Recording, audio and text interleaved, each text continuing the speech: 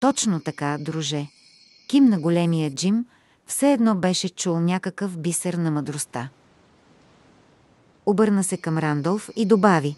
Основната ни грижа, основното ни задължение към града е поддържането на реда до края на кризата, което означава полицейски мерки. Правилно. Побърза да се съгласи Рандолф. Сигурен съм, че сега началник Пъркинс ни гледа от небето. Заедно с жена ми, обади се Анди. Заедно моята склоди. Той шумно се изсекна в носната си кърпа. Рени потръпна от отвращение, но го потупа по ръката, която не държеше кърпата. Точно така, Анди, двамата са заедно и се радват на Божията благодат. Но за нас тук, на земята, Пит, с колко души разполагаш? Знаеше отговора. Знаеше отговорите на повечето си въпроси. Така животът беше много по-лесен. Към участъка на Честърс Мил се числяха 18 полицаи, 12 редовни на пълен работен ден и шестима резервни на непълен. Въпросните шестима бяха прехвърлили 60-те и беше изгодно да ги държат на работа заради смехотворните заплати. Рени беше сигурен, че петима от редовните служители на реда са извън града или бяха със семействата си на футболния матч на гимназията или на учението в Касъл Рок. Началник Пъркинс беше мъртъв. И макар големия Джим да се придържаше към правилото да не се говори лошо за умрелите, беше уверен, че за града е по-добре старият дюк да е на небето, отколкото тук, опитвайки се да оправи мазало, което беше далеч над ограничените му възможности. Положението не е розово, отговори Рандолф. На лице са Хенри Морисън и Джаки Уетингтън, които се отзоваха на първоначалния код 3. Тук са и Руп Либи, Фред Дентън и Джордж Фредерик, въпреки че астмата така го мъчи, че не знам доколко ще ни е полезен. Смяташе да се пенсионира по болест в края на годината. Горкият Джордж, промърмори Анди. До сега да е свършил, ако не се поддържа с лекарства и онази помпа. Както ви е известно, Марти Арсено и Тоби Уилънхич ги няма напоследък. Единствената резерва, на която може да се разчита, е Линда Еверет. Накратко, имаме злощастно стечение на обстоятелствата, тежка криза с неизвестен изход и сума отсъстващи полицаи заради глупавия матч и още по-глупавото противопожарно учение. Андрея наостри уши. Линда Еверет ли? Жената не ръсти. Уф! Големия Джим често повтеше, когато се ядосаше. Тя е прост регулировчик, който спира движението, за да преминават учениците. Така е, сър, намеси се Рандолф. Обаче миналата година изкара в Касъл Рок курс по стрелба и притежава лиценз за огнестрелно оръжие, което означава, че може да се движи въоръжена. Може би няма да е на разположение непрекъснато, защото си гледа децата, но все пак ще помогне. В крайна сметка имаме сериозна криза. Несъмнено, несъмнено. Измънка Рени. Нямаше да допусне обаче скапаните съпрузи Еварет да изникват пред него като човечета на пружинка всеки път, когато се обърнеше. Накратко, не желаеше жената на онзи мухлю да участва в екипа му. Първо беше доста млада, на не повече от 30, второ беше голяма хубавица. Сигурен беше, че тя ще въздейства отрицателно на мъжете. Красивите жени винаги създаваха неприятности. Достатъчно му беше Уетингтън с големите цици. И така, равносметката е 8 от 18, каза Рандолф. Забрави себе си, обади се Андрея. Той се плесна по челото с опакото на дланта си, като че ли се опитваше да намести мозъка си. Ами да. Права си.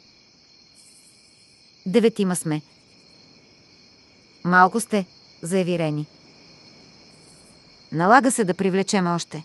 Само временно, разбира се. Докато нещата се оправят. Кого имате предвид, сър? Попита Рандолф. Като начало моето момче. Младши ли? Андрея повдигна вежди. Толкова е млад, че още няма право да гласува. Нали?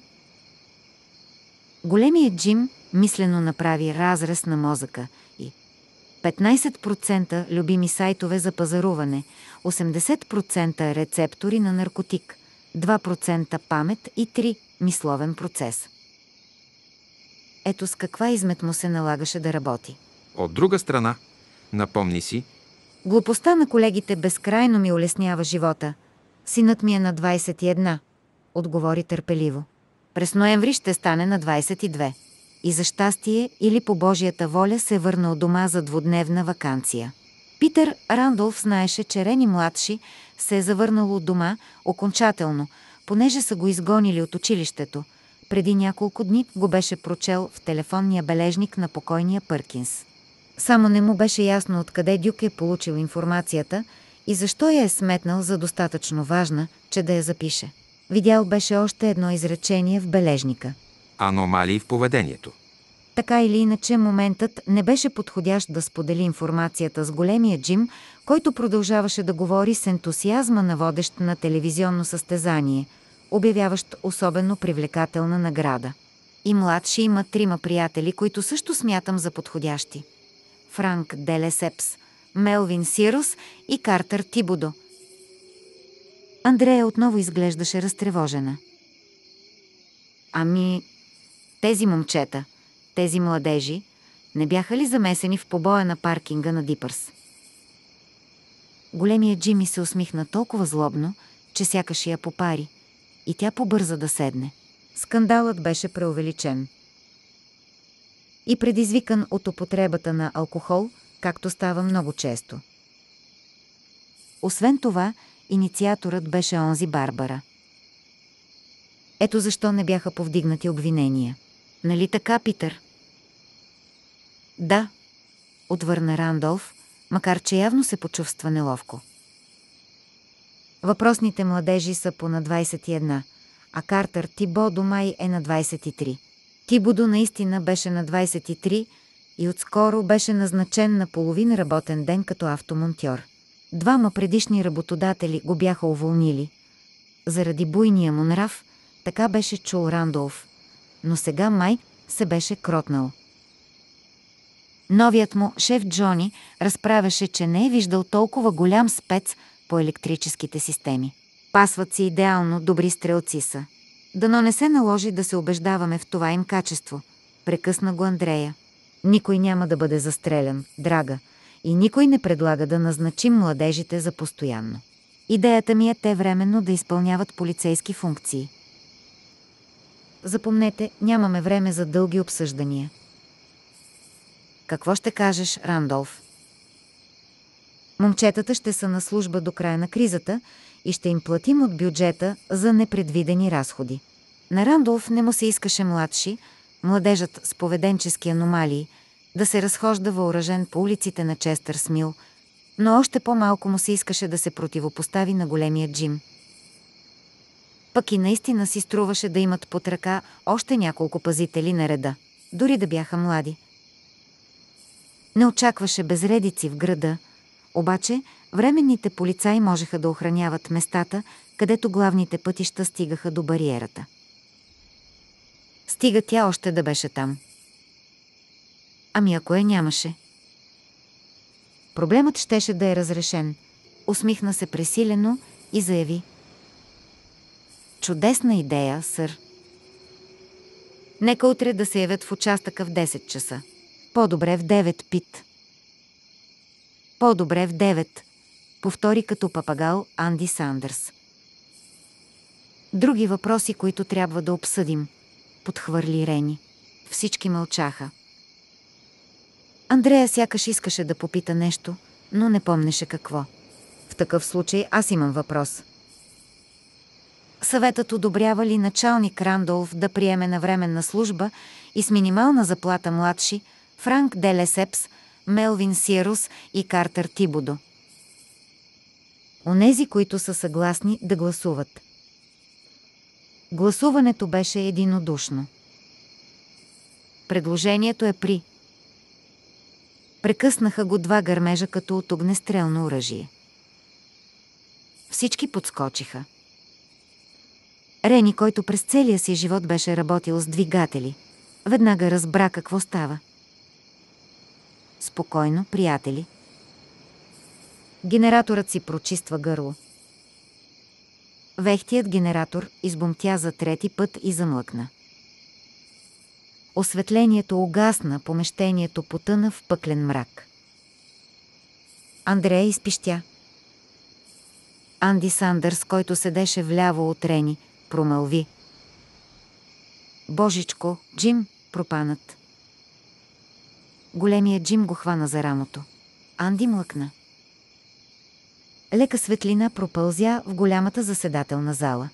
Бяха се включили аварийните лампи в четирите ъгъла на помещението. Под жълтеникавото им блещукане хората около масата изглеждаха восъчно бледи и състарени. И много изплашени. Дори големият Джим изглеждаше изплашен. Няма страшно. С престорено безгрижие подхвърли Рандолф. Резервуарът се е изпразнил. Разполагаме с достатъчно запаси. Анди погледна големия Джим. Погледна го само за секунда, но Рени подозираше, че Андрея го е видяла. Което можеше да я подтикне към задаването на пореден неудобен въпрос. Ще забрави всичко след поредната доза оксиконтин, помисли си. В момента не се интересуваше от общинските запаси или липсата на запаси. Щеше да се занимае с този въпрос, когато възникнеше необходимост. Е, приятели, знам, че и вие като мен бързате да си тръгнете, за това да преминем към следващата точка от дневния ред. Официалното назначаване на Пит за началник на полицията. Ами да, защо не? Измънка Анди. Говореше като човек, капнал от умора. Ако няма други предложения, да гласуваме. Всички гласуваха както му се искаше. Винаги ставаше неговото. Младши седеше на най-горното стъпало пред семейната къща на Мил Стрит, когато фаровете на хамъра на баща му осветиха алеята. Беше спокоен. Главоболието не се беше върнало. Анджи и Дуди бяха натикани в килера на Маккейн, където нямаше да ги намерят. По неизвестно време. Беше върнал в сейфа от краднатите пари. В джоба му имаше оръжие. Пистолетът 38 калибър с седефена ръкохватка, който Рени старши му беше подарил по случай 18-я му рожден ден. Сега щеше да си поговори с баща си. Щеше да го изслуша много внимателно. Усетише ли, че старият знае какви ги е свършило синчето му? Изглеждаше му почти невероятно, но за баща му сякаш нямаше тайни. Щеше да го застреля. После щеше да насочи оръжието към себе си. Защото нямаше как да избяга, не и тази нощ. Може би дори и на следващия ден. Навръщане се беше отбил при хората на градската мера и беше чул какво си говорят. Приказките им звучаха налудничаво, обаче голямото светещо кълбо на юг и по-малкото на югозапад, където шосе 117 завиваше към Касъл Рок, говореха, че тази нощ на лудничавото е вярно. Баща му слезе от джипа, тресна вратата и тръгна към къщата. Не изглеждаше на штрек обезпокоен или ядосан. Седна до младши без да продума. После направи нещо, което безкрайно изненада младежа. Сложи ръка на врата му и леко го стисна. Чули? Подочух това онова. Само, че не го разбирам. Никой не го разбира. Подозирам, че ни чакат тежки изпитания, докато положението се нормализира. За това ще те питам нещо. Какво? Младши стисна ръкохватката на пистолета. Ще изпълниш ли дълга си? Също и твоите приятели Франки Картер и онзи Сирос. Младши мълчеше и чакаше. Какви ги дрънкаше дъртият? Сега Питър Рандолф е началник на полицията. трябват му хора. Искаш ли да работиш като полицай, докато се разчисти това мазало? Млад ще изпита безумното желание да се запревива от смях. Или да изкрещи победоносно. Или и двете. Ръката на баща му още беше на врата му. Не го стискаше, не го щипеше, а сякаш го галеше. Пусна ръкохватката на пистолета. Хрумна му, че продължава дяволски да му върви. Късметът не го беше изоставил. Днес беше убил две момичета, които познаваше от малки. Утре щеше да е градски полицай. Разбира се, татко, каза. С радост ще помогнем. И за пръв път от около 4 години, може би дори от повече, целуна баща си по страната. Молитви. Барби и Джулия Шамой почти не обелиха дума. Нямаше за какво да разговарят. На пътя нямаше други коли, освен тяхната, но щом излязоха от града, забелязаха, че прозорците на повечето фермерски къщи светят. Във фермите винаги имаше много работа и стопаните нямаха вяра на Менската електрическа компания. Затова всички имаха генератори. На минаване край кулата на радиото на Исус видяха, че двете червени лампи на върха и проблясват както обикновено. Електрическият кръст пред малкото студио също светеше, като бял маяк в мрака. Звездите над него се бяха разпилели по небето с обичайното екстравагантно изобилие. Безконечен поток от енергия, която не се произвежда от генератор.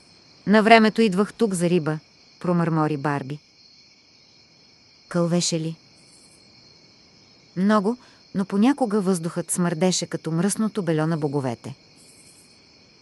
Сигурно е от изкуствените торове. Така и не посмях да опитам улова. Не вони на тор, а на фарисейщина. Моля? Тя посочи тъмния силует, скриващ звездите. Църквата на Христа Светия Изкупител – Тяхна е и радиостанцията, която отминахме преди малко. Не си ли чувал за радиото на Исус? Барби свира мене. Май съм виждал камбанарията. И за радиостанцията съм чувал. Няма начин да се спасиш от нея, ако живееш тук и притежаваш радиоапарат. Фундаменталисти ли са в сравнение с тях за коравелите баптисти са невинни агънца. Самата аз ходя в независимата църква. Не понасям Лестер Когинс, ненавиждам злорадите му проповеди. Ха-ха, всички ще горите в пъкъла, само ние не. Често си задавам въпроса как могат да си позволят мощна радиостанция. Подаяние от признателните еноряши.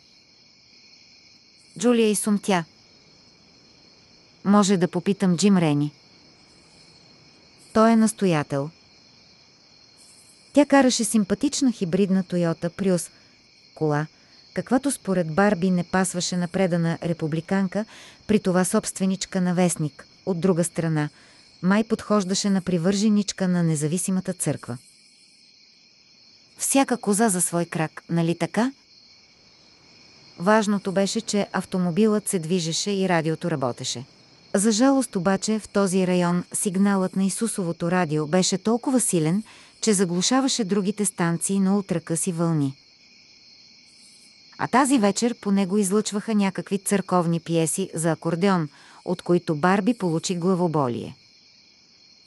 Звучаха като полки, изпълнявани от оркестранти, умиращи от бобонна чума. «Пробвай на средни вълни», предложи Джулия.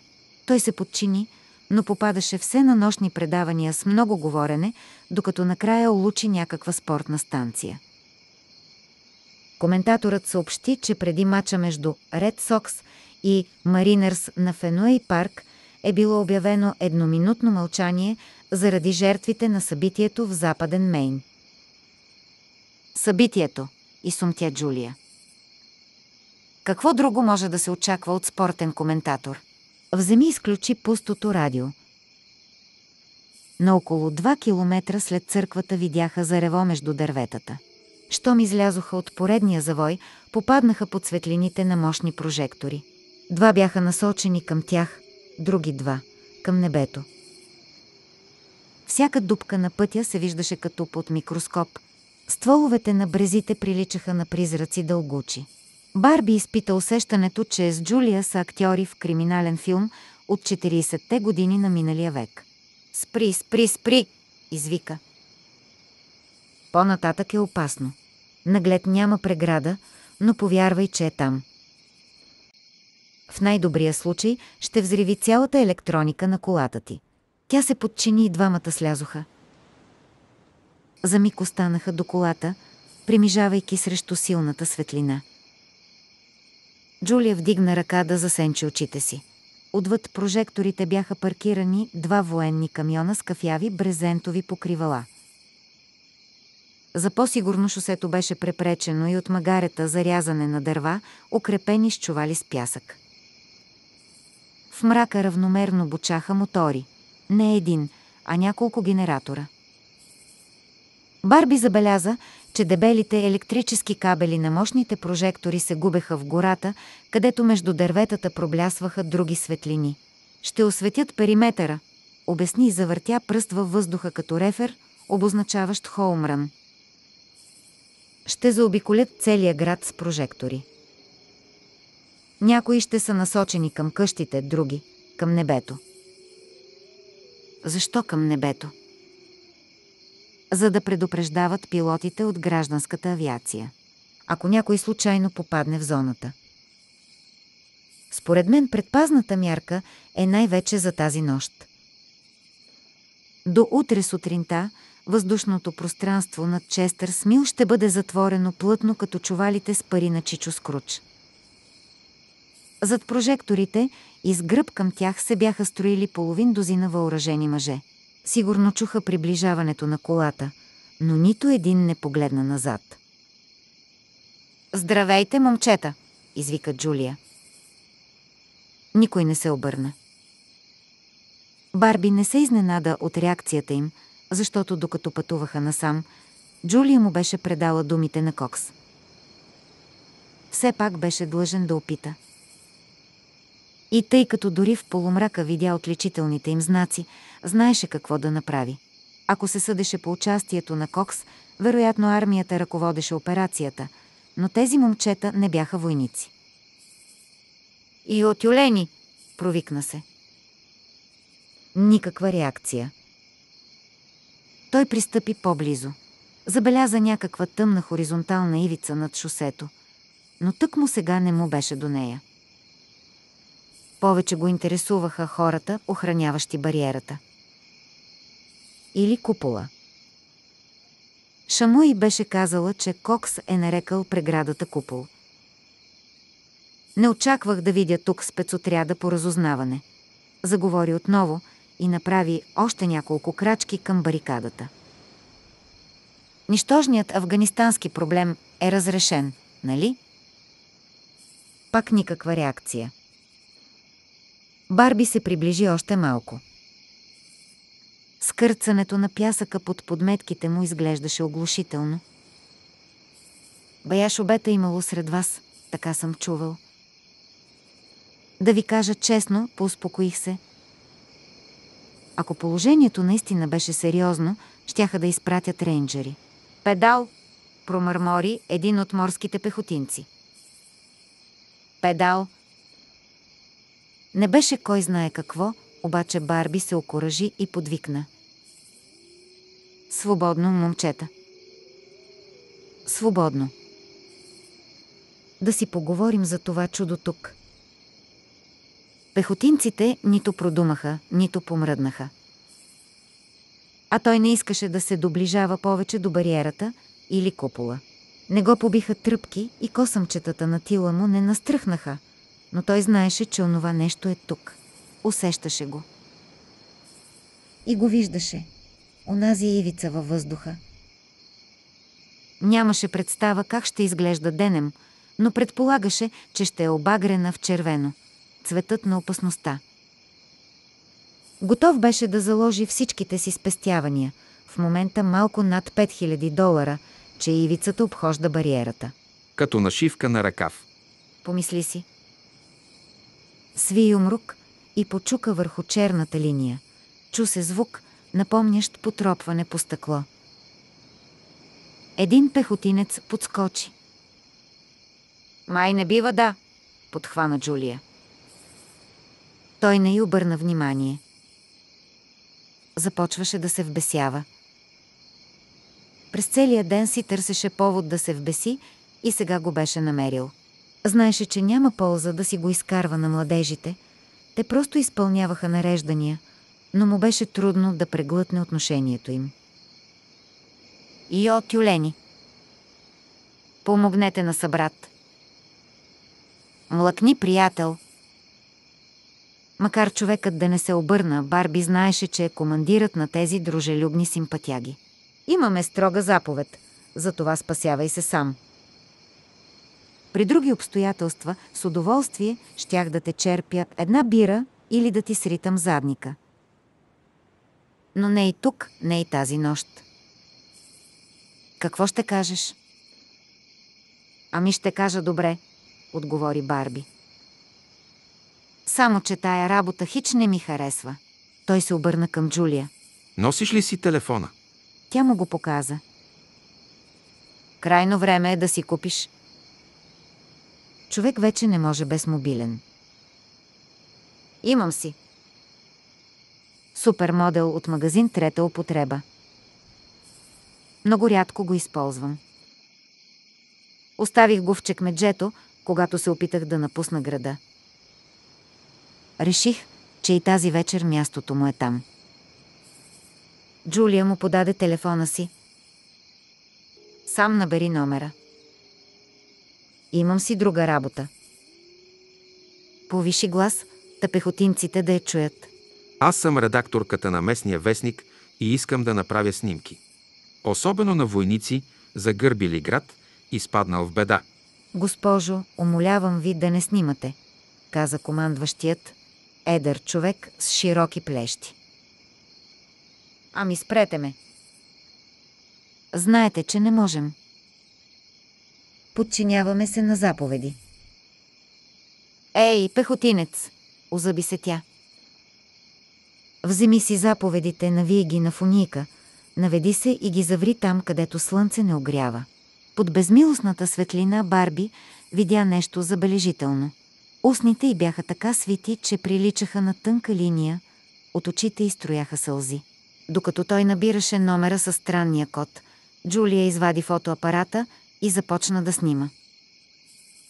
Светкавицата се губеше на фона на ярките прожектори, но Барби забеляза, че пехотинците потрепват при всяко нейно проблясване. Може би се молят да не се видят отличителните им знаци, помисли си. Полковник Джеймс О. Кокс от армията на Съединените щати беше казал, че в 10 и половина ще чака с ръка на телефона. Барби и Джулия Шамъй бяха позакъснели и Дейл позвани едва към 11 без 20, но полковникът явно не беше отместил ръка от телефона, защото се обади на секундата. «Привет. Кен е на телефона». Дейл още беше в бесен, обаче не можа да се сдържи и прихна. Тук е Барби, сър. Хитрушата, на която все и върви. Кокс също се засмя. Несъмнено си мислеше, че разговорът е потръгнал добре. Как си, командир Барбара? Добре съм, сър. Моите уважения, сър, но сега съм просто Дейл Барбара. Командвам само гриловете и фритюрниците в местния ресторант и не съм в настроение за празни приказки. Озадачен съм, сър, и съм адски в бесен, задето шайка смотани пехотинци са ми обърнали гръб и отказват да ме погледнат в очите. Ясно. Искаш от мен обяснения. Ако тези момчета можеха да помогнат да се сложи край на това положение, щеше да гледаш лицата вместо задниците им. Вярваш ли ми? Чувам ви, сър. Което не беше отговор на въпроса. Джулия продължаваше да снима. Барби се приближи до банкета. От тук се виждаше голяма палатка, разпъната зад камионите. И по-малка, вероятно служеща за столова, плюс паркинг, претъпкан с още камиони. Морските пехотинци си бяха устроили лагер. Вероятно имаха лагери и на изходите от града при шосета 119 и 117. Следователно се подготвяха за дълъг престой. Сърцето му се сви. Вестникарката там ли е? Попита Кокс. Да. Фотографира като побесняла. Предупреждавам ви, сър, че ще й кажа всичко, което ми съобщите. Джулия престана да снима и му се усмихна. Ясно, капитане. Сър, няма да спечелите точки, като ме наричате така. Добре де, Барби. Доволен ли си? Да, сър. Колкото до снимките, които дамата реши да публикува. Дано има достатъчно акъл да ги подбере, та да не изкара акъла на хората в това ваше градче. Мисля, че има. И ако ги изпрати по електронната поща на някого отвъд. Преградата, примерно на многотиражно списание или на Нью Йорк Таймс, ще останете без интернет, както без стационарни телефони. Сър, това е мръсен но. Решенията не вземам аз, а големите клечки. За твое сведение. Барби въздъхна. Ще й предам. Какво? Обади се Джулия. Че ако изпратиш на някого снимките, ще накажат целия град, като отнемат достъпа до интернет. Джулия направи жест, който Барби обикновенно не свързваше с изискани републиканки. Той отново заговори на Кокс. Колко можете да ми кажете, сър? Всичко, което знам. Благодаря, сър, каза Барби, макар да се съмняваше, че полковникът ще бъде напълно откровен. Военните никога не споделяха всичко, което знаеха. Или си въобразяваха, че знаят. Наричаме го купола, подхвана Кокс. Въпреки, че всъщност не е купол. Поне така смятаме. Според нас е капсула, чието очертания прилягат абсолютно точно към очертанията на града. Знаете ли колко е висок този купол? Смятаме, че е около 8000 метра. Още не знаем дали горната му част е плоска или заоблена. Барби мълчеше. Беше загубил дар слово. Колкото до дълбочината. За сега можем да кажем само, че е повече от 3 метра и половина, съдейки по разкопките, които правим на границата между Честърс, Мил и градчетата на север. Местните наричат този район Тере 90, промърмори Барби и не позна собствения си глас. Толкова беше тих и вял. Все едно – Важното е друго. Видях спектрографски снимки, които буквално ме шашнаха. Дълги метаморфични скални пластове, разцепени на две. Помежду им няма пролука, но ясно се вижда мястото, на което скалната маса от към север е хлътнала. Направихме запитване в сейзмологичния център в Портланд и бинго. В 11.44 е регистрирано земетресение с сила 2,1 по Рихтер. Тогава се е спуснал куполът. Браво на вас! Барби предполагаше, че тонът му е подигравателен, но беше толкова зашеметен и смаян, че не беше сигурен. Сведенията за дълбочината не са окончателни, но са убедителни. Разбира се, проучването е на съвсем начален етап, обаче изглежда, че това чудо се е вкопало в земята на дълбочина – равна на височината му. И ако височината е 8000 метра. Как я установихте? С радар ли? Не. Тази пущина не се вижда на радара. Няма начин да разбереш, че е там, докато не се блъснеш в нея или докато си толкова близо, че не можеш да спреш. При спускането на купола са загинали очудващо малко хора – но около него, отвътре и отвън, е затрупано с умрели птици. Знам. Видях ги.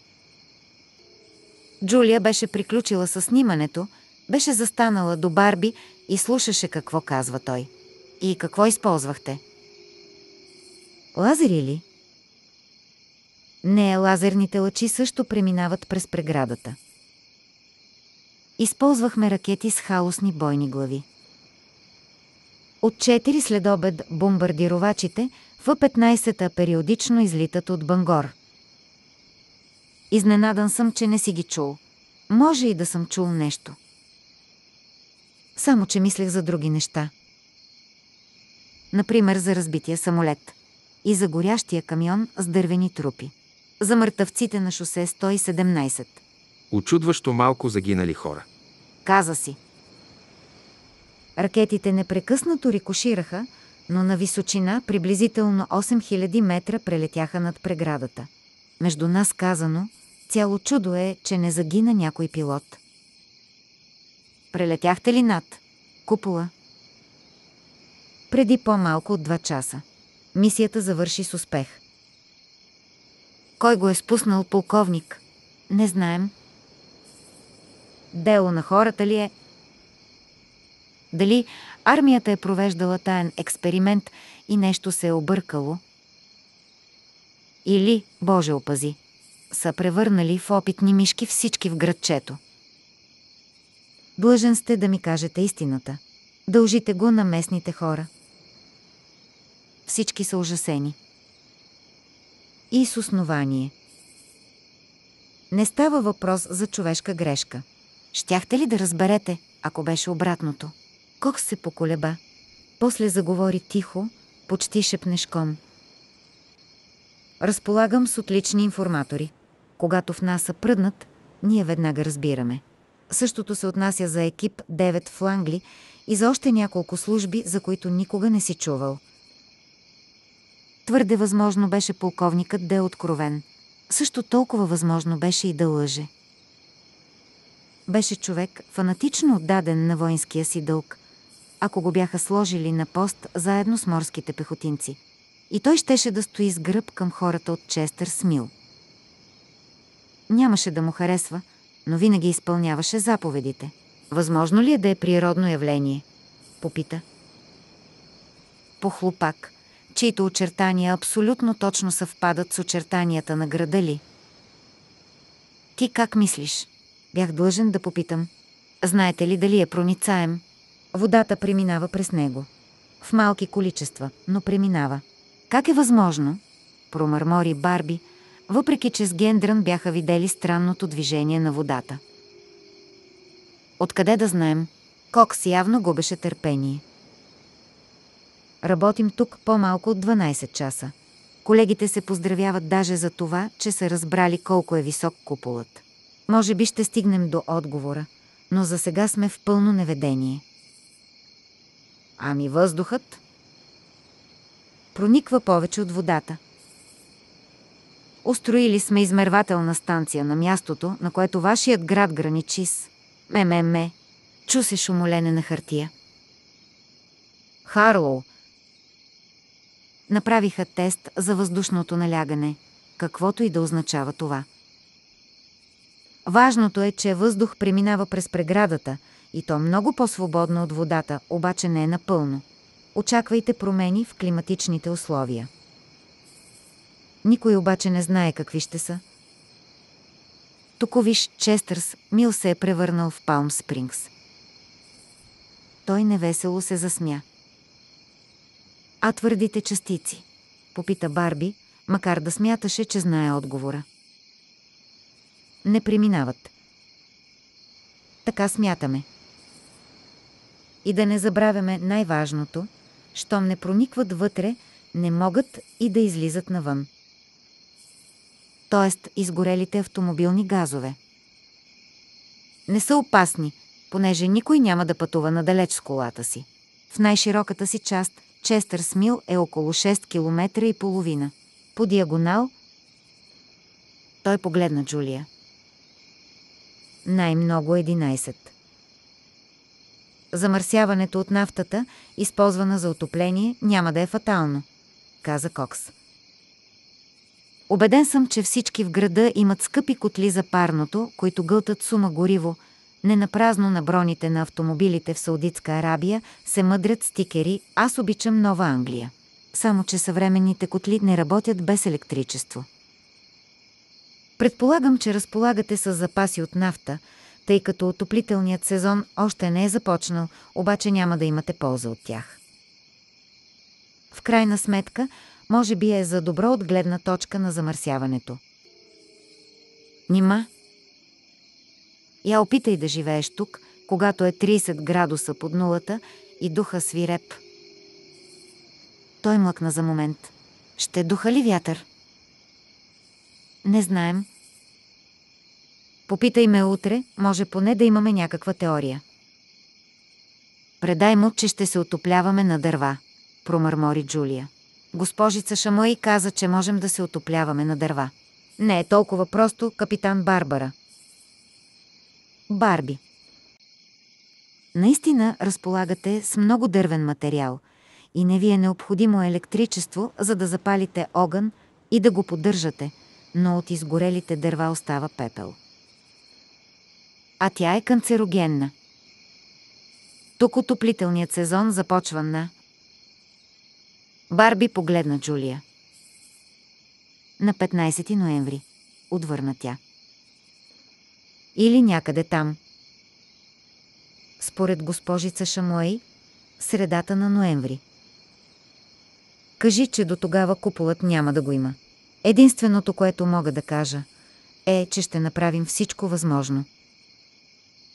Всъщност, така стигнахме до целта на разговора. Умните глави – Онези, които сме привлекли до този момент, са на мнение, че става въпрос за силово поле. Като в Стар Трек, промърмори Барби. Телепортирай ме Скот и звезда. Звезда култова фраза от телевизионния сериал Стар Трек, навлязла в попкултурата. Това е командата, която капитан Кърк дава на главния си механик Монтгомари Скот, Скоти, когато иска да се върне на звездния кораб – Enterprise. Бележка на преводача. Моля, няма значение. Продължавайте, сър. Всички те са единодушни, че силовото поле не е възникнало случайно. Създало го е нещо близо до полето на въздействие или в центъра му. Нашите хора смятат, че второто е по-вероятно. Все едно е дръжка на чадър, каза един. Подозирате, че причината за силовото поле е в града, така ли? Смятаме, че е твърде възможно. И по една случайност в момента в Честърс Мил се намира офицер, носител на много военни отличия.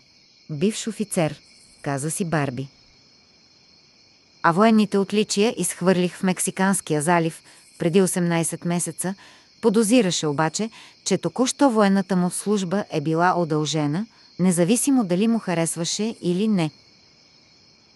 В името на Отечеството, както гласеше баналната фраза. Чиято специалност в Ирак беше откриване на оръжейни заводи на Ал-Кайда и унищожаването им. Така.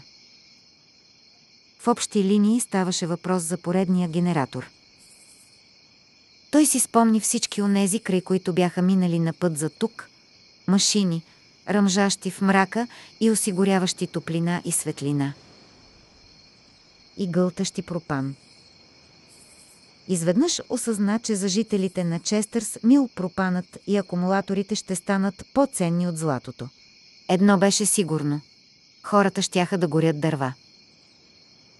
Ако застудееше и пропанът свършеше, щеше да се изгори голямо количество дървен материал. И никой нямаше да мисли за опасността от рак. Надали е като генераторите, които сега работят във вашия свят, продължи Кокс. Машина, която може да създаде купола.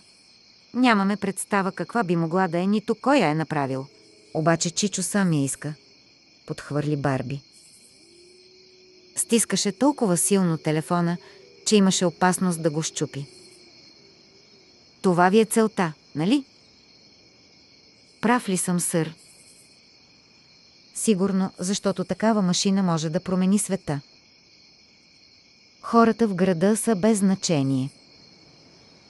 Някакви си косвени жертви. О, не драматизирай! възкликна полковникът. Помни, че интересите ни съвпадат. Откри генератора, ако съществува. Откри го, както издирваше оръжейните заводи, изключи го и готово. Ако съществува. Точно така. Ще се опиташ ли? Имам ли избор?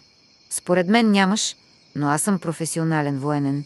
За нас правото на избор не съществува. Кен, задачата е адски шибана. Кокс не отговори веднага. На Барби му се стори, че освен тихото бръмчене, означаващо, че може би разговорът се записва, чува и мислите на бившия си командир. След няколко секунди полковникът каза Вярно е, но нали си хитрушата, на която все и върви. Барби се засмя. Не можа да се сдържи. Потеглиха обратно с колата. Наминаване край църквата на Христос Светия Изкупител. Барби се обърна към Джулия. На светлината от таблото на колата лицето изглеждаше уморено и сериозно. Няма да те моля да скриеш всичко, което чу, но мисля, че трябва да премълчиш нещо. Генераторът, който може да е в града или извън него. Тя отмести от волана едната си ръка и помилва по главата Хорас, сякаш това я успокояваше и вдъхваше увереност. Да. Защото ако някакъв генератор създава силовото поле, купола на твоя полковник, тогава някой го управлява. Някой сред нас. Кокс не го каза, но съм убеден, че го мисли. Ще го запазя в тайна. И няма да изпратя снимките по електронната поща.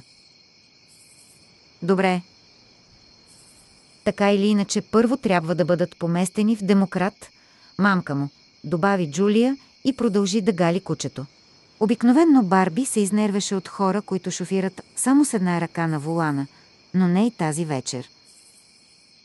По Бич Роуд и шосе 119 не се движеше нито една кола. Освен това, разбирам, че понякога доброто дело е по-важно от добрата статия. За разлика от редакторите на Нью Йорк Таймс. Браво на теб! И ако откриеш генератора, няма да ми се наложи често да пазарувам от Фуд Сити. Ненавиждам този магазин. Тя млъкна и след малко попита. Дали изобщо ще е отворен утре? Според мен да. Хората тук още не осъзнават напълно какво ги чака. В такъв случай още сутринта ще го посетя, замислено промърмори Джулия.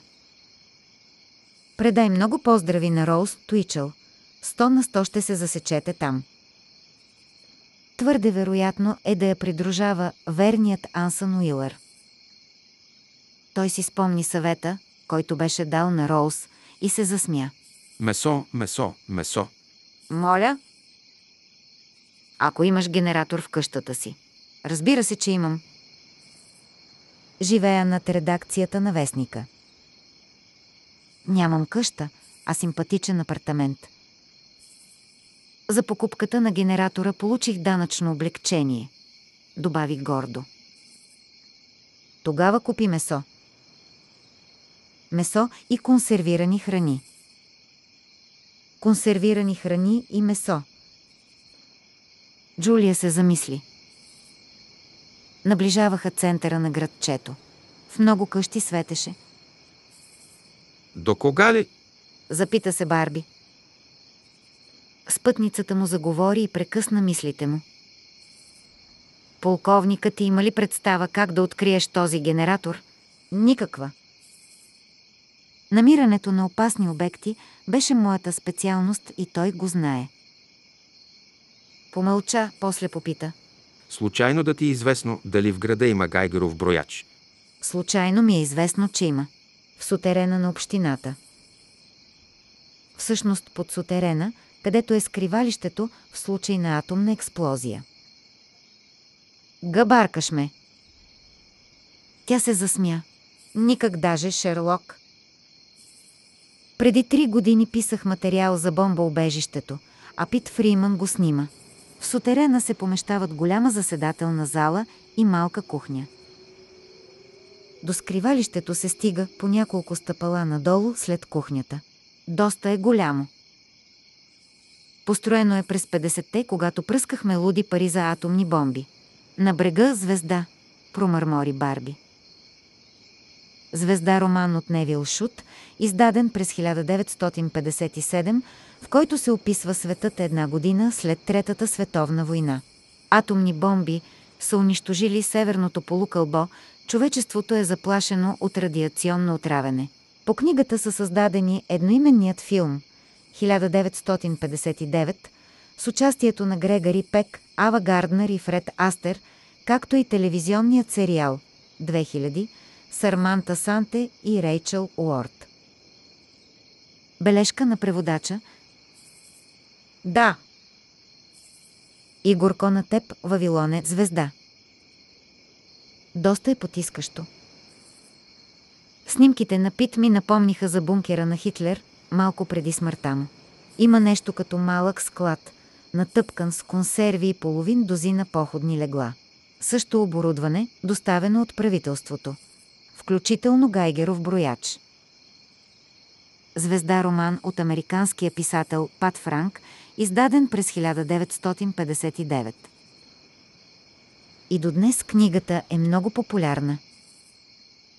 Описани са последствията от атомна война върху измисленото градче Форт Рипълс в Флорида.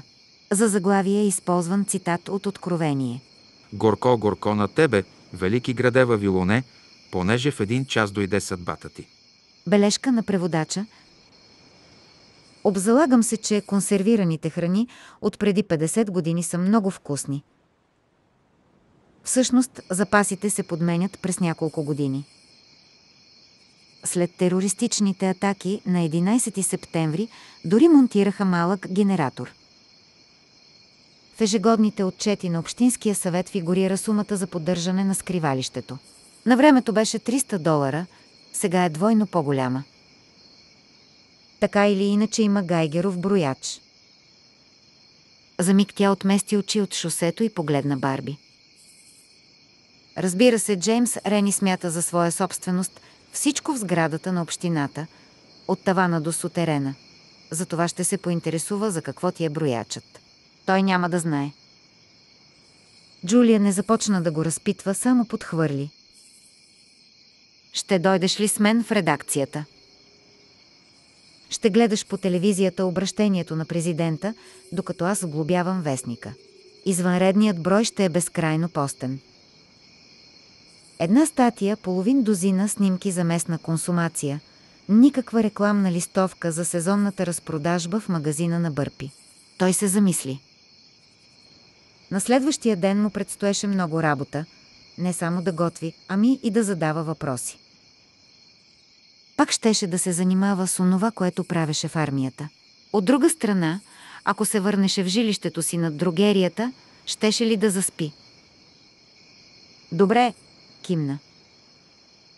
Може би не трябва да ти го казвам, но съм отличен асистент. И прави убийствено кафе. Господине, току-що получи временно назначение. Тя отмести от вола на дясната си ръка и Барби плесна длантай. Може ли да те попитам още нещо? Обещавам да не го публикувам. Казвай. Този научно-фантастичен генератор. Мислиш ли, че ще го намериш? Той се позамисли и отговори, чак след като Джулия паркира пред сградата, в която се помещаваше редакцията на Демократ. Не. Ще е прекалено лесно. Тя въздъхна и кимна, после стисна дланта му. Дали ще помогне, ако се моля да успееш? Във всеки случай няма да ми навреди, промърмори Барби. В деня на купола в Честърс Мил имаше само две църкви – и двете разпространяваха протестантската религия, макар и по съвсем различен начин. Католиците посещаваха Дева Мария в Мотън, а 12-тината евреи в градчето ходеха в Бет Шалум, в Касъл Рок, щом почувстваха необходимост от духовна отеха. На времето в Мил имаше унитарианска църква, която в края на 80-те престана да действа. Местните бяха единодушни, че и без това е била твърде префарцунена. Сега в сградата се помещаваше книжарницата за нови и антикварни книги. Тази вечер и двамата пастори бяха настроени коленопреклонно, както често казваше големия Джим Рени, но техните молитви, мисли и очаквания бяха на противоположни полюси. Преподобната Пайпър Либи, която проповядваше от амвона на независимата църква, вече не вярваше в Бог, въпреки че не беше споделила този факт с паството си. За разлика от нея, Лестър Когинс беше толкова религиозен, че фанатизмът му граничеше с лудост, както се случва обикновено. Преподобната Либи, още по спортни дрехи и, въпреки че беше на 45, с достатъчно стегнато тяло, че да изглежда добре с тях, коленичеше пред ултара сред почти пълен мрак. Независимата църква нямаше генератор, а немската й овчарка Кловър лежеше до нея, притворила очи и облегнала муцуна на предните си лапи. Здрасти, отсъстващ, промърмори Либи. Това беше най-новото й обращение към Господ. През есента го беше наричала Великото, може би, а през лятото – Всемогъщият неизвестен. Знаеш какво ми се случи? Сигурна съм, защото ти казах поне сто пъти, но тази вечер няма да говоря за това, което вероятно те радва. Въздъхна и отново подхвана. Положението е много сложно, приятелю. Дано разбираш какво става, защото аз нямам представа. Но и двамата знаем, че утре тук ще е препълнено с хора, търсещи божествено спасение от бедствието. църквата беше тихо, тихо беше и навън. Прекалено тихо, както често казваха героите в старите филми. Друг път случвало ли се беше градчето да е така притихнало в съботна вечер. Не се движеха никакви автомобили, нямаше го басовото думкане на групите, които през уикенда свиреха в Дипърс. Собствениците на заведението винаги рекламираха музикантите като долно-долно-тире, идващи направо от Бостън долно-долно-тире. Няма да те моля да ми разкриеш волята си, понеже вече не вярвам, че имаш воля. Обаче ако случайно съществуваш, не отричам напълно тази възможност. Моля те, помогни ми да кажа нещо утешително. И не на небето, а тук на земята. Понеже тя се разрида, което не е изненада. Напоследък често плачеше, но само насаме. Хората в Нова Англия гледаха с лошо око на циврещи свещеници и политици. Кловър усети колко е разстроена и заскимтя. Пайпър му се скара и отново се обърна към ултара. Често си казваше, че кръстът на него прилича на емблемата на автомобилите Шевролет, измислена от човек, който преди 100 години е видял символа на тапетите в хотелска стая в Париж и го е харесал. Според нея всички, които смятаха за божествени подобни символи, не бяха с всичкия си. Въпреки това продължи молитвата си. Защото вероятно знаеш, че си имаме само този свят – Искам да помогна на моите събратя. Това е мой дълг и още искам да го изпълнявам. Затова ако си там и ако държиш на своите чеда, което според мен е твърде съмнително, умолявам те да ми помогнеш. Амин. Либи се изправи. Нямаше фенерче, но предполагаше, че ще се добере до вратата, без да си нарани пищялите. Познаваше сградата като опакото на дланта си. И я обичаше. Да си вървим, Кловър, промърмори. След половин час ще говори президентът, другият отсъстващ. Ще го слушаме по радиото в колата. Кучето покорно я последва, необезпокоявано от религиозни дилеми. На Бич Роуд, наричан само път номер 3 от вярващите, посещаващи църквата на Светия Изкупител, се разиграваше много по-динамична сцена и то под ярка електрическа светлина. Храмът на Лестър Когинс беше снабден с генератор И то толкова нов, че етикетите за превоз още бяха залепени за оранжевия му корпус. Монтиран беше в барака, също боядисана в оранжево, до складовото помещение зад църквата. Лестър беше на 50, но благодарение на гените и на усърдните си грижи за храма на тялото си, изглеждаше на не повече от 35. Премереното използване на прочута серия мъжки козметични препарати също подпомагаше младежкия му вид. Тази вечер носеше само гимнастически шорти и всяко мускулче на тялото му се очертаваше.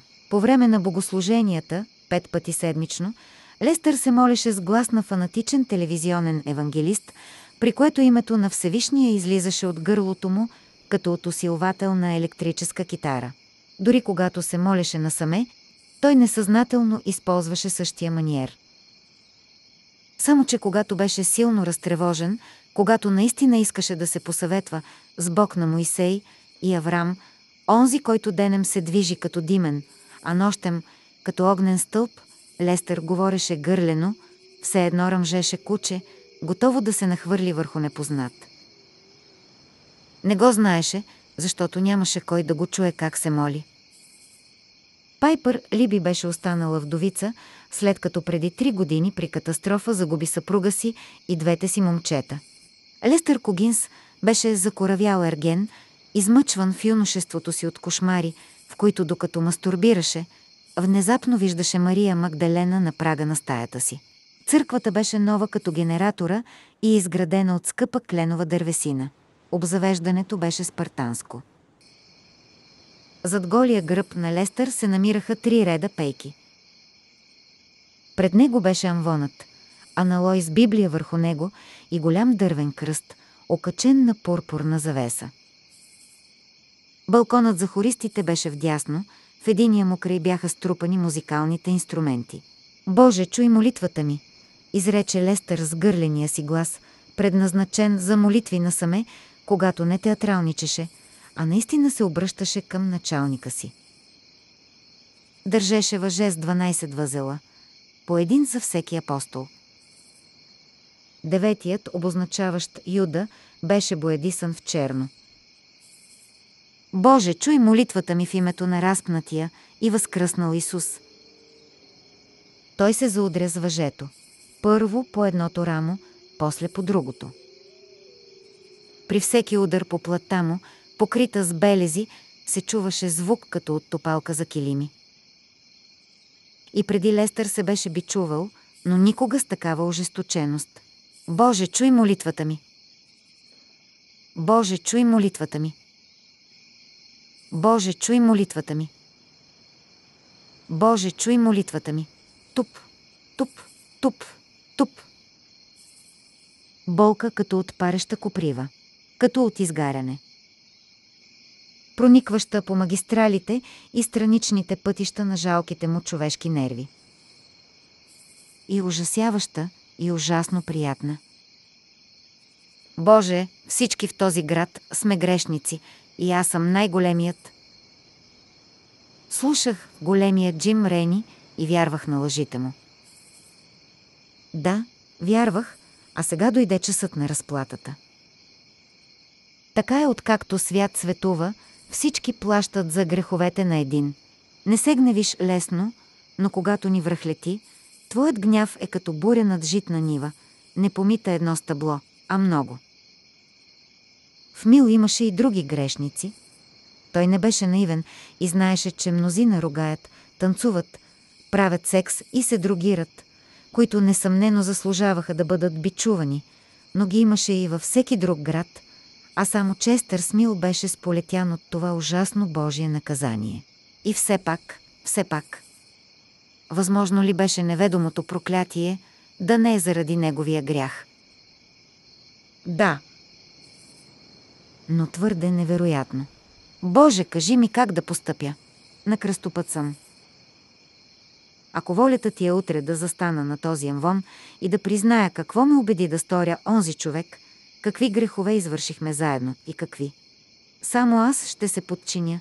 Само, че това ще е краят на службата ми като свещеник и ми е трудно да повярвам, че го искаш от мен в такъв съдбовен момент. Ако пожелаеш да чакам, да чакам и да видя какво ще се случи, да чакам и да се моля с паството си да се освободим от бремето, ще се подчиня. Да бъде волята ти, Господи. Сега и завинаги. Престана да се бичува, усещаше как топли и успокояващи ручейчета се стичат по гърба му. Няколко възли на въжето бяха почервенели и вдигна към тава на лицето си, обляно в сълзи. Защото тези хора не могат без мен. Боже! Знаеш, че тък му сега съм им най-необходим. Затова, ако волята ти е тази чаша да бъде отдръпната от устните ми, моля те, дай ми знак. Той зачака. И не щеш ли, Бог каза на Лестер Когинс. Ще ти пратя поличба. Иди при твоята Библия, както правеше като малък след онези лоши сънища. Ей сега!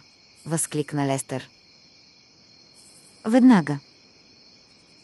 Преметна на врата си въжето с възлите, при което то увисна на раменете и гърдите му като кървава подкова и се качи на амвона, без да обръща внимание на кръвта, която течеше на вадички по гърба му и се просмукваше в ластика на шортите му.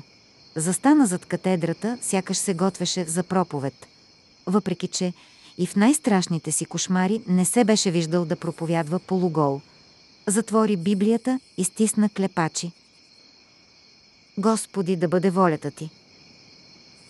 Отправям ти въпрос в името на Твоя син, разпнат в позор и възкръснал в слава. И Господ каза Отвори моята книга и виж какво пише. Лестър се подчини, внимаваше да не отвори Библията по средата. Това си беше чист стар завет. Сложи пръста си върху една страница, после отвори очи и се наведе. Беше 28 стих от 28 глава от Второзаконието. Той прочете. Дълго тире. Ще те порази Господ с лудост, слепота и вцепеняване на сърцето. Това с вцепеняването на сърцето не беше толкова зле, но като цяло цитатът не беше окоръжаващ. Нито пък ясен. После Бог отново проговори. Не спирай до тук, Лестър. Пастор Когинс зачете 29 стих. Дълго тире. И ще ходиш пипнешком по пладне.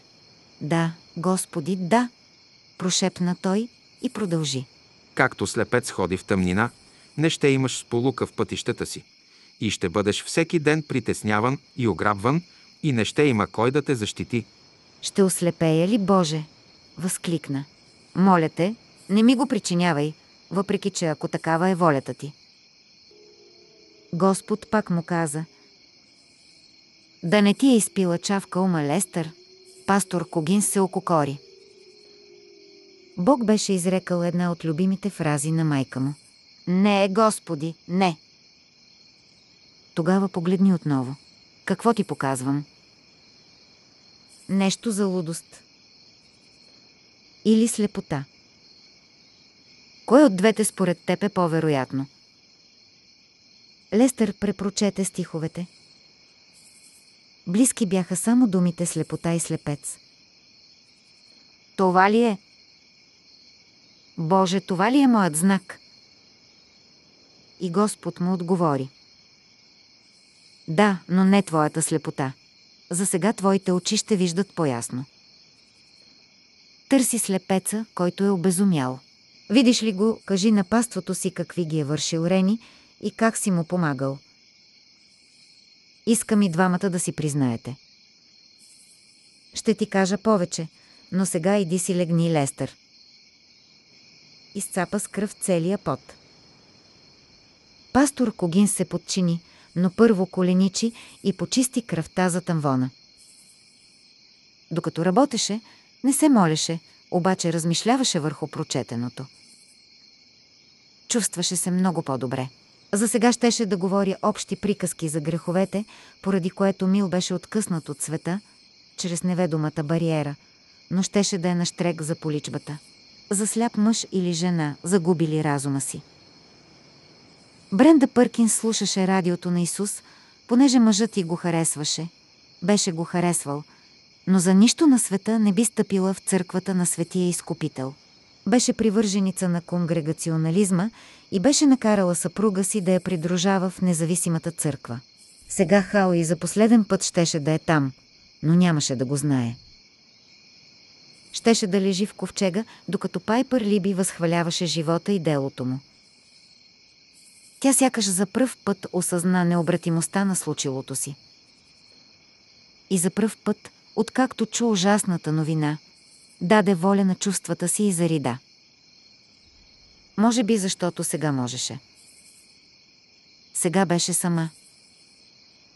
По телевизията президентът, изглеждащ невероятно състарен, каза «Скъпи са народници, искате отговори». И аз се заклевам да ги споделя с вас веднага, щом ги науча. Никаква секретност по този въпрос. Моят прозорец към случващото се ще е и ваш прозорец. Тържествено ви обещавам. Да ви хвърлям прах в очите, каза Бренда и заплака още по-силно, защото фразата беше сред любимите на Хауи. Изключи телевизора и хвърли на пода дистанционното. Идваше и да го стъпче, но се въздържа най-вече защото си представи как мъжът и клати глава и казва да не прави глупости. Отиде в малкия му кабинет, защото изпитваше желание някак си да е близо до него, докато духът му още е в къщата. Искаше и се да го докосне. Генераторът в задния двор мъркаше. Като доволен котарак. Би казал Хауи. Разсърди му се, когато го купи след терористичните атаки на 11 септември. За всеки случай, беше казал той. Но сега съжаляваше, задето му вдигна скандал. В тъмното щеше да се чувства още по-изплашена, още по-самотна. На бюрото му стоеше само отвореният лаптоп. Скринсейвър беше снимка от отдавнашен матч за малката лига.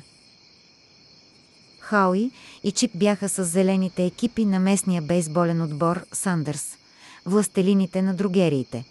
Беше направена през годината, когато Хауи и Ръсти Еверет бяха извели Сандърс на щатските финали. Чип беше прегърнал баща си, Бренда прегръщаше и двамата. Прекрасен ден, ала крехък. Крехък като кристална чаша. Още не беше съобщила на Чип трагичната вест и мисълта за този разговор. Ако изобщо успееше да се свърже с сина си, съвсем я довърши.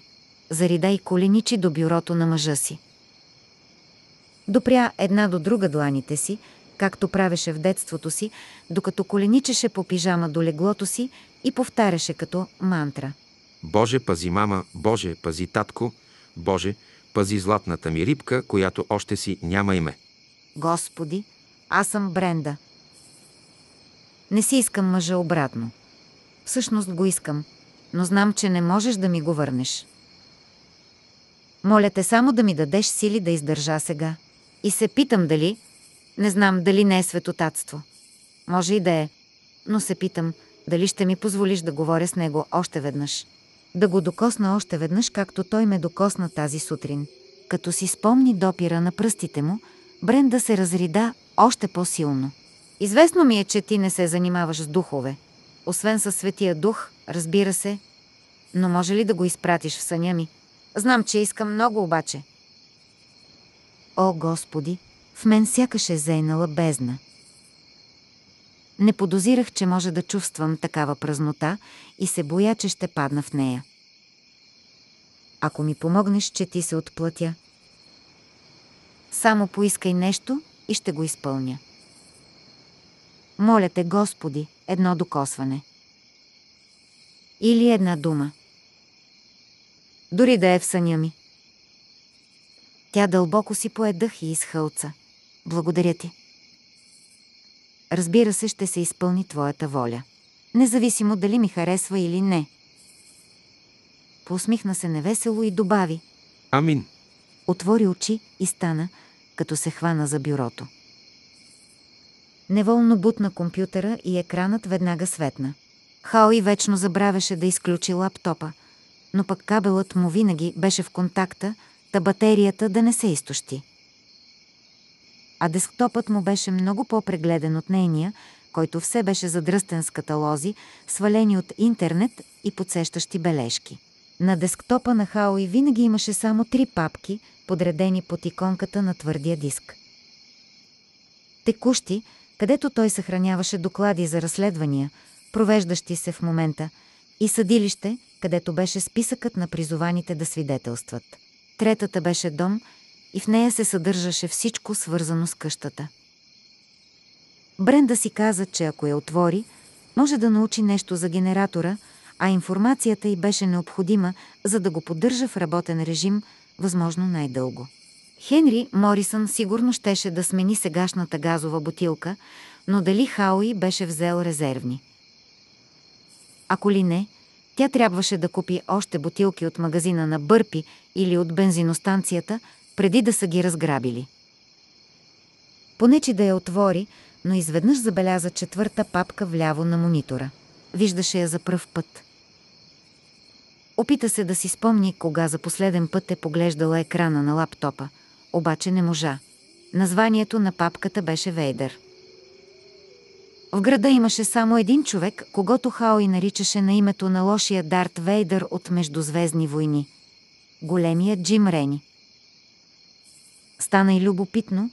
Тя премести курсора върху новата папка и штракна два пъти с мишката, питайки се дали папката е защитена с парола.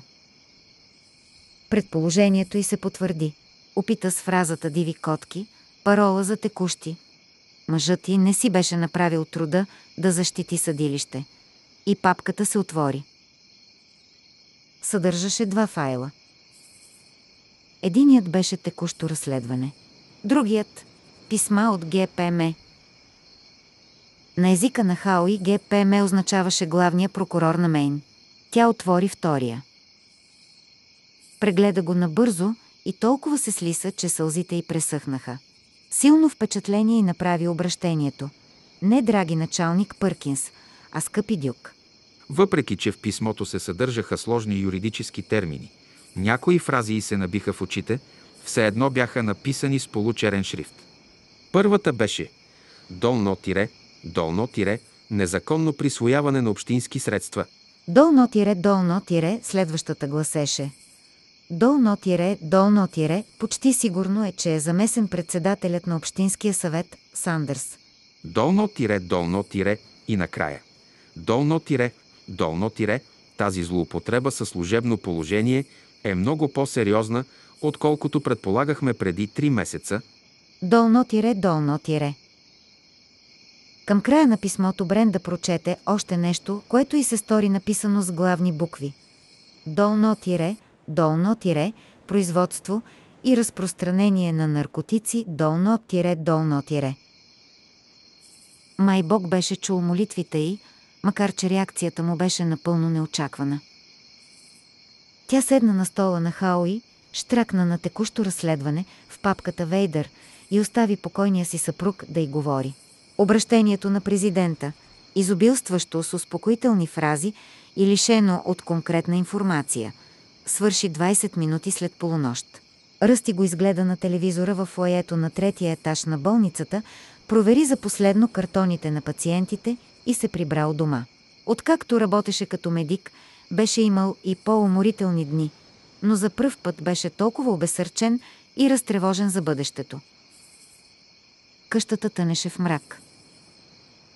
Миналата година, както и по-миналата, с Линда бяха разсъждавали дали да купят генератор, понеже всяка зима и понякога през лятото електрозахранването в Честърс Мил се прекъсваше най-малко за 4-5 дни.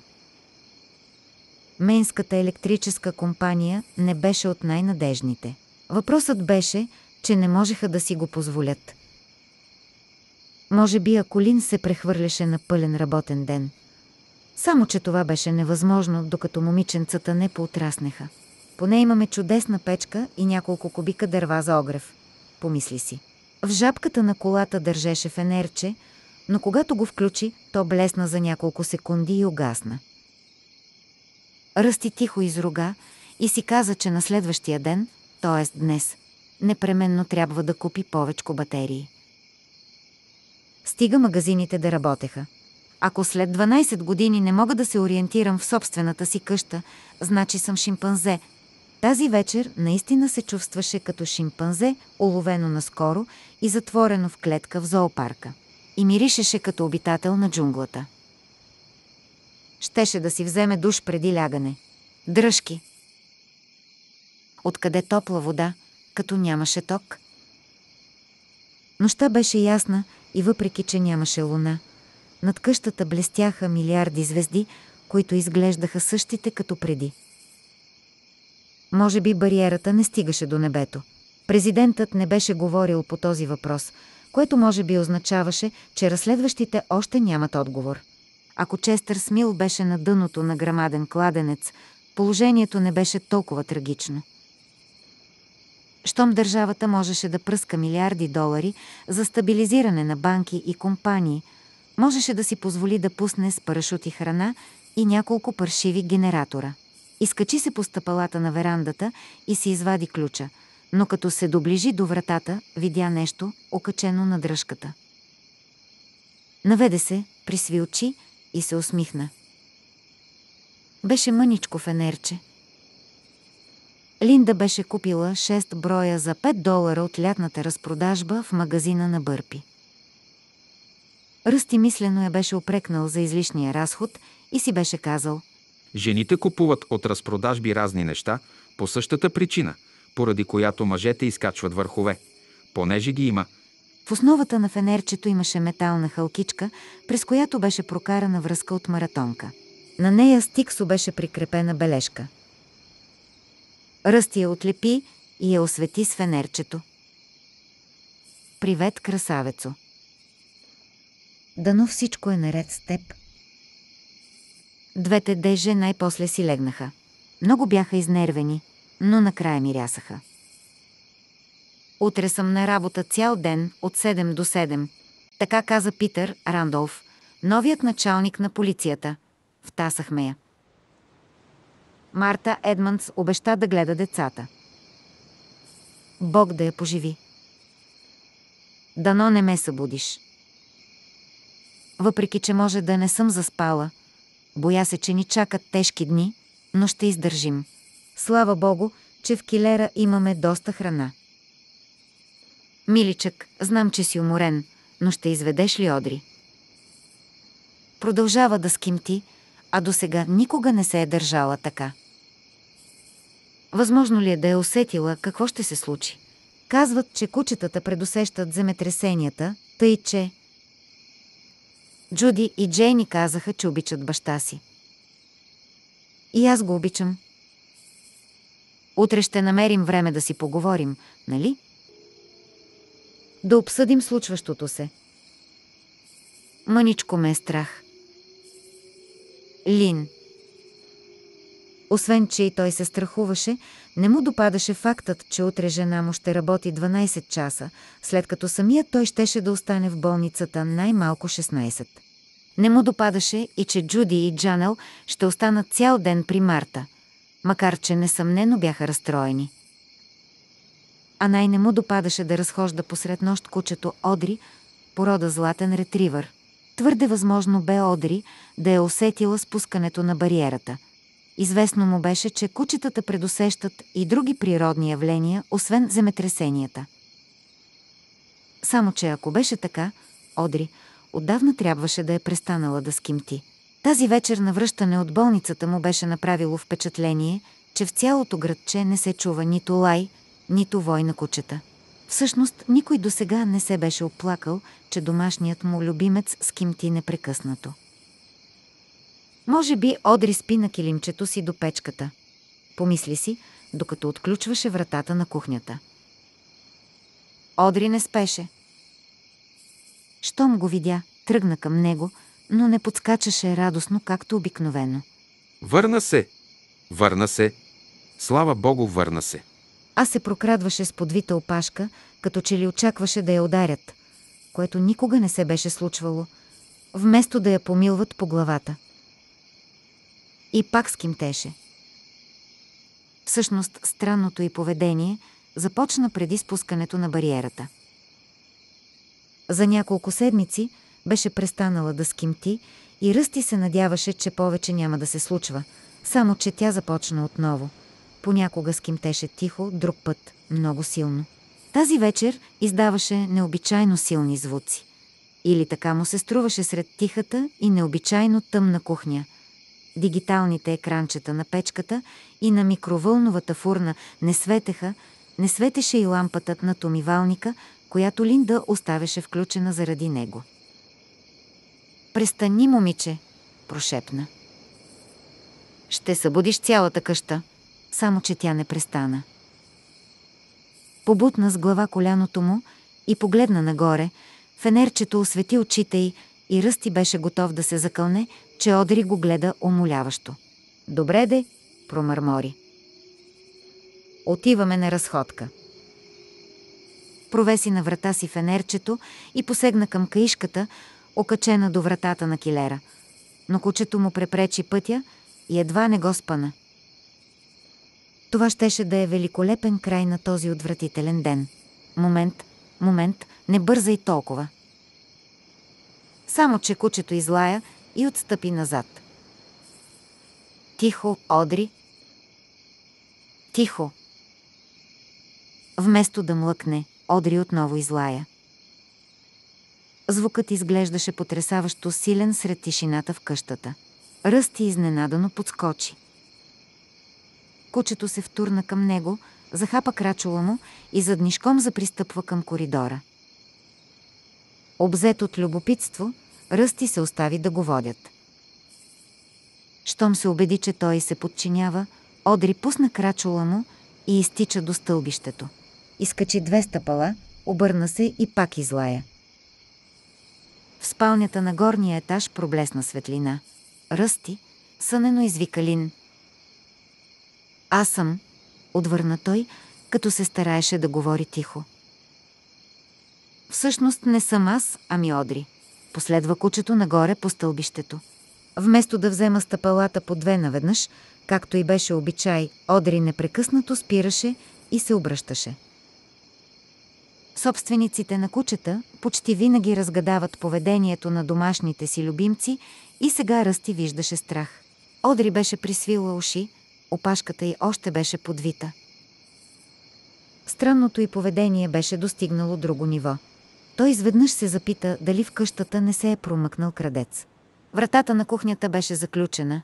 Лин никога не пропускаше да заключи, когато беше сама с момичетата, но... Линда застана на горната площадка и завърза колана на белия си халат. Одрия видя и пак излая, все едно казваше. Махни ми се от пътя. Престани, сопна се Линда, но кучето се шмъгна край нея, като едва не я събори, и хукна по коридора към детската стая. Лин извади от джоба си своето минифенерче. Да му се не види и какво. Върни се в спалнята, извика и Ръсти. Друг път. Тя го изпревари и се затича по коридора, осветявайки пътя си с малкото фенерче. Момиченцата бяха на 7 и 5 годинки и наскоро бяха навлезли в онова, което майка им наричаше етап на осъзнаване на женствеността. Одри стигна до вратата на детската стая, изправи се на задните си лапи и задраска по нея.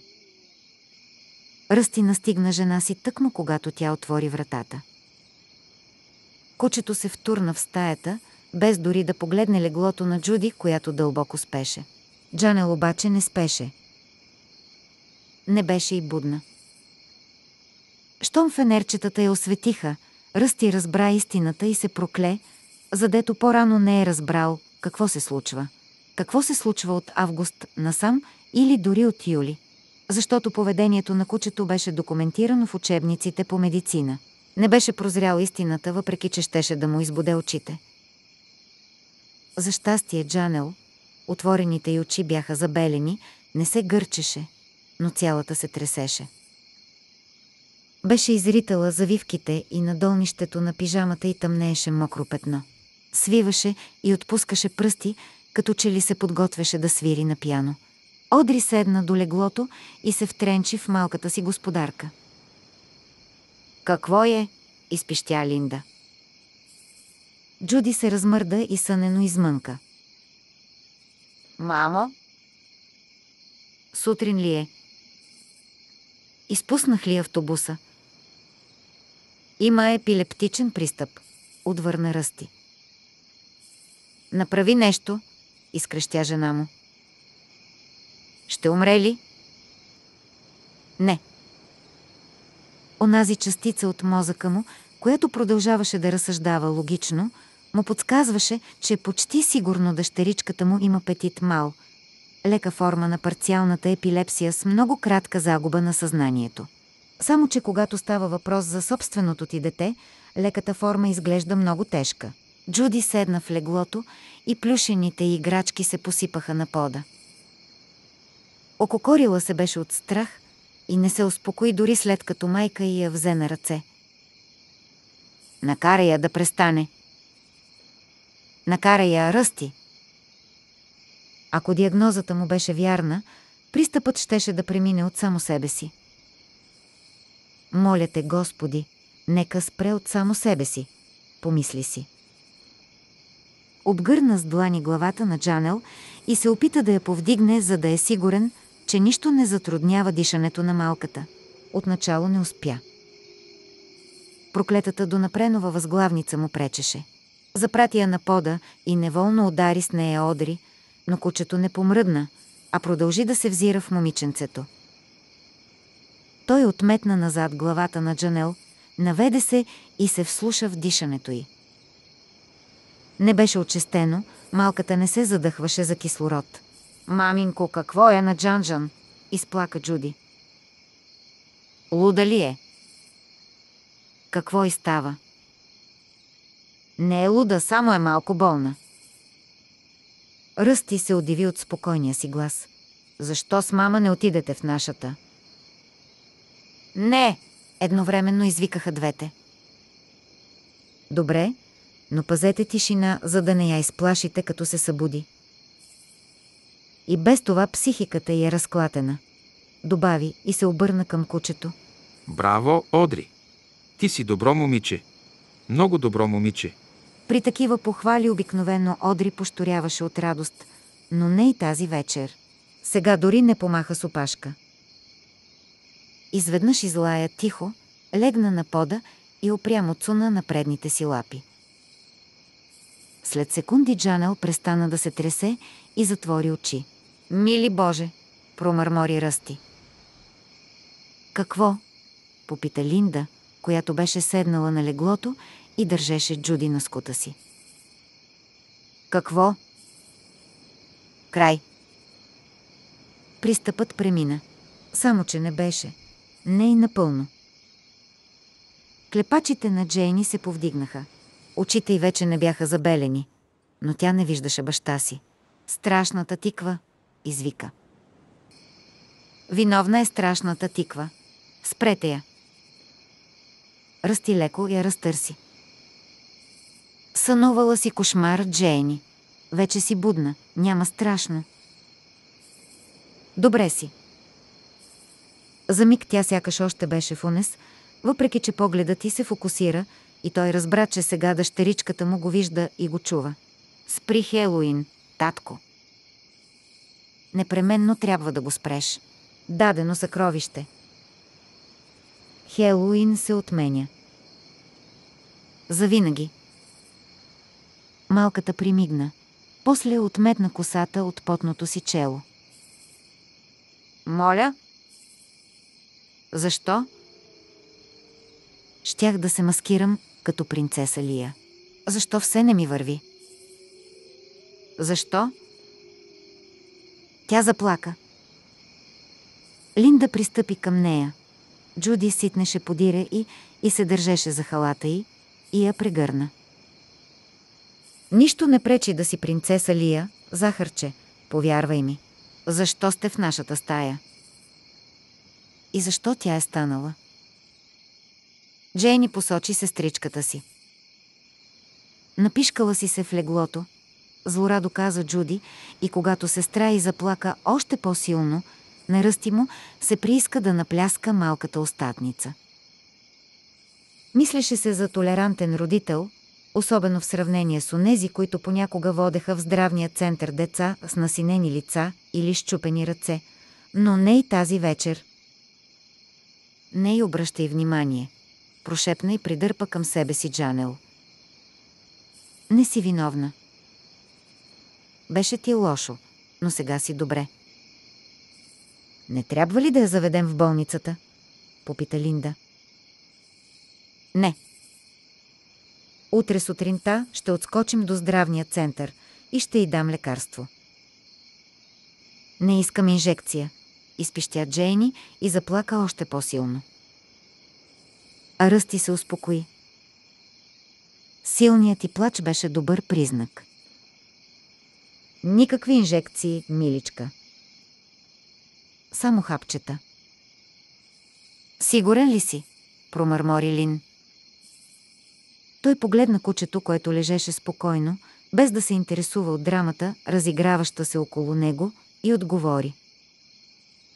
Одри е сигурна. Само, че тази вечер ще спи при момичетата. Ура! извика Джуди. Коленичи и замилва кучето. Ръсти прегърна жена си през кръста, а тя отпусна глава на рамото му, сякаш вече нямаше сили да я държи изправена. Защо сега? прошепна. Защо тъкмо сега? Не знам. Да сме благодарни, че е леката форма. В това отношение Бог беше чул молитвата му. Лудост, слепота, вцепеняване на сърцето. Не можеше да се каже, че Джо Плашилото е станал рано, понеже изобщо не си беше лягал.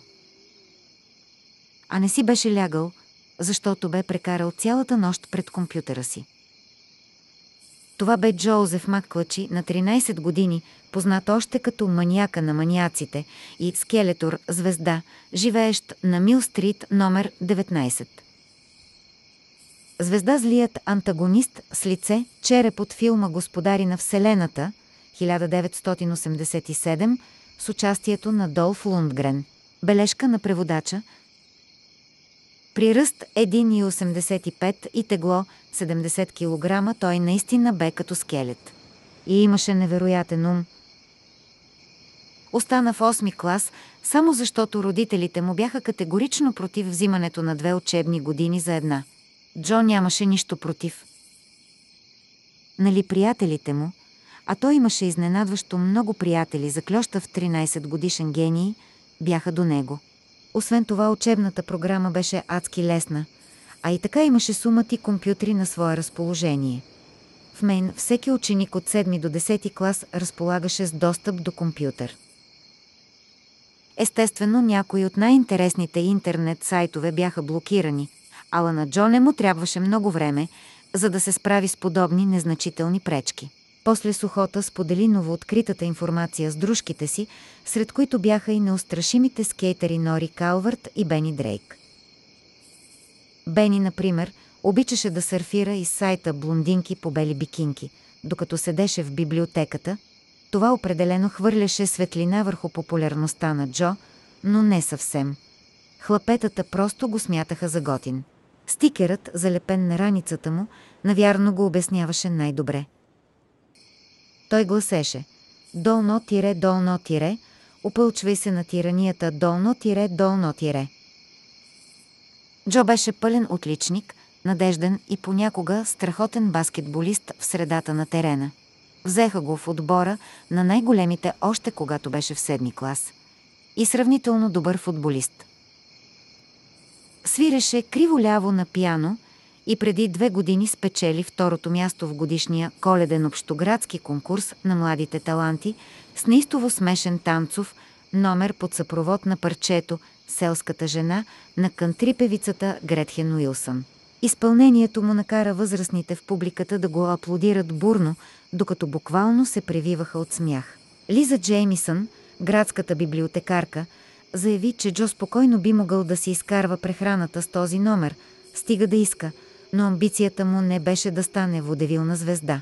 Работата беше нагласена. Бе измърморил след състезанието сам Маккочи, докато въртеше между пръстите си медала за второто място. И навярно бе така, защото за победител през онази година бе провъзгласен Даги Туичъл, който по случайност беше и брат на градската съветничкът Андрея Гринал. Туич жонглираше с половин дозина индиански томахавки, докато пееше лунната река. Джо не го беше грижа дали работата е била нагласена или не. Бе изгубил интерес към танците, както към много други неща, след като ги бе овладял до съвършенство. Дори любовта му към баскетбола, за която в пети клас бе смятал, че ще бъде вечна, вече гаснеше. Единствено страстта му към интернет, тази електронна галактика от безкрайни възможности, ни най-малко не избледняваше с времето. Всъщност, амбицията му, която не смееше да сподели даже с родителите си, бе да стане президент на Съединените щати. Долно тире и кой знае. Долно тире. Мислеше си понякога Джо Долно тире, може пък да изпълня танцовия си номер на церемонията по встъпването в Белия дом. Записът ти сигурно ще остане в канала за видеосподеляне YouTube за вечни времена Долно тире – по време на цялата първа нощ, след появата на купола, Джо сърфираше из интернет. Семейство Макклъчи не разполагаха с генератор, а лаптопът на Джо току-що бе зареден и беше в пълна бойна готовност за подвизи. Освен това, плашилото предвидливо пазеше и 5-6 резервни комплекта батерии. Бе накарал и другите 7-8 хлапета от неофициалния им компютърен клуб да направят същото – а и знаеше къде биха могли да открият още, ако им потрябват. Макар, че едва ли, все пак училището си имаше страхотен генератор и можеше направо да заредят компютрите си там. А дори и да го заключеха, портиерът, господин Олнат, без съмнение щеше да го пусне. Той също се оказа страстен почитател на сайта Блондинки по бели бикини. Да не говорим колко пъти бе свалял безплатно кантрипарчета с помощта на Джо. Тази нощ плашилото използва до краен предел възможностите на безжичния си интернет достъп, прехвърляйки се от блок на блок с пъргавината на жаба, подскачаща по нагорещени камъни. Всеки следващ блок беше още по-потрясаващ от предишния. Фактите бяха малко и конспиративните теории избояваха като плевели. Джо бе напълно съгласен с родителите си, които наричаха вманиачените по световната конспирация – идиотите с станьолени шапки и звезда, но в същото време поддържаше изхващането, че ако виждаш много конски фашкии, наблизо със сигурност се спотайва някоя пони. Звезда според някои последователи на въпросните теории, носенето на станьолена шапка предпазва от чужда намеса в съзнанието, като четене и внушаване на мисли, контрол над сънищата и така нататък. Бележка на преводача – когато денят на купола се превърна във втори ден на купола, почти всички интернет блогове предположиха едно и също, че понито в случая не са терористи, нашественици от космоса или великият Ктхулу звезда, а добрият стар военно-промишлен комплекс. Звезда зловещият и неописуем тъмен бог от литературната вселена на Х. Ф. Лъвкрафт – 1890-1937, централен образ в така наречената Ктхулу митология. Бележка на преводача В различните сайтове подробностите варираха, ала сред многобройните хипотези се открояваха три основни теории. Едната беше, че куполът представлява жесток експеримент, в който жителите на Честърс Мил изпълняват ролята на опитни свинчета. Втората – че това е излязла извън контрол секретна операция, точно както в онзи филм «Мъглата звезда». Бе написал един от блогарите, третата твърдеше, че това не е никакъв експеримент, а чисто и просто хладнокръвно създаден претекст, целящ да оправдае започването на нова война с враговете на Америка. И ние ще победим. Изтъкваше потребителят долно тире, нали и ви казах 87 долно тире защото кой би посмял да се изправи срещу нас, при положение, че имаме такова оръжие? Приятели, превърнахме се в големите патриоти от Нова Англия, които се разпореждат с всички нации. Звезда филм на режисьора Франк Дарабонт Изкуплението Шоушенк Зеленият път по едноименната новела на Стивън Кинг. Бележка на преводача. Джо не знаеше дали някоя от тези теории е успяла да налучка истината. В интерес на истината изобщо не го беше грижа. Онова, което го интересуваше, бе техният общ знаменател. Или, с други думи, американското правителство. Беше време за демонстрация, демонстрация, която той самият щеше да поведе. Но не в града, а на шосе 119, откъдето щяха да предадат посланието си директно на властта. Отначало може би щяха да са само приятелите на Джо, ала после към тях щяха да се присъединят и други хора. Плашилото бе сигурен в това. Вероятно властта държеше журналистите далеч, но макар и само на 13, момчето съзнаваше, че това не е голям проблем. Защото под униформите имаше хора и поне зад някои от безизразните лица се криеха мислещи мозъци. Като цяло властта може и да се крепеше от военната машина, ала това цяло се състоеше от отделни индивиди и някои от тях можеше да са тайни блогари. Те щяха да разпространят новината, а някои навярно щяха да добавят към написаното в интернет и снимки от мобилните си телефони, снимки на Джо Макклъчи и приятелите му, издигнали плакати с надписи. Разсекретете истината, Запетая. спрете експеримента, Освободете Честър Смил и така нататък, и така нататък. Няма да е зле и да разлепим малко плакати из града. Измърмори той, но, честно казано, това не беше никакъв проблем. Всичките му приятели разполагаха с принтери. И с велосипеди. И плашилото започна да разпраща електронни писма до компанията си. Навън вече се зазоряваше. Скоро щеше да се метне на колелото си и да извика Бени Дрейк да му помогне. А може би и Нори Калвард. Обикновенно членовете на групичката му ставаха доста късно през уикендите, но Джо беше сигурен, че тази сутрин всички щяха да се събудят рано. Без съмнение властта съвсем скоро щеше да прекъсне достъпа им до интернет, понеже щеше да й бъде напълно достатъчно да подслушва телефоните, но поне за сега глобалната мрежа бе най-голямото оръжие на Джо и обикновените хора. Беше време да се опълчат срещу тиранията.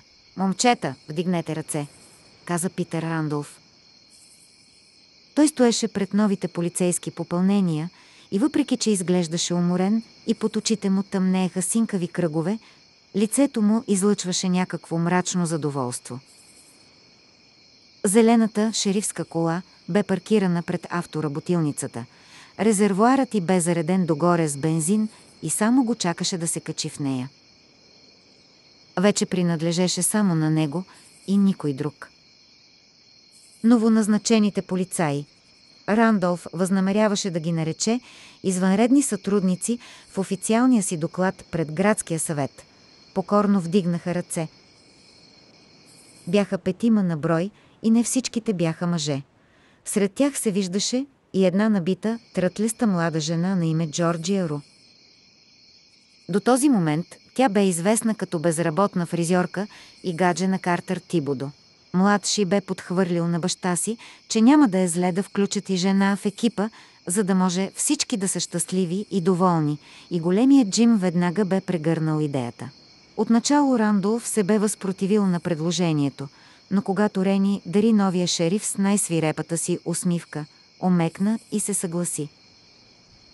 Пък и не можеше да се отрече, каза си младши, докато повтаряше думите на клетвата, че новите полицаи наистина изглеждаха впечатляващо. Той самият бе свалил няколко килограма от миналото лято и макар, че не можеше да се мери с тогавашната си форма на офанзивен нападател от гимназиалния футболен отбор, сега тежеше към стотина кила.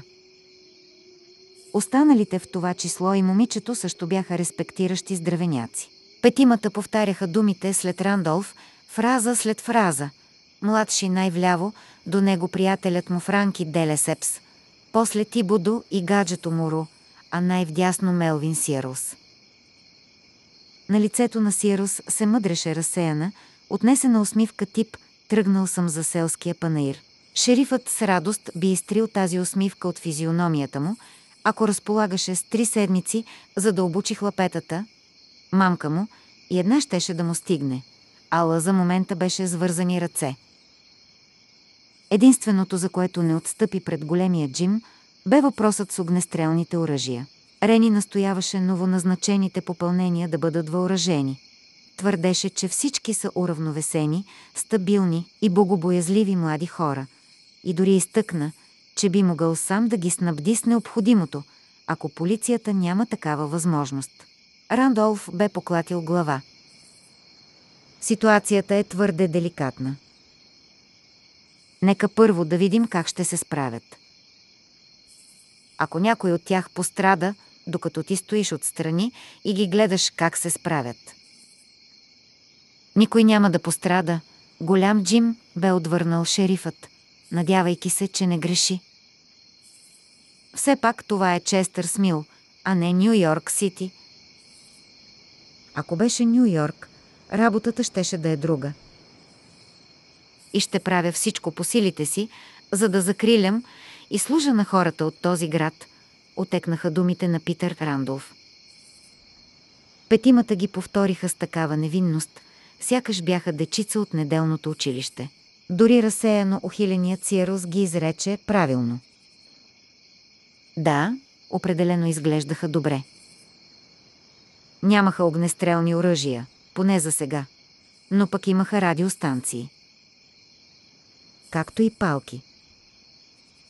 Стейси Могин, която също щеше да патрулира из града, бе изнамерила униформени ризи за всички, с изключение на Картер Тибодо. Не разполагаха с нищо, което да му стане, понеже бе изключително широк в раменете, обаче семплата синя риза, която той си бе донесъл от вкъщи, изглеждаше добре. Не беше униформена, но пък беше чиста. А и сребристата значка, закачена над левия му джоб, изпращаше достатъчно ясно послание. Може би всичко това щеше да се окаже за добро. С Божията помощ, издекламира Рандолф. С Божията помощ, повториха те. С периферното си зрение, шерифът видя как вратата се отваря и големия Джим влиза в помещението. Той се присъедини към Хенри Морисън, сумтящия Джордж Фредерик, Фред Дентън и скептично гледащата Джаки Уетингтън в задната част на стаята. Рандолф знаеше, че Рени е дошъл, за да види как синът му полага клетвата. И защото все още се чувстваше гузен, задето се бе възпротивил на идеята за огнестрелните оръжия. Да противоречи на големия Джим за каквото и да било беше в дисхармония с всички принципи на гъвкавата му политическа натура. Новият шериф реши да импровизира, най-вече за да се хареса повече на градския съветник. И няма да допусна никой да се ебава с мен. И няма да допусна никой да се ебава с мен. Повториха новите попълнения, при това доста по-ентусиазирано от преди. Вече всички се усмихваха. И се виждаше, че изгарят от нетърпение да излязат на улицата. Големия Джим кимна одобрително и му даде знак с вдигнат палец, въпреки рогатнята. Рандолф изпита облегчение, без да си дава сметка, че един ден тези думи щяха да изплуват отново в съзнанието му, лишавайки го от покой. И няма да допусна никой да се ебава с мен. Когато същата сутрин Джулия Шамуи влезе в дивата роза, установи, че повечето от хората, които обикновенно закусваха там, ги нямаше.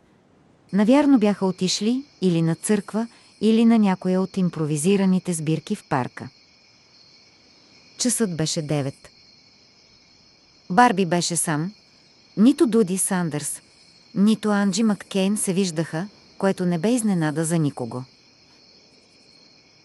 Роуз бе отишла до супермаркета заедно с Ансън. Надяваха се да се върнат с достатъчно провизии, ала Барби беше скептичен. Щеше да повярва едва когато видеше пълния багажник на пикапа. Кухнята е затворена до обяд, каза той. Но предлагаме кафе. А канелини рулца? Попита Джулия с плаха надежда в гласа си. Младият мъж поклати глава. Роуз не е правила от тях. Не иска да натоварва излишно генератора. Права е, кимна жената. Тогава само кафе. Барби се приближи до масата и скана в ръка и наля. Изглеждаш уморена.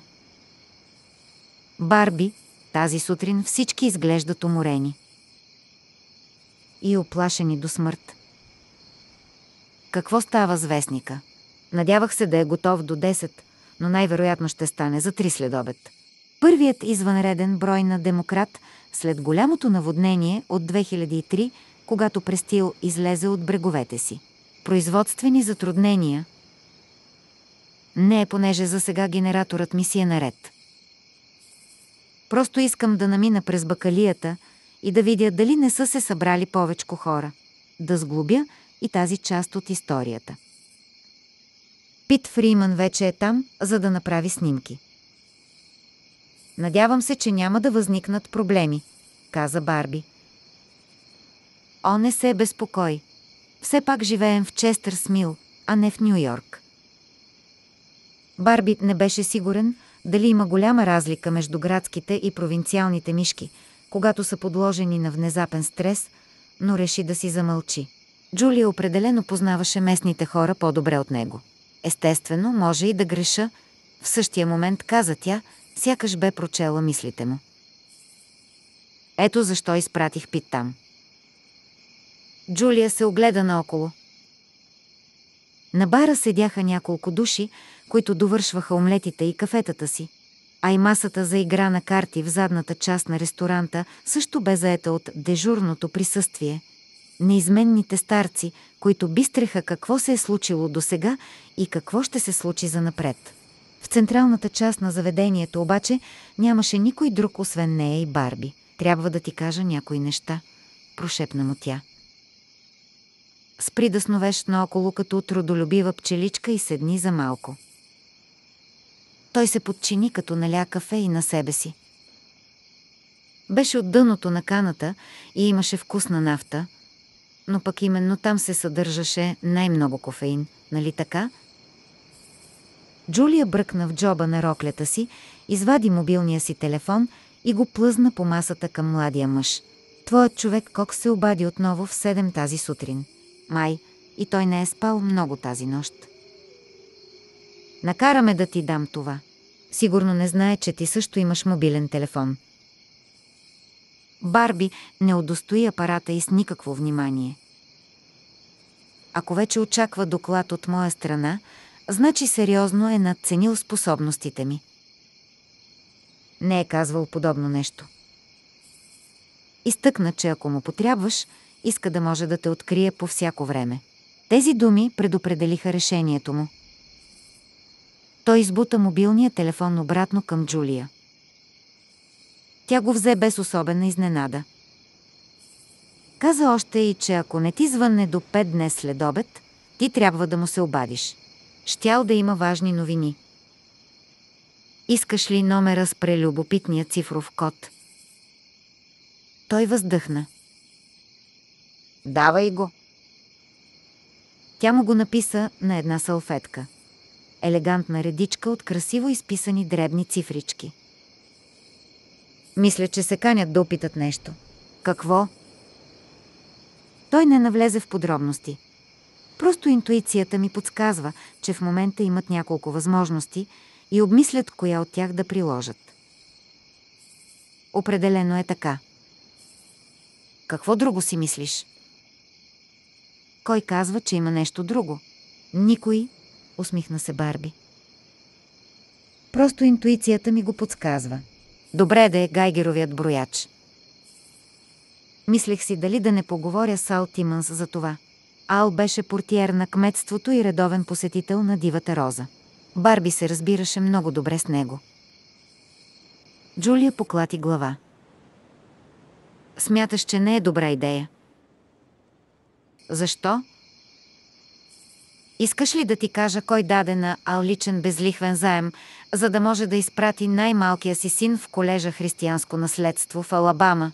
Да не би да е Джим Рени. Точно така. Сега да продължим с малката ни Викторина. Познай на чие име е регистриран снегоринът на Ал.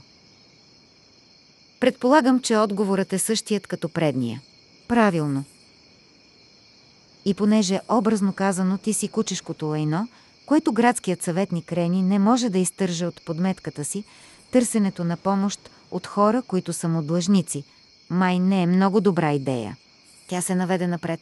Обаче по една случайност аз знам кой разполага с пълния комплект от ключовете за кралството, за градския съвет, болницата, здравния център, училищата и каквото там се сетиш. Кой? Покойният ни шериф.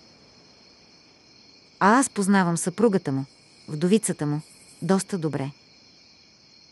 Тя никак не обича големия Джим. Освен това, може да пази и тайна, ако някой я убеди, че наистина е важно. Джулия, мъжът ти още не е истинал. Тя се замисли за потискащото погребално бюро на Бауи и на лицето й се изписаха едновременно печал и отвращение. Може би си прав, макар че най-вероятно в момента го държат на стайна температура. Оценявам високо съчувствието ти, но... Тя го хвана за ръката. Постъпката изненада Барби, но в интерес на истината не му стана неприятно. Това не са обикновени обстоятелства. И без значение колко съкрушена и сломена се чувства, сигурна съм, че Бренда Пъркинс ще го разбере. Имаш важна работа за вършене. И мога да я убедя в това. Все пак ти си вътрешният човек на правителството. Вътрешният човек, повтори Барби, и изведнъж бе връхлетян от два нежелани спомена – училищен салон в Фалуджа и разтреперан гол иракчанин с размотаваща се кофия звезда. От този ден насетне вече за нищо на света не искаше да бъде вътрешен човек. А ето, че сега отново бе станал такъв. Звезда памучна кърпа за глава, носена от мъжете в арабския свят. Бележка на преводача. Искаш ли да поговоря с... Сутринта бе необичайно топла за октомври и въпреки, че вратата на ресторанта вече бе заключена. Хората можеха да излизат, но не и да влизат. Прозорците бяха отворени. Изведнъж от към главната улица проехтя приглушен удар, последван от вик на болка и нечи възмутени крясъци. Барби и Джулия се спогледаха. На лицата им бяха изписани почти еднакви изражения на изненада, примесена с мрачни предчувствия. Започва се, каза си Барби. И макар да знаеше, че не е така, все пак всичко бе започнало още вчера с появата на купола.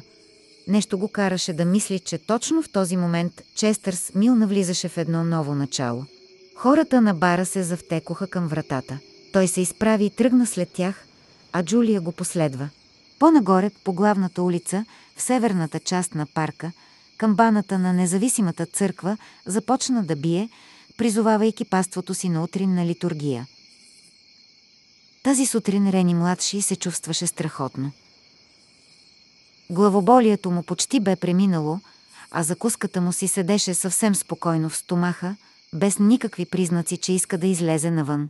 Ако всичко вървеше в този дух, навярно можеше да си позволи и да хапне нещичко за обяд. А това бе чудесно, понеже напоследък нещо не му вървеше с храната. Често дори само от гледката на нещо вкусно му идеше да повърне. Не и тази сутрин обаче. Палачинки и бекон, ме-ме-ме-ме. Ако това е апокалипсисът, мина му пресума. Трябваше да дойде по-рано. Всеки от извънредните сътрудници бе получил за партньор по един от редовните щатни полицаи. На младши се беше паднал Фреди Дентън и това също бе чудесно. Дентън, който макар и да оплешивяваше, бе в страхотна физическа форма за 50-та си години, беше познат като сериозно и безкомпромисно ченге, обаче всяко правило си имаше и изключения. Той беше президент на фен-клуба на Дивите котки по време на гимназиалните години на младши и се носеха слухове, че никога не е глобявал футболистите от най-горния курс за пътни нарушения. Младши нямаше представа как е било при другите, ала знаеше, че на Франки Делесепс му се е разминавало веднъж, а той самият се бе срещал на два пъти с репликата. Този път няма да те глубя, но от сега нататък да караш по-бавно. Иначе можеха да го сложат да си партнира с Уетингтън, която навярно си мислеше, че да скъсаш мрежата значи да правиш луд секс с някого. Да, вярно, че Уетингтън имаше огромен балкон, но едва ли щеше да му се отвори парашутът. След клетвата, докато двамата с Фреди вървяха към улицата, тя му хвърли достатъчно красноречив леден поглед. Запазил съм малко свободно място в килера специално за теб. Джаки, ако поискаш да се изчукаме, каза си той и се засмя. Боже, колко приятно било да усещаш слънчевите лъчи върху лицето си. От кога не се беше чувствал толкова добре? Фреди завъртя глава към него. Нещо смешно ли има, младши?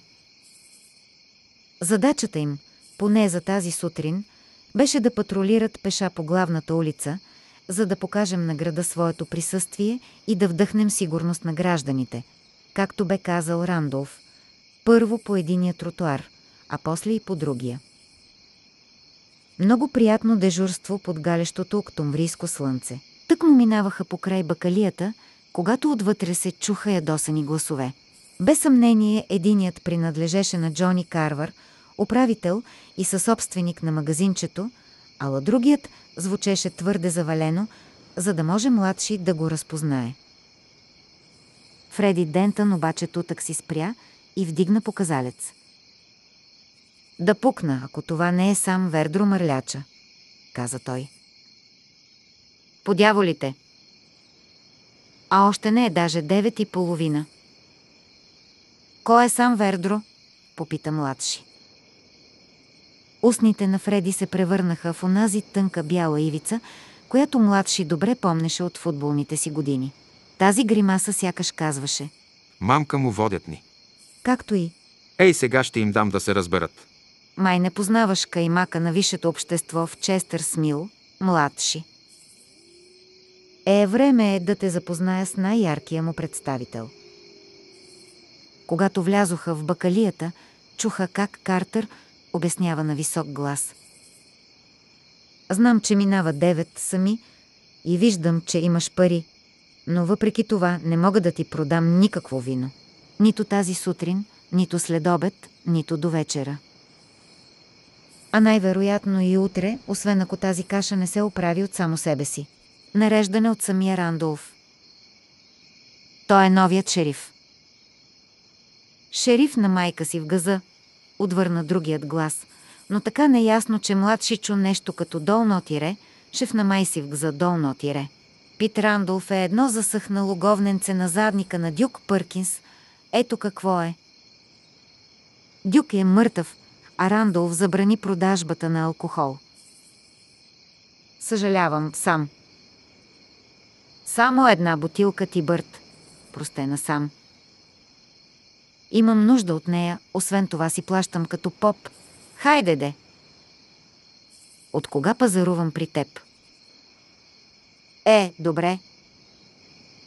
Въпреки, че звучеше засрамен от себе си, Джони се обърна към штанда с бира и вино. В същия миг Фреди и младши изникнаха пред касата. Вероятно Карвар бе решил, че едно шише ти бърт би било нищожна цена, за да разкара дъртия досадник от магазина си, особено след като клиентите вече наблюдаваха с интерес развоя на събитията. Пред штанда за алкохол имаше написана на ръка табела, която гласеше Продажбата на алкохол се забранява до второ нареждане, ала въпреки това мекошавият карвар вече се протягаше към средния рафт, където беше царството на долнопробните буклуци. И въпреки, че официално се водеше на работа в полицията само от два часа, младши веднага заклейми постъпката на управителя като изключително глупава. Щом се бе поддал толкова лесно на натиска от страна на рошавия алкохолик, като нищо можеше да се очаква, че и другите, далеч по-представителни и не толкова отблъскващи, клиенти ще поискат да се възползват от същата привилегия. Фреди Дентън явно беше на същото мнение като него. По-добре не дей, каза той на Джони Карвар и се обърна към сам Вердро, който го гледаше тъпо с зачервените си очи. Приличаше на картица, впримчена в пръстена на полски пожар. Не знам дали ти е останал достатъчно акъл, за да прочетеш този надпис, но чу добре какво ти каза човекът. Продажбата на алкохол е забранена, така че се измитай от тук. Стига си увонявал магазина. Не можете да се държите тъй с мене, гусин полицай. Заяви сам и изпъчи рамене, изправяйки се в пълния си ръст от 175 см. Носеше мръсни памучни шорти, тениска на лед цепелин и стари смачкани чехли. Косата му изглеждаше така, сякаш бе подстригвана за последен път в уния далечни времена, когато Буш младши още имаше висок политически рейтинг. Имам си правата. Живеем в свободна страна. Или поне тъй пише в Конституцията на независимостта. За момента Конституцията е отменена в Честърс Мил. Обади се младши, без изобщо да подозира, че думите му ще се окажат пророчески. Затова се пръждосва и веднага от тук. Господи, колко прекрасно се чувстваше! За по-малко от ден бе преминал от мрачните владения на отчаянието и безисходицата в селенията на енергичните действия и дръзките ходове, които го караха да се чувства жив и изпълнен с надежда. Ама... За момент сам просто остана на мястото си, а долната му устна потрепваше, сякаш се мъчеше да изнамери още аргументи. Младши констатира с месица от задоволство и презрение, как очите на пияндето се навлажняват. После Вердро протегна напред ръцете си, които, както забеляза младши, трепереха доста по-силно от устните му. Беше му останал само един последен аргумент, ала не беше лесно да го извади на показ пред насъбралата се публика. В крайна сметка обаче го направи, понеже нямаше друг избор. Наистина имам нужда от това шише, Джони. Не се шегувам. Съвсем малко ми трябва, за да спра проклетото треперене. Няма да го изпия наведнъж, обещавам. И няма да създавам никакви проблеми повече. Кълна се в името на майка си. Взимам го и веднага се прибирам вкъщи. Вкъщи за сам Вердро означаваше една порутена колиба с мръсен двор, ограден с ръждясали автомобилни чаркове. Може би трябва да му. Започна колебливо Джони Карвар. Ала Фреди не го удостои с внимание. Нямало да го изпие наведнъж, ха, и сумтя той. Мърлячо, целият град знае, че докопаш ли пиячка, не можеш да се удържиш. Не ме наричай така, извика сам и сълзите се търкулнаха по брадясалите му бузи. Дюкянът ти е отворен, старче. Подвикна му младши и щом мърляча сведе очи към непраните си шорти, синът нарени го перна по брадичката и го ощипа за носа. Номер от началното училище, но какво от това? Нали не бе изгубил чара си? Развеселен, младши не можа да се въздържи и изстреля репликата, която неизменно вървеше в комплект с действието. Мръсни гащи има тос. Щипнах мръсния му нос. Фреди Дентън се изсмя. Както и още неколцина от клиентите. Дори Джони Карвар се усмихна, макар че усмивката му беше кисела. Махай се от тук, мърлячо, повтори Фреди. Денят е прекрасен. Не искаш да го прекараш в килията, нали? Обаче нещо, дали защото го бяха нарекли мърляч, или защото младши го беше унижил публично, пробуди част от онзи дремещ гняв, който бе ужасявал колегите насам преди 40 на години. Времето, когато бе работил като дървосекач в канадската част на Меримак. Ръцете и устните му спряха да треперят. Или поне за сега. Изпепеляващият му поглед се закова върху младши и той шумно прочисти гърлото си с презрително отхрачване. Когато заговори отново, вече изобщо не беше завалено. Върви на майната си Сополанко. Не си никакво ченге, а си и кръгла нула като футболист. И за резерва даже не те взеха, нали? После очите му се отместиха към полицай Дентън. А на тебе ще кажа, че неделните продажби след 9 са съвсем законни. Така стоят нещата още от 70-те и точка по въпроса.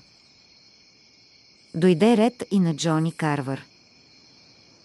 Усмивката на управителя беше изчезнала, а зепачите наоколо бяха неестествено притихнали. Една жена бе притиснала притеснено длан към гърлото си. Имам мангизи, не са фалшиви и ще взема това, което ми се полага. И той понечи да мине зад штанда, ала в същия миг младши го сграбчи за ризата и задната част на шортите, завъртя го и го заблъска към предната част на магазина. «Хей!» извика сам, докато краката му се плъзгаха по стария паркет. Разкарай ръцете си от мен. Разкарай шибаните си ръце от... Младши изтика възрастния мъж през вратата. Сам Вердро се оказа лек като пухена възглавница. И не спря да изпуска газове. Задникът му пърпореше като стар двигател на някоя бракма. Пикапът на стъби Норман тип баничарка с надписи «Мебели втора ръка» и «Изкупуваме изгодно антики» бе паркиран до сами бордюра, а самият стъби стоеше до него звиснало от изненада, че не. Младши въобще не се поколеба. Той засили мрънкащото пиянде и го блъсна с главата напред в карусерията на пикапа.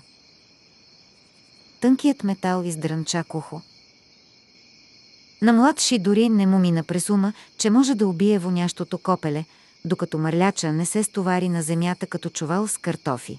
Оказа се обаче, че един удар в пикап не е достатъчен, за да изпрати сам Вердро на оня свят. Нито пък да му запуши устата. Алкохоликът първо изкръщя, а после избухна в ридания, докато се надигаше бавно на колене. От сцепеното място на главата му шуртеше алена кръв. Той изтри част от кръвта с длан, изгледа я невярващо и вдигна треперещата си ръка във въздуха. Минувачите по главната улица бяха застинали неподвижно, сякаш играеха на детската игра за мръзни. Всички се взираха изумено в коленичелия на тротуара мъж, върху чиято длан ясно се виждаха следи от кръв. «Ще съдя този град за полицейска бруталност», кресна сам и ще спечеля делото. Фреди излезе от бакалията и застана до младши. Хайде, кажи го. Какво да кажа? Че превиших правата си. Глупости. Нали чу какво каза Пит? Няма да допусна никой да се ебава с мен. Партньоре, от тази сутрин това правило влезе в сила и всички трябва да се съобразяваме с него. Партньоре, сърцето на младши трепна при тази дума. Никой не може да ме изхвърля от магазина, когато имам пари да си платя. Негодуваше сам. Никой не може да ме малтретира. Аз съм американски гражданин. Ще се видим в съда. Успех с делото, заяви му Фреди. Най-близкият съд е в Касъл Рок, а както подочух, пътят до там нещо бил затворен. Той сграбчи коленичилия мъж и го изправи на крака. Носът на мърляча също кървеше и горната част на ризата му приличаше на ален лигавник. Фреди се пресегна за пластмасовите белезници, които висяха отзад на кръста му. Долно тире, трябва и аз да се снабдя с такива долно тире. Помисли си младши. И миг по-късно те вече бяха пристегнали китките насам. Фреди огледа на събралите се хора, както на улицата, така и пред вратата на бакалията. Този човек е арестуван за нарушаване на обществения ред, оскърбление на полицейски служители и опит за физическа разправа. Оповести той с онзи мощен глас, който младши добре помнеше от футболните си дни. Когато ехтеше от трибуните обаче, не спираше да го дразни, а сега сякаш галеше ушите му. Сигурно съм пораснал – каза си младши. Също така е арестуван и за нарушение на новата наредба за забрана на продажбата на алкохол, въведена от шериф Рандолф. Вижте го добре! И Фреди разтърси сам. Във въздуха се разхвърчаха капки кръв от косата и лицето на Вердро. Ситуацията е критична, приятели, но градът си има нов шериф и той ще се справи с проблемите – така че най-добре свикнете с новото положение, адаптирайте се към него и се научете да обичате. Това е моят съвет. Следвайте го и съм сигурен, че с лекота ще преодолеем трудностите. Тръгнете срещу него и... Полицаят посочи китките насам, оковани зад гърба му. Неколци на изръкопляскаха. Зарени младши, звукът бе като ледено студена вода в горещ ден. После, когато Фреди поведе кървящия възрастен мъж нагоре, по улицата, младши почувства, че някой го наблюдава. Усещането беше толкова силно, все едно нечи пръсти докосваха тила му. Обърна се и видя Дейл Барбара. Стоеше до редакторката на вестника и го наблюдаваше с безизразни очи. Барбара, който му бе ударил здрав пердах онази нощ на паркинга пред Дипърс. Всъщност бе дал добър урок и на тримата, преди численото им превъзходство, да започне да обръща резултата. Хубавото настроение на младши започна да се изпарява. Буквално го усещаше как отлита от главата му като ято птици. Или прилепи от църковна камбанария. «Какво правиш тук?» Обърна се младши към Барбара. Аз имам по-добър въпрос. Намеси се Джулия Шамуи. На лицето й бе изписана иронична усмивчица. Защо издевателстваш над човек, който тежи четири пъти по-малко от теб и е три пъти по-възрастен? Младши не знаеше какво да каже. Почувства как лицето му пламва. Изведнъж видя кучката от вестника в килера на Маккейн, хубава компания за Анджи и Дуди. Барбара също можеше да се присъедини към тях. Щеше да изглежда добре, легнал върху вестникарката, сякаш правят туилной. Фреди му се притече на помощ. Заговори спокойно, а на лицето му бе изписано каменно изражение. Всички въпроси по отношение на новата политика на полицията следва да бъдат отправени към новия шериф, госпожо. Междувременно, няма да е зле да запомните, че сме оставени да се оправяме сами. Понякога, когато хората са оставени сами, се налага да им се дават примери.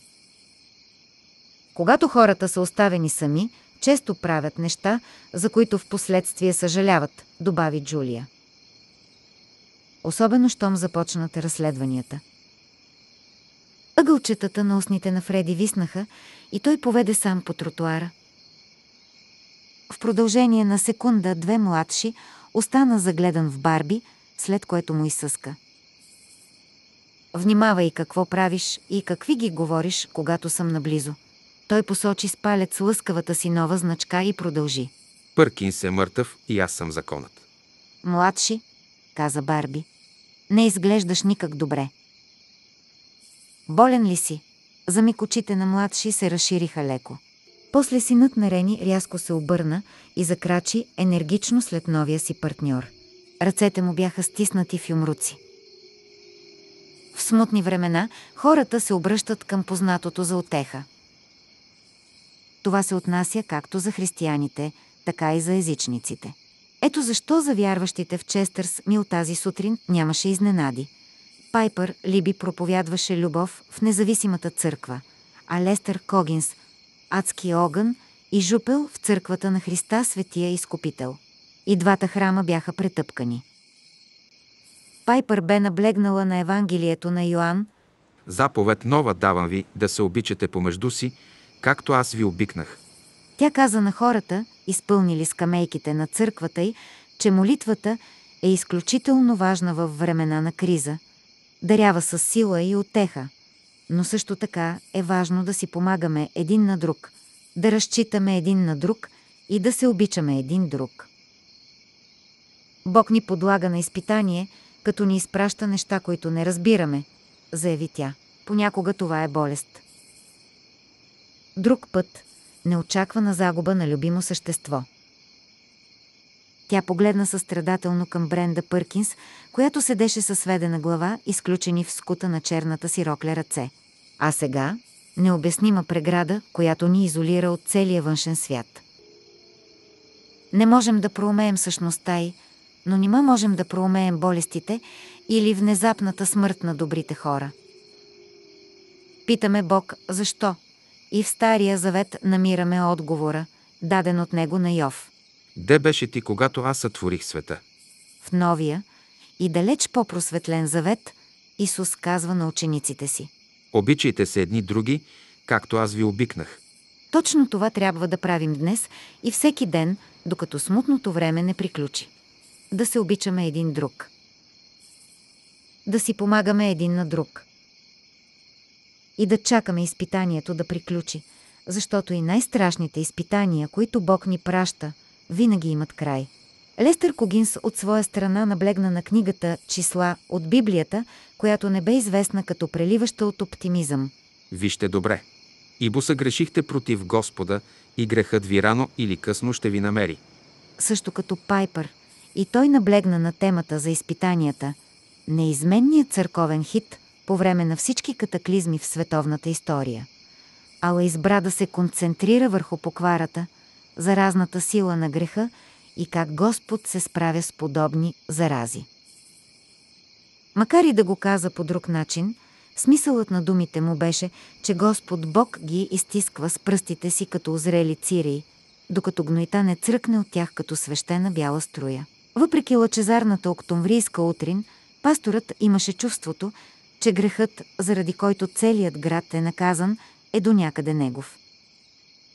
Поради тази причина днешната му проповед бе особено красноречива и въздействаща. В очите на много хора проблеснаха сълзи, а възгласите Амин и да, Господи, не спираха да ихтят от единия до другия край на залата. Когато бе така вдъхновен, прозренията и страхотните идеи често го осеняваха по време на самата проповед. Днес, например, му хрумна нещо, което той веднага изрази на глас, без дори да се замисли. Нямаше и нужда да се замисля. Подобни озарения свише бяха толкова ярки, силни и недвусмислени, че просто нямаше как да не бъдат правилни. Днес след обед ще отида там, където шосе 119 пресича неведомата Божия порта. Обяви Когинс. Да, Исусе, извика една ридаеща жена. Другите изръкопляскаха или размахаха одобрително ръце във въздуха. Предлагам да е в два след обед. Ще коленича там, в полето пред мандрата, и ще се помоля на Господ Бог да премахне това бедствие от пътя ни. Този път възгласите Амин. Да, Господи, и Бог е с нас, бяха още по-силни. Ала първо? Лестър вдигна ръката, с която бе бичувал голия си гръб през нощта. Първо ще се помоля за този грях, който причини тази болка, тази печал и това бедствие. Ако съм сам, Господ Бог може и да не ме чуе. Ако заедно с мен се молят още двама, трима или даже петима, Господ Бог може пак да не ме чуе, можете ли да кажете амин? Можеха. И го казаха. Вече всички бяха вдигнали ръце и ги поклащаха наляво-надясно, сякаш бяха потънали в религиозен транс. Но ако всички вие дойдете с мен, ако застанем в кръг там, върху Божията трева, под Божието синьо небе, пред очите на войниците, които уж пазят делото на Божията праведна ръка.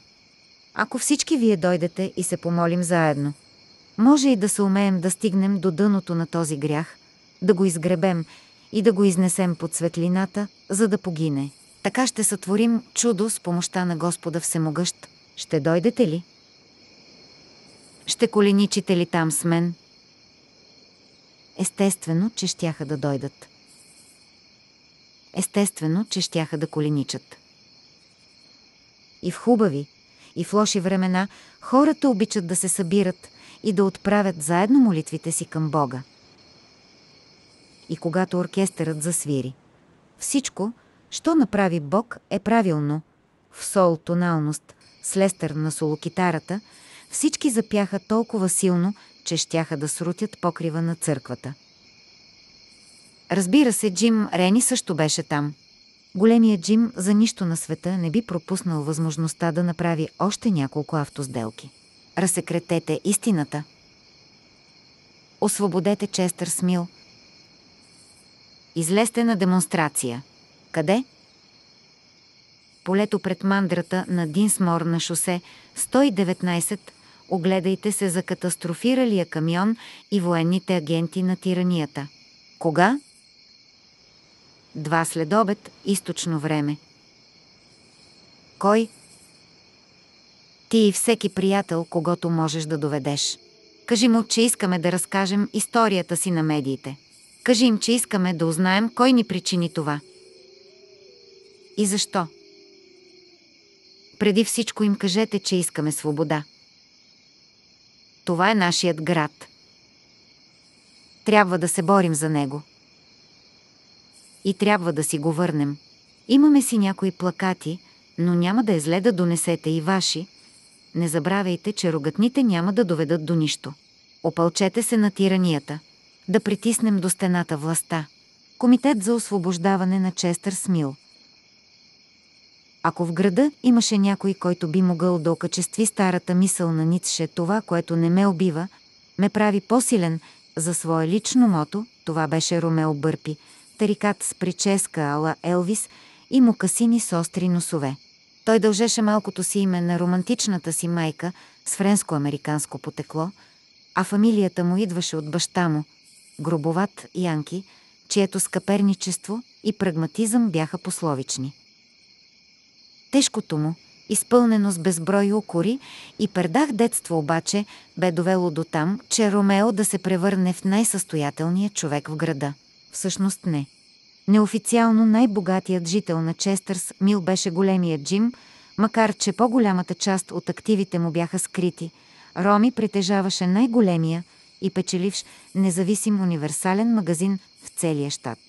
През 80-те някои от потенциалните му банкери и инвеститори бяха заявили, че е пълна лудост да се мъчи да създаде магазин с такова грозно име като Бърпис.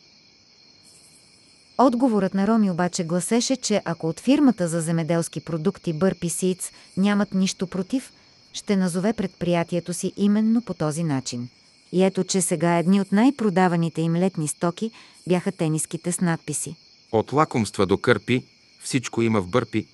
Нави сега, лишени от въображение банкери. Роми определено бе успял да съзре своя златен шанс, след което го беше последвал с безжалостна упоритост. И ето, че около 10 тази неделна утрин, малко след като бе видял как повеждат сам мърляча към участъка, зърна друга златна възможност.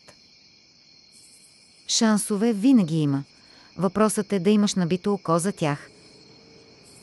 Това, което привлече вниманието му, бяха група деца с вдигнати плакати, проектирани на компютър и изключително професионално изработени.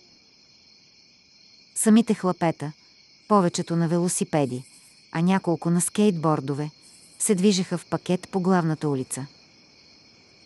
Протестна демонстрация на шосе 119 – Ромео се зачуди на кого ли беше хрумнала идеята за подобно нещо.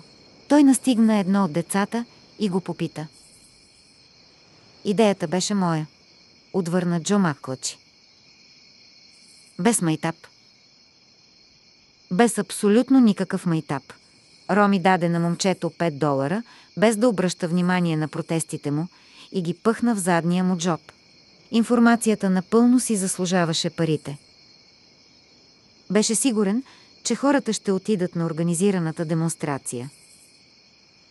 Навярно изгаряха от желание да дадат отдушник на страховете, разочарованието и справедливия си гняв. Малко след като отпрати Джо плашилото по пътя му, Ромео дочу и други хора да говорят за следобедна сбирка. Този път организирана от пастор Когинс. На същото място по същото време – това определено беше знак. Знак, на който пишеше с огромни букви. Възможност за голям оборот. Ромео влезе в магазина си, където бизнесът доста бе замрял напоследък. Явно тази сутрин жителите на Честърс Мил бяха решили да пазаруват или в супермаркета Food City, или в бакалницата на Джони Карвар. Те обаче бяха мълцинство – повечето или бяха отишли на църква, или си седяха в къщи и гледаха новините по телевизията. Тоби Манинг, който седеше на касата, също зяпаше си НН на портативен, захранван от батерии телевизор. Спри го той е дрънкалник и приключи с касата. Нареди му Ромео. Сериозно ли говорите, господин Бърпи? Да. Изкарай голямата шатра от склада. Извикай Лили да ти помогне. Шатрата от тоталната лятна разпродажба. Същата, кимна той. Ще я разпънем на тревата, където се разби самолетът на Чък Томпсън, на поляната на Олдън Динсмор. Ами ако ни поиска пари? Ще му дадем, отвърна Роми, пресмятайки на ум. Магазинът продаваше всичко, включително и намалени бакалски стоки, и в момента разполагаше с хиляди опаковки кренвирши Хепи Бой, които се съхраняваха в големия индустриален фризер зад склада. Беше ги купил от централата на Хепи Бой в Род Айланд. Компанията вече не съществуваше. Бе закрита заради дребен проблем с някакви микроби, но не ешерихия коли, слава богу, и очакваше да ги продаде на туристите и местните за празненствата и барбекютата по край 4 юли. Е, не бе станало, както очакваше, проклетата рецесия си казваше думата. Но въпреки това той не се бе отказал от идеята да ги пласира някъде. И ето, че сега може би щеше да. Защо да не ги набуча на онези изящни градински пръчици от Тайван? Замисли се той. Сигурно имам милиарди от тях. Ще им лепна някое готино име като протеинови хапки на клечка. Освен това имаше и поне 100 кашона с лимонада на прах. Друга закупена с голяма отстъпка стока, за която също се беше примирил, че няма да успее да я продаде. Ще натоварим и всички газови бутилки Блурайно, заяви той на Тоби Манинг. Умът му вече штракаше като сметачна машина. Любимият звук на Ромео. Тоби го изгледа развълнувано. Какво ви се върти из главата, господин Бърпи? Ала Роми сякаш не го чу. Съзнанието му бе изцяло погълнато от инвентаризацията на всички онези стоки, които бе отписал като тотално непродаваеми. Онези ефтини фойерверки, бенгалските огньове, останали от 4 юли, старичките бомбони, които се чудеше как да шитне за Хелоуин. Тоби проговори най-накрая, приготви се за най-големия пикник и празник на открито, който този град е виждал някога. Хайде, размърдай се. Чака ни много работа. Ръсти беше на визитация с доктор Хаскел, когато Локи Токито, което Линда бе настояла да носи, избръмча в джоба му. Гласът извучеше металически, но отчетливо. Ръсти трябва да се върна на работа. Рандолф казва, че този следобед половината град е тръгнал към невидимата преграда на шосе 119 едните за молитвена среща, а другите за демонстрация. Ромео Бърпи ще опъне шатра и ще продава хот-дог, така че очаквай наплив от пациенти с черевни инфекции до вечера. Ръсти и сумтя. Ще трябва да оставя момичетата с Марта. В гласа й се долавяха смущение и тревога. Съзнаваше, че силите й не стигат, за да бъде навсякъде, но въпреки това не спираше да се тързае. Ще я посветя в проблема на Джани. Добре. Той знаеше, че ако й кажеше да остане вкъщи, тя щеше да го послуша, с което само щеше да я накара да се тревожи още повече, тъкмо когато тревогите й бяха започнали да поутихват. Освен това, ако на шосе 119 наистина се струпаше голяма тълпа, присъствието й щеше да е необходимо. Благодаря ти, каза му Линда. Благодаря ти за разбирането. Само не забравяй да изпратиш и кучето при Марта заедно с момичетата, напомни той. Нали помниш какво каза доктор Хаскел? Тази сутрин доктор Рон Хаскел, шамана, се бе проявил в изненадващо позитивна светлина за семейство Еверет. И не само тази сутрин, а още от началото на кризата. Ръсти не го очакваше, но го оценяваше. Защото добре виждаше от подпухналите му очи и провисналата уста, че лекарят плащаше сериозна цена за проявените усилия. Хаскел беше твърде възрастен за подобни сътресения. Напоследък предимно дремеше в фоето на третия етаж. Но като се изключат Джини Томлинсън и Туич, сега само Ръсти и Хаскел държаха фронта. За техен лош късмет обаче куполът се бе появил в една прекрасна съботна утрин, когато всеки, който имаше възможност да напусне града, го бе направил. Миналата нощ Хаскел, който вече гонеше 70-те, бе останал в болницата заедно с Ръсти до 11 вечерта. Тогава парамедикът буквално го бе изблъскал през вратата, за да го накара да се прибере. А тази сутрин бе дошъл на работа в 7. По същото време, когато Ръсти и Линда бяха довели близначките си на преглед. Одри също ги придружаваше и явно обстановката в Кати Ръсел и се понрави. Джудит и Джанел вървяха от двете страни на едрия златен ретривър, сложили ръчички върху гърба му за подкрепа. Джани изглеждаше изплашена до смърт. Какво му има на кучето? Попита Хаскел, ала щом Ръсти му обясни проблема, лекарят кимна и се обърна към Джанел.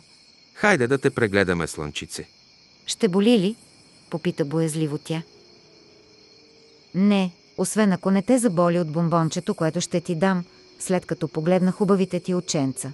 Щом прегледът приключи. Възрастните оставиха двете момичета и кучето в кабинета за прегледи и излязоха в коридора. Раменете на Хаскел бяха отпуснати, прегърбени. А косата му сякаш бе побеляла цялата за една нощ. Каква е твоята диагноза, Ръсти? попита той.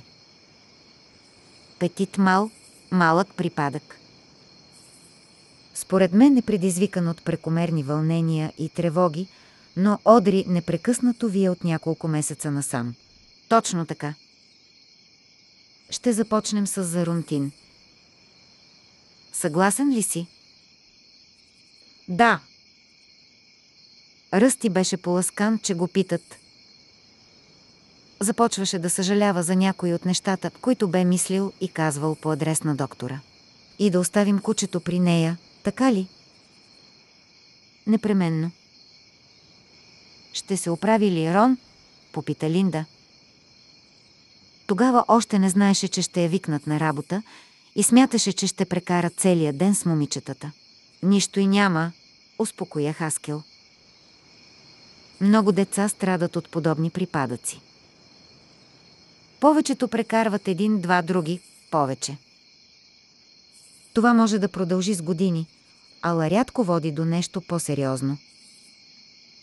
Линда изглеждаше облегчена. Ръсти се надяваше, че няма да узнае онова, което лекарят не й каза, а именно, че вместо да излязат от дебрите на неврологичните проблеми, някои злощастни деца потъват още по-дълбоко в тях и малките припадъци се превръщат в големи припадъци. А един голям припадък вече е доста опасно нещо. Подобни пристъпи често водят до смърт. И ето, че сега, когато тък му привършваха със сутрешната визитация, имаха само шестима нови пациенти, сред които и една родилка без осложнения. И Ръсти се надяваше да изпие на спокойствие чаша кафе, преди да се втурне към здравния център, Линда му се обаждаше. Сигурна съм, че Марта няма да има проблеми с Одри, каза тя. Аз също. Ще разполагаш с полицейска радиостанция, докато си на дежурство, нали? Да, разбира се. Тогава дай своето локи-токи на Марта. Да ми се обади, ако на Джанел и стане нещо. Веднага ще отида при нея. Добре. Благодаря ти, скъпи. Има ли някакъв шанс да се върнеш вкъщи след обед? Докато Ръсти мислеше над този въпрос, видя да ги Туичъл да излиза в коридора. Бе затъкнал цигара за ухото си и вървеше с обичайната си от нищо не ми пука походка, ала той забеляза изписаната на лицето му тревога. Тук виж съм успял да се скатая за час, но не мога да обещая. Разбирам, просто би било страхотно да те видя. Аз също бих искал да те видя. Бъди внимателна там сред хората. и им кажи да не ядат никакъв хот-дог. Бърпи сигурно го е държал в фризера поне 10 000 години. Това са мамутовите му хамбургери от ледниковия период, подхвърли Линда. Хайде, чао, съкровище! Доскоро.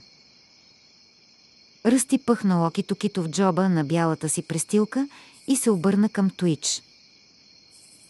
Какво става? И махни тая цигара от ухото си. Все пак сме болница. Туич се подчини. Мислех да я изпуша на двора пред склада. Страхотна идея, иронизира го Ръсти. Точно където се съхраняват газовите бутилки. Точно това бях тръгнал да ти казвам. Повечето бутилки ги няма. Глупости. Тия неща са огромни. Не мога да си спомня дали бяха по 12 или 20 хиляди литра всяка, но определено беше там някъде. Тоест, намекваш, че съм забравил да надзърна зад вратата. Ръсти започна да разтрива слепоочията си. Ако това силово поле не бъде премахнато до 3-4 дни, значи сериозно сме го загазили, въздъхна той. Няма да изкараме без пропан. Кажи ми нещо, което не знам, и сумтя Туич. Според инвентарния лист на вратата, вътре трябва да има седем бутилки, но са останали само две. Той пъхна цигарата в джоба на бялата си престилка. Специално проверих и другия склад, само за да се уверя, че някой не ги е преместил там. Защо някой би го направил? Не знам, премъдри сенсей. Както и да е, другият склад се оказа пълен с жизнено важно медицинско оборудване, най-различни градински и селскостопански сечива. Там всичко е наред и като цяло нищо не липсва, с изключение на шибаните пакети Стор. На Ръсти изобщо не му пукаше за пакетите Стор. Единственото, което го интересуваше, бе пропанът. Ясно – Значи, ако пропанът не се намери и кризата продължи, ще вземам от градското хранилище. Ще си навлечеш неприятности с Рени. При положение, че болницата би била единственото му спасение, ако сърцето му изведнъж даде на късо. Съмнявам се. Мислиш ли, че има някакъв шанс да се измъкна за малко днес след обед? Това зависи само от шамана. В момента той е офицерът с най-висок чин. Къде е той? Дреме в флаето. И хърка, като да скорезница. Искаш ли да го събудя? Не, поклати глава Расти. Остави го да спи. И вече няма да го наричам шамана. Като се има предвид колко здраво бачка старецът, откакто ни сполетя тази каша, мисля, че заслужава по-добро отношение. Така да бъде, сенсей. Виждам, че си достигнал следващото ниво на духовно просветление. Да го духаш, злобар такъв. Сега вижте това. Вижте го добре. Часът е 2.40 и за втори пореден ден Честърс Мил се наслаждава на един прекрасен есенен следобед. Ако репортерите не бяха държани на разстояние, щяха да се почувстват в рая на фотографите. И то не само защото дърветата греят в истинска феерия от пастелни багри. Жителите на изолирания град са се устремили на тълпи към мандрата на Олдън, Динсмор. Олдън най-накрая се договори с Ромео Бърпи за таксата за ползване на земята му 600 долара. И двамата са щастливи. Фермерът – защото е успял да вдигне значително първоначалната оферта от 200 долара, а предприемачът, защото бе склонен да плати и 1000, ако Динсмор бе по-настоятелен. От протестиращите и следовниците на Когинс фермерът не взе нито цент. Това обаче не означаваше, че не се облажи. Макар и роден нощем, Олдън не беше снощен. Той обозначи обширна площ като паркинг, северно от останките на самолета на Чък Томпсън и постави там жена си, Шели, големия си син. Оли, спомняте си, Оли, нали? и наемния си работник, Мануел Ортега, американец без зелена карта, който бе толкова трудолюбив и изпълнителен, че слагаше в малкия си джоб повечето си легално пребиваващи сънародници. Динсмор взима по 5 долара на кола и печалбата му скоро набъбва до цяло състояние. Страхотен удар за млекопроизводител, който през последните две години се е мъчил с зъби и ногти да запази мандрата си от алчните ръце на Кихол Банк. Някои се оплакват от таксата, но са мълцинство. На панаира в Фрайбърг взимат къде-къде повече и освен ако тия скръндзи не искат да паркират край пътя, където вече не може да се намери свободно място от дошлите по-рано коли. И после да вървят цял километър, просто нямат друг избор. Колко ярка, необикновена и разнообразна сцена. Досущ като цирк с три арени, в който обикновените жители на Честър Смил са в главните роли. Когато Барби пристига заедно с Роуз и Анс Уилър, ресторантът отново е затворен и ще отвори чак за вечеря, но ще предлага само студени сандвичи без поръчки за грила. Тримата зяпват безмълвно разкрилата се пред тях гледка. Джулия Шамуи и Пит Фриман не могат да насмогнат със снимките. Джулия се спира за миг, за да дари Барби с приятната си, но леко огрижена усмивка. Неочаквано шоу, а? Определено, усмихва се Барби. В първата арена на цирка съзираме онези граждани, които са откликнали на разлепените от Джо Плашилото и компанията му постери. Протестната демонстрация е впечатляваща, дошли са поне 200 души. И 60-те плаката, които хлапетата изготвиха. Най-популярният гласи Долно тире, долно тире, пуснете ни. Мамка му, долно тире, долно тире, свършват за нула време. За щастие, повечето хора си носят собственоръчно изработени протестни послания. Любимият на Джо е затворнически решетки върху картата на Честър Смил. Лиза Джеймисън, градската библиотекарка, не просто го носи, но и го размахва заплашително. Джак Еванс също е тук. Бледото му лице все още е посърнало от скръп и плакатът му представлява колаж от снимки на съпругата му, починала от кръвоизлив предишния ден. Надписът над тях просто крещи. Долно тире, долно тире, кой уби жена ми? Долно тире, долно тире, Джо плашилото изпитва съчувствие към човека. Но плакатът му наистина е страшен. Ако журналистите можеха да го видят, направо щяха да напълнят репортерските си гащи с лайната на възторга. Джо организира протестиращите в голям кръг, който се върти точно пред купола. От страната на Честър смил земята покрай невидимата преграда е осеяна с мъртви птици. От към Мотън войниците вече са ги разчистили. Този обширен кръг им дава възможност, или поне така си мисли Джо, да покажат посланията си на постовите, които стоят мирно и демонстративно и адски владяващо, са им обърнали гръб. Момчето раздаде на участниците в демонстрацията и листове с скандирания. Написа ги заедно с кейтърския идол на Бени Дрейк, Нори Калвард. Освен, че е много добра на карти, Нори се оказа добра и в измисленето на лозунги за скандиране. Стихчетата й са семпли, но стегнати. Едно от тях гласи «Долно тире, махнете си от нас ръцете». Честър смило освободете, долно тире друго. Долно тире, вие го направихте, нали? Признайте си и няма да боли. Долно тире с голяма неохота Джо се видя принуден да отхвърли един от по-екстремните и шедьоври, който звучеше така. Долно тире, не се правете на заспали. Пуснете ни навън, педали. Трябва да бъдем политически коректни долно тире. Беше и казал Джо тогава. Сега обаче си мисли само дали Нори е твърде малка, за да се целува. И дали ще го целуне с език, ако той направи същото.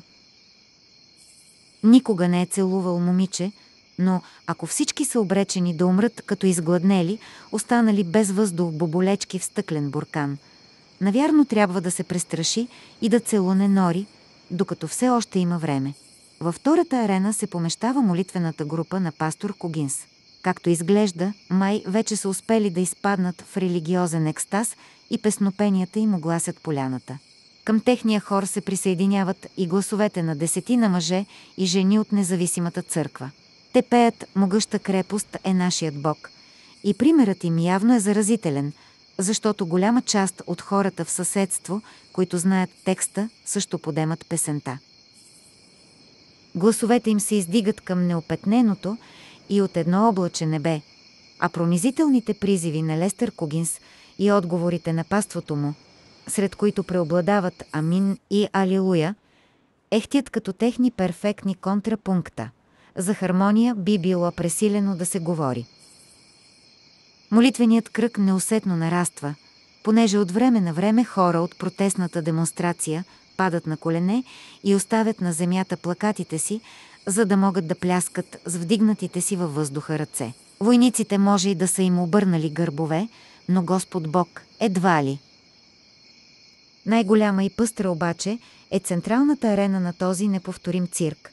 Румел Бърпи е разположил шатрата от тоталната лятна разпродажба недалеч от купола и на 60 на метра от молитвения кръг, преценявайки местоположението и спрямо слабия ветрец, духащ от към невидимата преграда.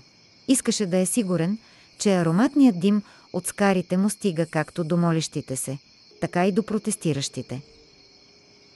Единствената му отстъпка към вярващите е да накара Тоби Манинг да изключи портативното си стерео, откъдето бомтеше онази песен на Джеймс Макмърти за живота в малкото градче. Някак си не се съчетаваше добре с колко велик си Боже и няма ли да приемеш Исуса. Бизнесът върви добре и може само да се подобри. Ромео е сигурен в това. По-късно хот-догът му може и да причини проблеми на нечи стомаси, но за сега кренвиршите охаят апетитно в топлия следобед. Цялото мероприятие напомня по-скоро на провинциален панаир, отколкото на посещение в затвора. Хлапетиите размахват въртелещици и се штурат насам натам, заплашвайки да запалят тревата с бенгалските огньове, останали от 4 юли. Празни пластмасови чаши, в които е имало или разтворена лимонада на прах, гадост или кафе, още по-голяма гадост, са навсякъде. По-късно Румео ще накара Тоби Манинг да даде на някои хлапета, може би на синовете на Динсмор, 10 долара, за да съберат отпадъците. Между съседските отношения е важно да се поддържат. За момента обаче цялото внимание на Ромео е концентрирано върху импровизирания му касов апарат, кашонче от туалетна хартия. Слага вътре дълги зелени хартийки и връща малки сребристи кръгчета. Перфектно показано как Америка върти търговия. Взима по 4 долара за хот-дог, а хората купуват ли? Купуват. Очаква до зале слънце да е реализирал поне 3000 арки чиста печалба.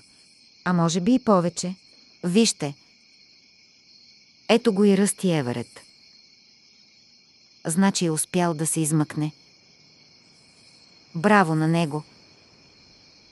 Иска му се да бе взел и дъщеричките си. Тук със сигурност щеше да им хареса, а и страховете им навярно щяха да се разсеят, като видят толкова много хора в добро настроение. Но пък тук виж вълнението дошло в повече на Джани. Той зърва Линда в същия миг, когато и тя го забелязва и започва да й маха, подскачайки нагоре-надолу. С стегнатите плитки, в които винаги сплита косата си, когато е на работа, Лин изглежда толкова млада, че прилича на мажоретка от гимназията. Стои до сестрата на Туич, Роуз, и младия мъж, който прави аламинутите в ресторанта. Ръсти е малко изненадан. Мислеше си, че Барбара е напуснал града. Нали бе настроил Джим Рени срещу себе си – в слуховете, които бе дочул, ставаше въпрос за някакво кръчмарско сбиване, макар че Ръсти не беше дежурен, когато участниците в свадата бяха дошли в болницата, за да ги зашият. И слава Богу! Отдавна бе изпълнил своята квота по зашиване на рани, получени в Дипърс. Той прегръща жена си, целува я по устните и залепва целувка на бузата на Роуз. Ръкува се с готвача и отново се запознават. Вижте ги тия ходози. Възмущава се Роуз. Мили Боже! по-добре приготви от сега подлогите, докторе, казва Барби и всички се засмиват. Страхотно е, че могат да се засмеят при тези обстоятелства, но не са единствените и защо не. Ако не можеш да се засмееш, когато нещата се влушат, да се засмееш и да си сложиш маската на веселието, значи или си умрял, или ти се иска да умреш. Тук е забавно, казва Роуз, без да подозира колко забавно ще свърши всичко. Нечия фризби прелита наблизо. Тя реагира светкавично, хваща го във въздуха и го подава на Бени Дрейк. Хлапето скача, улавя го и веднага се завърта, за да го хвърли към Нори Калвард, която го сграбчва с ръка зад гърба си. Виж пилотаж. Кръгът на вярващите продължава с молитвите. Смесеният хор, който вече е синхронизирал звученето си, подхваща вечната църковна класика напред Христови войни. Момиченце на възрастта на Джуди тича весело по поляната. Рокличката й се развява покрай пухкавите коленца, в едната й ръчичка изкри бенгалски огън, а в другата се поклаща чаша с отвратителната лимонада на прах. Протестиращите обикалят в разширяваща се спирала и скандират «Долно тире, махнете си от нас ръцете». Честърс, мило освободете, долно тире, високо в небето. В северна посока, от към Мотън, се носят пухкави облаци с тъмни сърцевини, които се разпръскват, щом наближават кордоните на войниците, опасали невидимата преграда. Небосводът над самия Честър Смил представлява перфектна, ненарушавана от нищо си нева.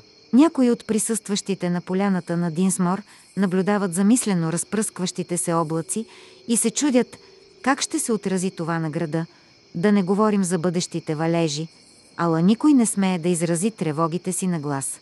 Питам се дали и следващата неделя ще ни е толкова забавно, отбелязва Барби. Линда Еварет го поглежда. Погледът ти в никакъв случай не може да се нарече приятелски. Няма да е зле първо да мислиш, а после да приказваш. Скастря го тя. Вижте там, извиква внезапно Роуз. Това хлапе не бива да кара толкова бързо. Може да се преобърне.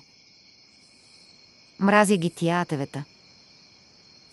Всички се обръщат към малкото возило с тумбести, като балони гуми и гледат как то се носи през избелялата октомврийска трева. Не точно към тях, но определено се приближава към купола. И то твърде бързо. Двама от войниците чуват приближаващата се машина и рязко се обръщат. Олеле, дано не се блъсне, простенва Линда Еверет. Обаче Рори Динсмор не се блъска в купола. Макар, че би било далеч по-добре да го направи. Идеята е като грипен вирус. Рано или късно някой я прихваща. Във върховното командване вече я бяха обсъждали. Някогашният командир на Барби, полковник Джеймс О. Кокс, бе присъствал на няколко срещи, където бе ставало въпрос за нея. Рано или късно някой в Честър Смил щеше да бъде заразен от същата идея. Ето защо не беше изненадващо, че този някой се оказа Рори Динсмор, най-острият от всички инструменти в котията на семейство Динсмор. Нямам си на идея отде го е наследил, бе казала майка му Шели, когато синът й бе донесъл вкъщи първия си бележник, пълен с шестици отгоре до долу. При това в гласа й се усещаше не толкова гордост, колкото тревога, ако момчето не живееше извън града. И ако имаше компютър, по всяка вероятност щеше да е част от приятелите на Джо Макклачи. На Рори му беше забранено да се включва в празненството, молитвената среща или протестната демонстрация. Вместо да яде подозрителен хот-дог и да събира такса за паркинг, баща му беше наредил да стои вкъщи и да дои кравите. А щом привършеше, трябваше да намаже виметата им със специален балсам. Работа, която ненавиждаше от дън душа. А след като ги намажиш хубавичко, че да лъснат, завърши с инструкциите Олдън. Премести обора и нареди там уния бали сено. Всичко това бе част от наказанието, което му бяха наложили, задето се бе приближил до купола вчера, след като баща му изрично му бе забранил да го прави. И не само се бе приближил, ами и бе почукал по невидимата повърхност. Рори се бе оплакал на майка си. Обикновенно това даваше резултат. Ала тя бе останала непреклонна. Можеше да умреш, укори го Шели. А и татко ти каза, че си се държал невъзпитано. Само им казах името на готвача. Възмути се Рори, с който си докара един шамар от баща си, докато Оли го гледаше самодоволно и с безмълвно одобрение. От ума си теглиш. Скара му се Олдън. Кога ще се кротнеш най-сетне? Скрит зад гърба на баща им, Оли му се изплези. Шели обаче го видя и награди и него с шамар, обаче не му забрани да се включи в импровизирания панаир и да не си посмял да се доближиш до атевето. Нареди баща му, сочейки паркирания между първи и втори хамбар мотов съдеход. Ще пренасеш сламата с ръце. Тък му ще заякнеш малко. След тези думи, близките му се запътиха през поляната към шатрата на Ромео, оставяйки най-умния в семейството с вила в ръка и огромен буркан с балсам за кравешки вимета. Посърнал, Рори се захвана да изпълнява възложените му задачи с мрачно усърдие. Въпреки, че будният му, неспокоен ум от време на време, го вкарваше в неприятности, той беше добър син и до сега нито веднъж не му бе хрумвало да зареже досадните стопански задължения. В началото не мислеше за нищо друго, освен за работата си. Намираше се в онова пречистено състояние на духа, което понякога се оказва изключително плодородна почва за появата на най-ярките ни и грандиозни идеи, както хубави, така и лоши. Единственото, от което тези идеи се нуждаят, за да излязат оттам, е верижната реакция на асоциациите. Докато Рори метеше централната пътека на първи хамбар, бе решил да остави противното мазане на виметата за накрая. Той дочу бърза серия от пукащи звуци, които можеха да се дължат само на използваните фойерверки. Звучаха му като изстрели.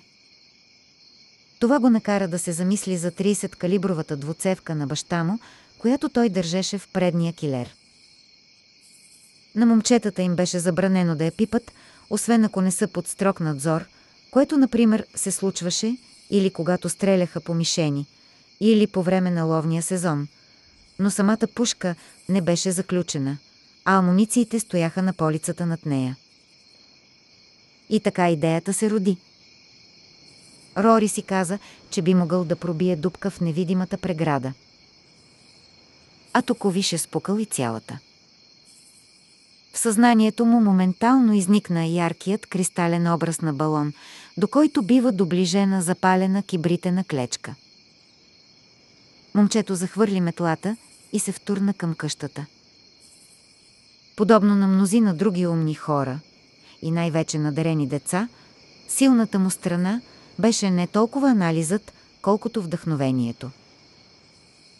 Ако тази идея, например, бе хрумнала на по-големия му брат, което едва ли щеше да се случи, Оли със сигурност щеше да се замисли. След като цял самолет не можа да пробие купола, а натоварен догоре с дървесина камион се преобърна при сблъсъка си с него, какъв шанс би имал един куршум? И навярно би си казал. Вече съм сериозно наказан. Трябва ли да ставам още по-непослушен и да си навличам още по-големи проблеми? А можеше и да не си го помисли. Според Рори, математическите способности на Оли се изчерпваха с елементарното умножение. За разлика от него, по-малкият брат вече взимаше уроци по алгебра, които се преподаваха в колежа и се справяше перфектно. Ако го попитаха как един куршум би постигнал онова, което не беше по силите на един камион или самолет, той веднага би отвърнал, че ударният ефект от Уинчестър Елит ХРЗ би бил далеч по-голям. От една страна, защото скоростта ще бъде по-голяма. И от друга, защото цялата мощ на удара ще бъде съсредоточена във върха на 11-грамовия куршум. Рори беше сигурен, че хрумването му ще проработи. Идеята му притежаваше гениалната елегантност на алгебрично уравнение. В съзнанието му изплува собственото му усмихнато, но същевременно скромно, лице на заглавната страница на USA Today. Видя се как го интервюира Брайан Уилямс в вечерните новини.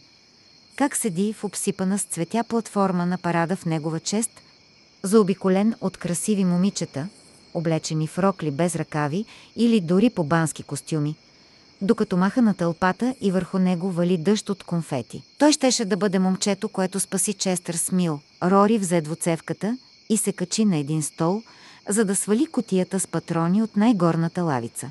Заради два куршума, вторият за всеки случай, и се завтече навън с вдигната над главата си пушка, досущ като латиноамерикански партизанин.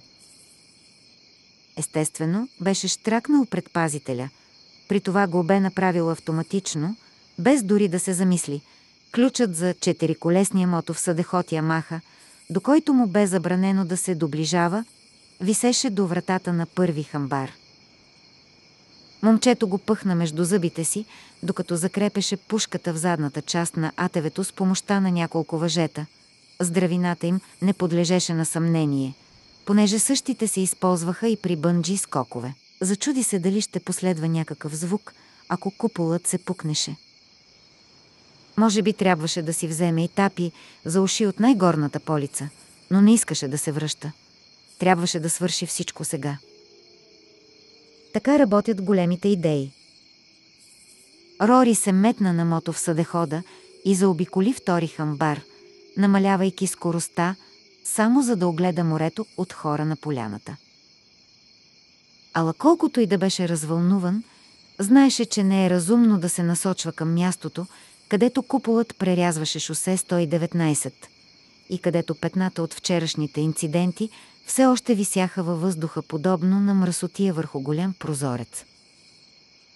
Някой можеше да го спре, преди да е успял да стреля по невидимата преграда. И тогава, вместо да се превърне в момчето, което спаси Честър Смил – щеше да стане момчето, което мажеше кравешки вимета в продължение на една година. Определено, да не говорим и че цялата първа седмица щеше да го прави в приклекнало положение, защото задникът му щеше да го боли твърде силно, за да седне. И някой друг щеше да обере лаврите с неговата собствена идея. Ето защо Рори избра да пресече диагонално поляната, като по този начин щеше да се озове пред купола на около 500 метра от голямата шатра. Как щеше да разбере кога да спрели? По линията от мъртви птици нападали покрай невидимата бариера. Видя как войниците в този район започват да се обръщат при звука от приближаващия се мотов съдеход. Дочуи разтревожените викове на участниците в стълпотворението. Църковните химни, които вярващите пееха, внезапно секнаха – и най-лошото от всичко. Видя как баща му размахва зелената си бейсболна шапка и реве с пълно гърло.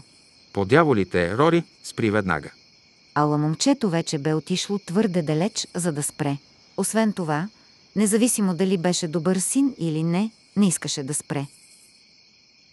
Атевето се удари в някаква могилка и Рори подскочи на седалката, ала ръцете му не изпуснаха дръжките на кормилото. Бейсболната му шапка бе обърната с козирката назад, не помнеше да го е правил. И хлапето се заливаше от смях, сякаш бе обезумяло. Мотов съдеходът се килна застрашително в страни, след което се стабилизира. Оставаше му съвсем малко до целта. Един от застаналите на пост войници размахваше бясно ръце и му крещеше да спре. Рори натисна рязко спирачките и за малко да направи салто над дръжките на кормилото. Бе забравил да включи предавките на неутрална позиция и в съдеходът се изстреля към купола, забивайки се в него преди да спре. Рори дочу издранчаването на метал, последван от трясък на щупено стъкло. Очевидно предният фар се бе струшил. Войниците, изплашени да не бъдат ударени от мото в съдехода, окото, което не съзира никаква преграда между себе си и стремително приближаващия се обект, задейства могъщи инстинкти, се бяха разбягали. Така хем откриваха достатъчно голямо свободно пространство пред Рори, хем успестяваха необходимостта да им каже да се отдръпнат на безопасно разстояние за експеримента – Момчето искаше да бъде герой, но не искаше някой да пострада или да умре заради него. Трябваше да бърза. Най-близките до него хора се намираха покрай импровизирания паркинг и голямата шатра и в момента тичаха като обезумели към него. Баща му и брат му също бяха сред тях, като и двамата крещяха да не прави онова, което бе намислил. Рори размота пушката от въжетата за бънджи скоковете, опря приклада в рамото си и се прицели в невидимата бариера на около метър и половина над трите мъртви връбчета. Не дей хлапе, това е лоша идея, извика един от войниците. Момчето не му обърна внимание, защото идеята му си беше много добра. Пък и тичащите от към шатрата и паркинга вече бяха съвсем близо. Някой, по всяка вероятност Лестър Когинс, който тичаше далеч по-добре, отколкото можеше да свири на китара. Изкрещя, в името на Бога, синко, не го прави. Рори дръпна спусъка. Не, всъщност само се опита. Предпазителят все още беше спуснат. Погледна през рамо и видя как високият мършав проповедник от църквата на светия изкупител изпреварва пухтящия му, почервенял баща. Ризата на Лестър беше изкочила от панталона му и се развяваше покрай бедрата му. Очите му бяха разширени. Готвачът от дивата роза тичаше точно след него. Деляха ги не повече от 60 на метра от него, а преподобният изглеждаше така, сякаш те първа щеше да превключи на четвърта скорост. Рори вдигна предпазителя. Спри хлапе, не дей, извика отново войникът, като едновременно с това се приведе от към неговата си част на купола и сключи отчаяно ръце. Рори не му обърна внимание. Така работеха големите идеи. Отново натисна спусъка и този път последва изстрел. За негово нещастие прицелът му бе перфектен. Куршумът се удари в невидимата преграда, рикошира и се върна обратно като гумено топче на ластик. В първия момент момчето не почувства болка, а по-скоро му се стори, че целият свят внезапно е облян от ослепително бяла светлина. Самият куршум се бе разцепил на две частици, по-малката от които се заби в лявото му око и заседна в мозъка му. Кръвта шурна като фонтан. Рори притисна длани към лицето си и алената течност бликна между пръстите му, докато той несъзнателно се свличаше на колене. Ослепях.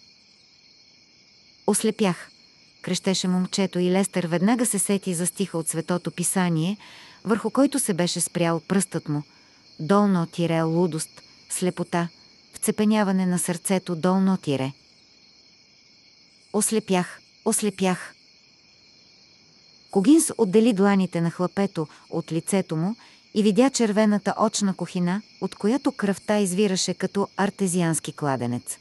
Остатъците от лявото око на Рори бяха полепнали по бузата му. Момчето се обърна към пастора и слузестите останки плёкнаха в тревата. Лестър разполагаше с един безумно кратък миг да вдигне детето на ръце, преди бащата да го изтръгне от обятията му. В това обаче нямаше нищо лошо. Това бе напълно в реда на нещата. Когинс беше съгрешил и бе помолил Господ за просветление. И Бог беше откликнал на молитвите му, понеже го бе дарил не само с просветление, но и с недвусмислен отговор. Пасторът вече знаеше как трябва да постъпи и как точно да се пречисти от греховете, в които бе въвлечен от Джеймс Рени. Едно сляпо дете му бе посочило верния път. Винаги може да стане още по-зле. Впоследствие Ръсти Еверет спомняше най-вече настаналия хаос. Единственият по-ясен образ в памета му беше голият до кръста пастор Когинс и по-конкретно бялата му като рибешки корем кожа и четящите се ребра. Барби обаче, вероятно защото полковник Кокс отново го бе нагърбил с разузнавателна мисия, видя всичко. И най-яркият му спомен не беше свързан с пастора, а с Мелвин Сирос – как го сочи с пръст и клати леко глава. Недвусмислен жест, който гласеше. Още не сме свършили с теб, слънчице, Онова, което всички присъстващи със сигурност запомниха и което ги накара да осъзнаят трагедията по безпредседентен начин, беше риданието на бащата, докато вдигаше на ръце клетото си пострадало дете, както и воплите на майката, той добре ли е, Олдън? Добре ли е? Устремила затластялото си туловище към мястото на происшествието.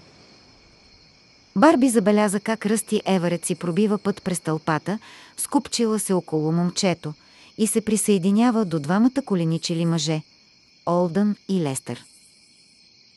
Олдън притискаше сина си в обятията си, а пасторът ги зяпаше с зейнала като изкъртена врата уста. Жената на Ръсти беше непосредствено зад него. Медикът приклекна до Олдън и Лестър и се опита да отлепи дланите на момчето от лицето му. В същия миг бащата, реакцията му не изненада Барби предвид ситуацията, му врасна един. От носа на Ръсти потече кръв. Не! Оставете го да помогне, извика съпругата на парамедика. Линда каза си Барби.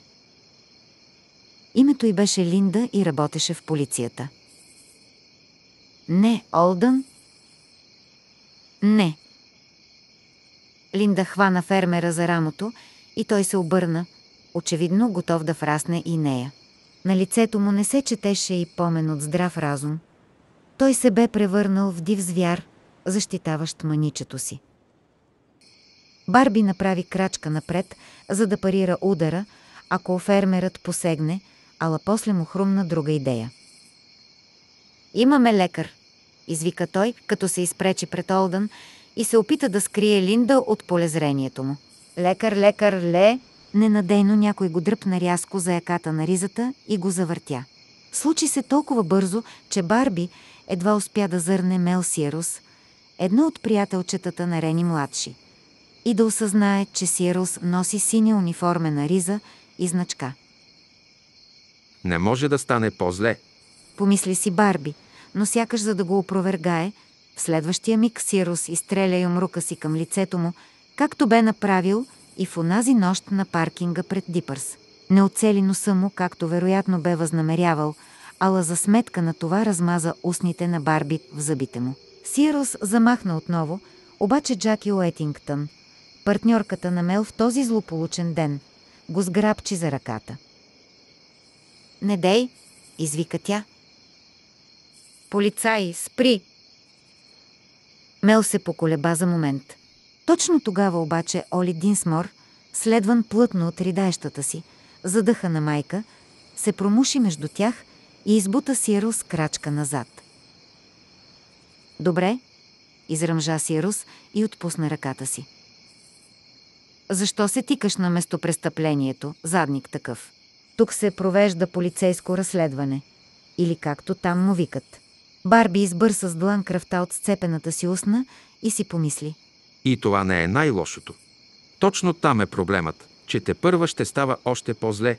Единственото, което Ръстичо, беше как Барби крещи. Лекар. Имаме лекар. Сега и той самият реши да се представи. Аз съм парамедик, господин Динсмор. Ръсти Еверет. Познавате ме.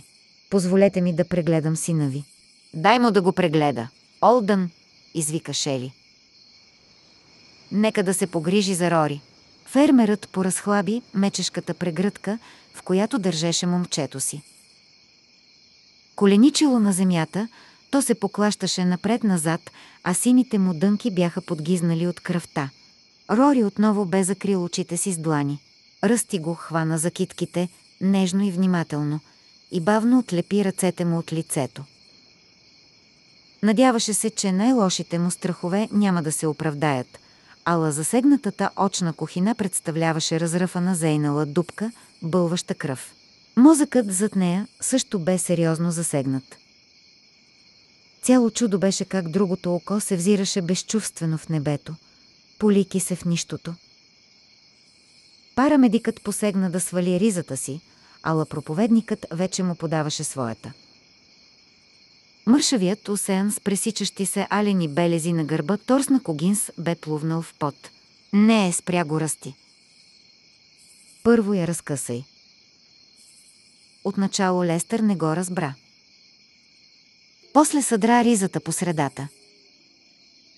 По това време пристигна и останалата част на полицейския контингент и някои от редовните ченгета – Хенри Морисън, Джордж Фредерик, Джаки Уетингтън и Фреди Дентън – викнаха на новите си извънредни сътрудници да помогнат с избутването на тълпата и осигуряването на свободно пространство около пострадалото момче. Новоизпечените униформени се заеха с изпълнението на задачата, при това доста ентусиазирано.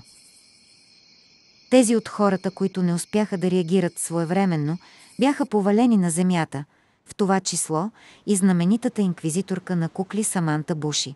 Сами носеше Литъл Уолтер в бебешко кенгуру. И когато тупна по задник, и двамата ревнаха. Рени младши обаче я прекрачи най-безцеремонно и сграбчи майката на Рори. Щеше да събори и нея на земята, ако Фреди Дентън не го беше спрял. Не, младши, не дей. Това е майката на хлапето. Пусни я. Полицейска бруталност. Извика сами Буши, която продължаваше да лежи в тревата. Полицейска бру. Джорджия Ру, най-новото попълнение в полицейското управление на Питър Рандолф, се приближи заедно с Картер Тибодо. Всъщност държеше ръката му. Джорджия притисна крак до едната гърда на Сами. Не беше точно ритник. И каза Млъква и лесбо. Рени младши пусна майката на Рори и се присъедини към Мел, Картер и Джорджия. Те бяха застанали в редица и наблюдаваха изпитателно Барби. Рени младши последва примера им и си каза, че готвачът е като проклет черен гологан, който все изниква от някъде. И че би изглеждал чудесно в килията до тази на сам мърляча. Помисли си още, че полицейската работа е истинското му призвание. Определено се беше отразила добре на главоболията му. Ръсти взе половината от съдраната риза на Лестър и я скъса още на две. После сгъна едното парче и понечи да го умотая около заещата рана на момчето, ала в крайна сметка промени решението си и го подаде на бащата. Притиснете го до. Думите му едва се чуха, защото гърлото му беше пълно с кръв от разбития му нос. Ръсти се прокашля, обърна глава настрани, изплю полусъсирена кървава храчка на земята и опита отново. Притиснете го до раната, татко, и натиснете добре. Другата ръка на Тила изтискате. Макар, че все още беше в шок, Олдън Динсмор вече бе склонен да го послуша и изпълни указанията му. Импровизираната превръзка веднага се обагри в червено, обаче фермерът изглеждаше по-спокоен. Явно задачата да свърши нещо му бе помогнала. Да, най-често ставаше точно така. Ръсти махна с другото парче плат на Лестър. Още, нареди, и пасторът започна да разкъсва ризата си на по-тесни ивици. Ръсти повдигна главата на хлапето и смени първата превръзка, която вече бе подгизнала и безполезна. Щом зърна зейналата очна кухина, Шели Динсмор изпищя. Божичко, синчето ми. Горкото ми синче. Питър Рандолф дотича задъхан, похтейки като локомотив. Очевидно загрижен за болното си сърце, големият Джим се тътреше бавно на сериозна дистанция зад него през тревата, която тълпата бе отъпкала и превърнала в широка пътека. Мислеше си за бъркотията, която бе настанала. За напред гражданите щяха да могат да се събират само след изрично разрешение. И ако той имаше нещо общо с издаването на тези разрешения, много ясно, че щеше да има, щеше да направи всичко възможно да затрудни максимално процедурата. Изтласкайте тези хора още по-назад, изръмжа Рандолф на полицай Морисън. Хенри се обърна, за да изпълни заповедта. Отдръпнете се назад, хора. Направете малко място. Морисън излая. Полицаи, стройте се в редица, избутайте ги назад. Който се съпротивлява с белезници. Тълпата започна бавно да отстъпва назад. Барби се поколеба. господин Еверет. Ръсти, имате ли нужда от някаква помощ? Добре ли сте? Добре съм. Отвърна той и Барби прочете на лицето му всичко, което го интересуваше. Парамедикът е добре, само носът му продължава да кърви. Хлапето обаче не беше добре и никога нямаше да бъде, даже и да оцелееше. Ръсти притисна нова превръзка до грозната рана и отново положи дланта на бащата отгоре й. Другата ръка на Тила. Повтори. Натиснете. Силно. Барби понечи да отстъпи назад, ала точно в този момент хлапето проговори. Вече е Хелуин. Не можете? Не можем. Ръсти тък му сгъваше поредната превръзка, ала щом го чу, буквално застина.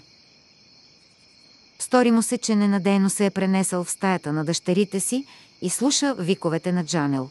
Всичко е заради страшната тиква. Вдигна очи към Линда. И тя го беше чула. Очите й се бяха разширили, а румените й страни бяха бледи. Линда! извика Ръсти. Веднага вземи радиостанцията си и се обади в болницата. Кажи на Туич да прати ли ней. Огън, изкрещя Рори Динсмор с пронизителен, треперещ глас. Лестър го гледаше смаяно, както навярно Мойсей е гледал плъмтящия капинов храст. Огън! Автобусът гори. Всички пищят. Пазете се от Хелуин. Тълпата бе притихнала и слушаше бълнуванията на момчето. Дори Джим Рени ги чу и бързо започна да си пробива път с лакти. Линда кресна и ръсти. Веднага се обади в болницата. Трябва ни линейка? Тя се сепна, сякаш някой току-що бе штракнал с пръсти пред лицето й и взе радиостанцията, която висеше на колана й. Рори се приведе, тупна върху изпотъпканата трева и започна да се гърчи. Какво става? попита бащата. Ох, Боже мили, той умира, проплака майката. Ръсти обърна треперещото момче. Опитваше се да не мисли за Жанин, докато го правеше, което бе невъзможно, и надигна брадичката му, за да осигури достъп на въздуха до дробовете му. Хайде, татко, каза на Олдън. Не ме изоставяй точно сега. Стисни добре отзад врата му. Да приложим натиск върху раната. Да спрем кръвта. Натискът можеше да вкара частицата, отнесла окото на хлапето, още по-навътре. Ала по-късно щеше да се тревожи за това. Ако хлапето не умреше тук, на тревата, някъде наблизо и същевременно толкова далеч, се чу гласът на един от войниците. Още юноша, той изглеждаше изплашен и изпълнен със съжаление. Опитахме се да го спрем. Момчето не ни послуша.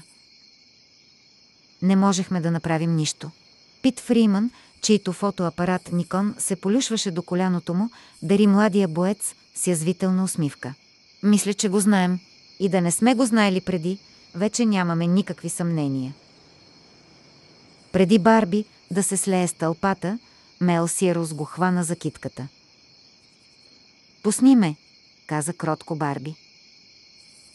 Сирус обаче му се озъби. Явно това беше неговата представа за усмивка и процеди. Мечтай си, Дрислю. После извика. Шерифе! Хей, шерифе! Питър Рандолф се обърна рязко и го изгледа намръщено. Този тип ми пречеше, докато се опитвах да обезпеча сигурността на района. Мога ли да го арестувам? Рандолф отвори уста, вероятно за да каже. Не ми губи времето. После обаче се огледа наоколо. Джим Рени най-накрая се бе присъединил към малката групичка, която наблюдаваше как Еварет оказва първа помощ на хлапето. Големия Джим хвърли студен и безизразен поглед на Барби. Така гледат змиите, докато се излежават на припек. След което кимна леко на шерифа. Мел го забеляза и усмивката му стана още по-широка. Джаки, Исках да кажа полицай Уетингтън. Ще ми заемете ли един чифт от белезниците си? Рени младши и останалите от дружинката му също се ухилиха. Ето нещо по-забавно от някакво кървящо хлапе и далеч по-интересно от това да поддържаш реда сред демонстриращи тапаци с протестни лозунги. Получи ли си го Барби? Злорадстваше Рени младши. Джаки обаче се колебаеше. Пит. Исках да кажа шерифе. Мисля, че човекът се опитваше само да пом. Закопчайте го, нареди Рандолф. По-късно ще видим какво се е опитвал или не се е опитвал да направи. Междувременно искам тази бъркотия да се разчисти. Той повиши глас. Всичко свърши, народе. Позабавлявахте се и видяхте какво стана. Сега се разотивайте по домовете си. Джаки тък му откопчаваше един чифт от връзката пластмасови белезници от колана си. Нямаше намерение да ги дава на Мел, а да ги постави сама на задържания. Когато Джулия Шамуей заговори. Тя стоеше точно зад Рандолф и големия Джим, всъщност точно големия Джим я бе изблъскал с лакти, за да заеме мястото й. Не бих допуснала това, шериф Рандолф, освен ако не искате полицейското ви управление да бъде изтипосано на първа страница на Демократ. Рече и се усмихна като Мона Лиза. Все пак сте съвсем отскоро на този пост, а и всичко останало. Какво искаш да кажеш? Попита той. Беше се намръщил още повече и лицето му приличаше на прорязан от дълбоки пукнатини мрачен пейзаж. Джулия вдигна апарата си, малко по-стар модел от този на Пит Фриман. Имам няколко снимки на господин Барбара, които показват как помага на Ръсти Еварет в грижите за раненото момче, няколко на полицай Сирос, докато дърпа явно безпричинно господин Барбара и една на която полицай Сирос удря господин Барбара в устата. Също безпричинно. Не съм кой знае какъв фотограф, ала специално тази се получи много добра.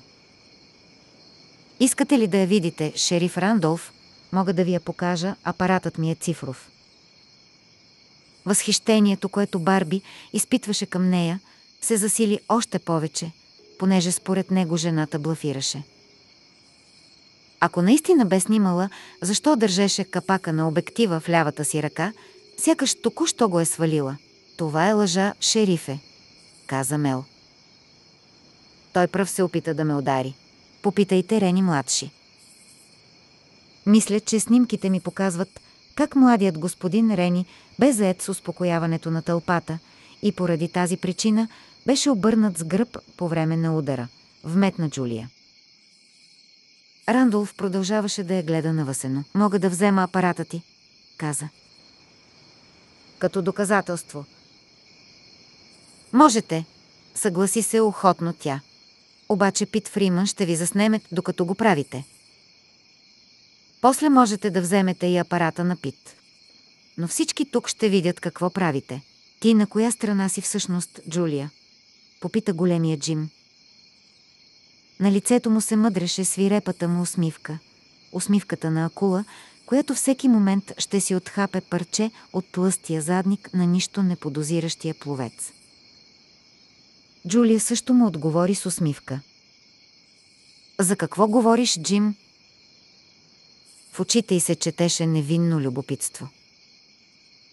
Нима има и други страни, освен онази там, посочи наблюдаващите ги войници. И тази тук.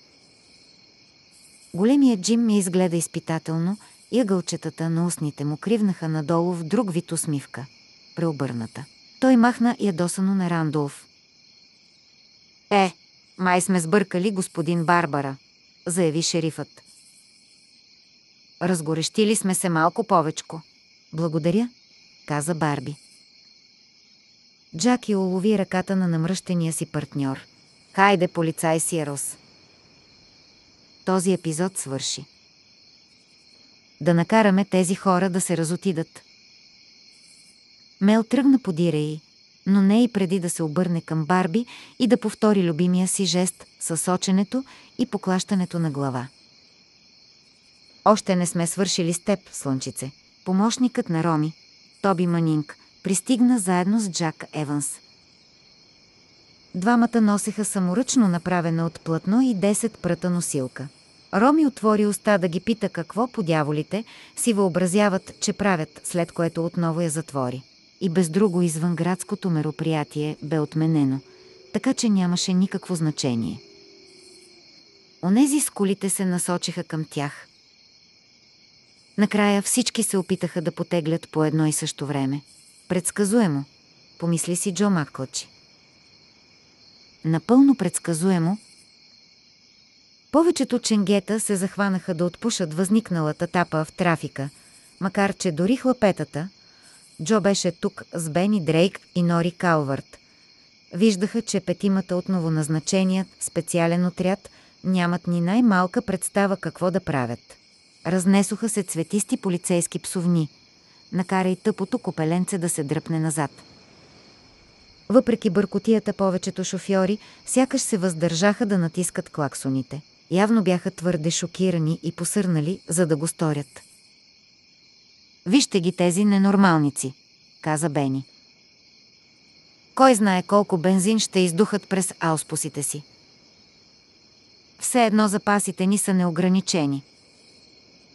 Абсолютно, кимна Нори.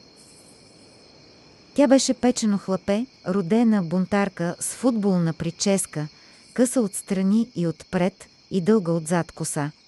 Ала сега изглеждаше пребледняла, унила и оплашена.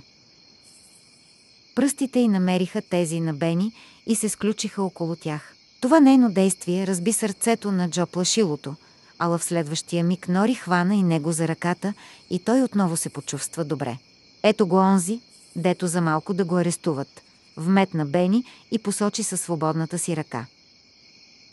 Барби и жената от вестника вървяха през импровизирания паркинг, заедно с 60-80 други хора, някои от които влачеха вяло протестните си лозунги зад себе си. Всъщност, вестникарката не направи никакви снимки, каза Джо плашилото. Бях точно зад нея. Много хитро от нейна страна.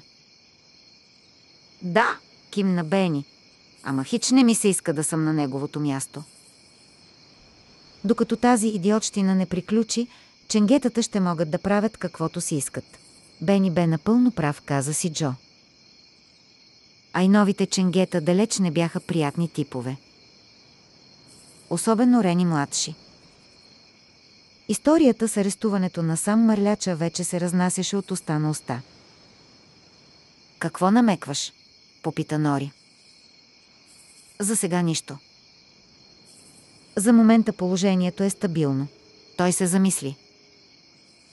До някъде. Но ако нещата продължат...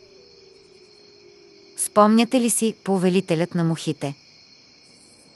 Трябваше да го прочетат за часовете по подготовка за колежа. И Бени изрецитира. Дълго тире. Убий прасето. Заколи го. Прасни го по зурлата. Хората често наричат ченгетата прасета, обаче сега ще ви кажа какво мисля.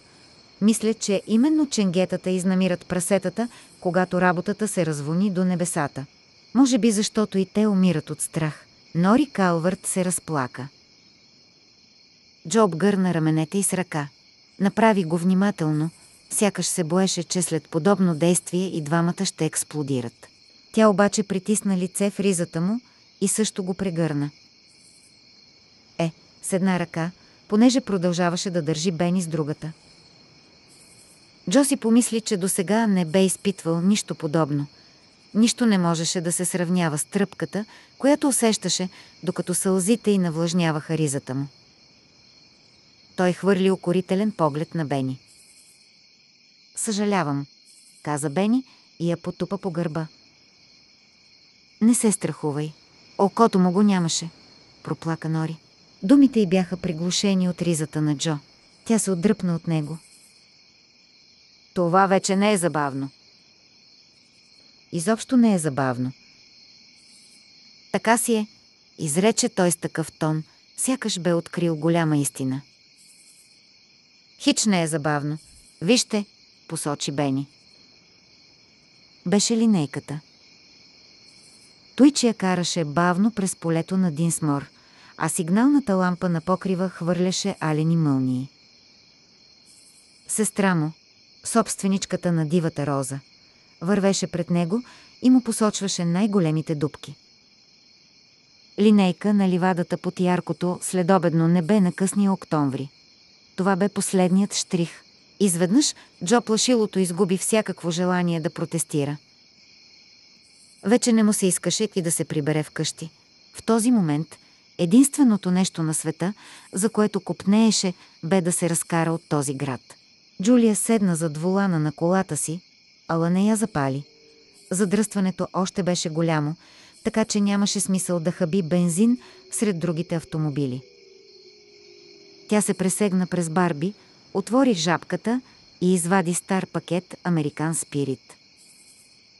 Запаси за критични ситуации, заяви жената, сякаш се оправдаваше. Искаш ли? Той поклати глава.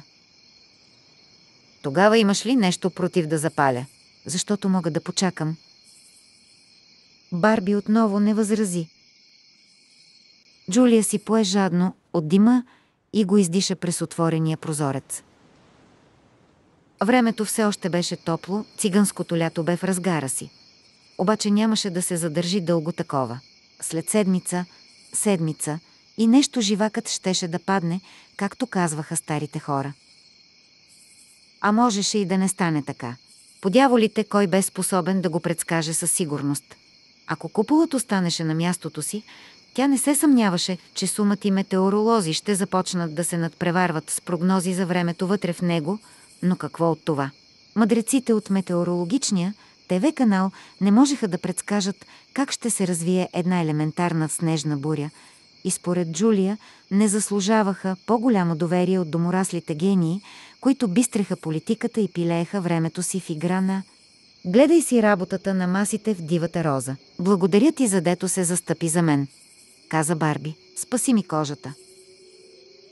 Не се заблуждавай, миличък, кожата ти още виси в сушилнята на кожодерите.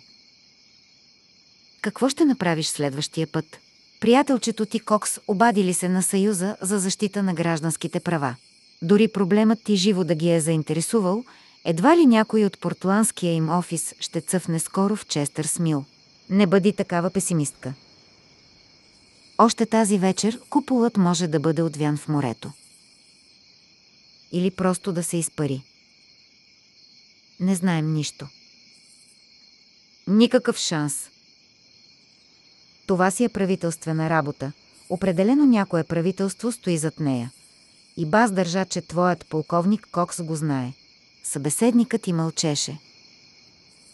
Беше повярвал на полковника, когато му каза, че американското правителство не е отговорно за купола. И не защото Кокс бе човек, който нямаше да го излъже, а чисто и просто понеже Барби не смяташе, че Америка разполага с подобна технология. Нито пък някоя друга страна на света.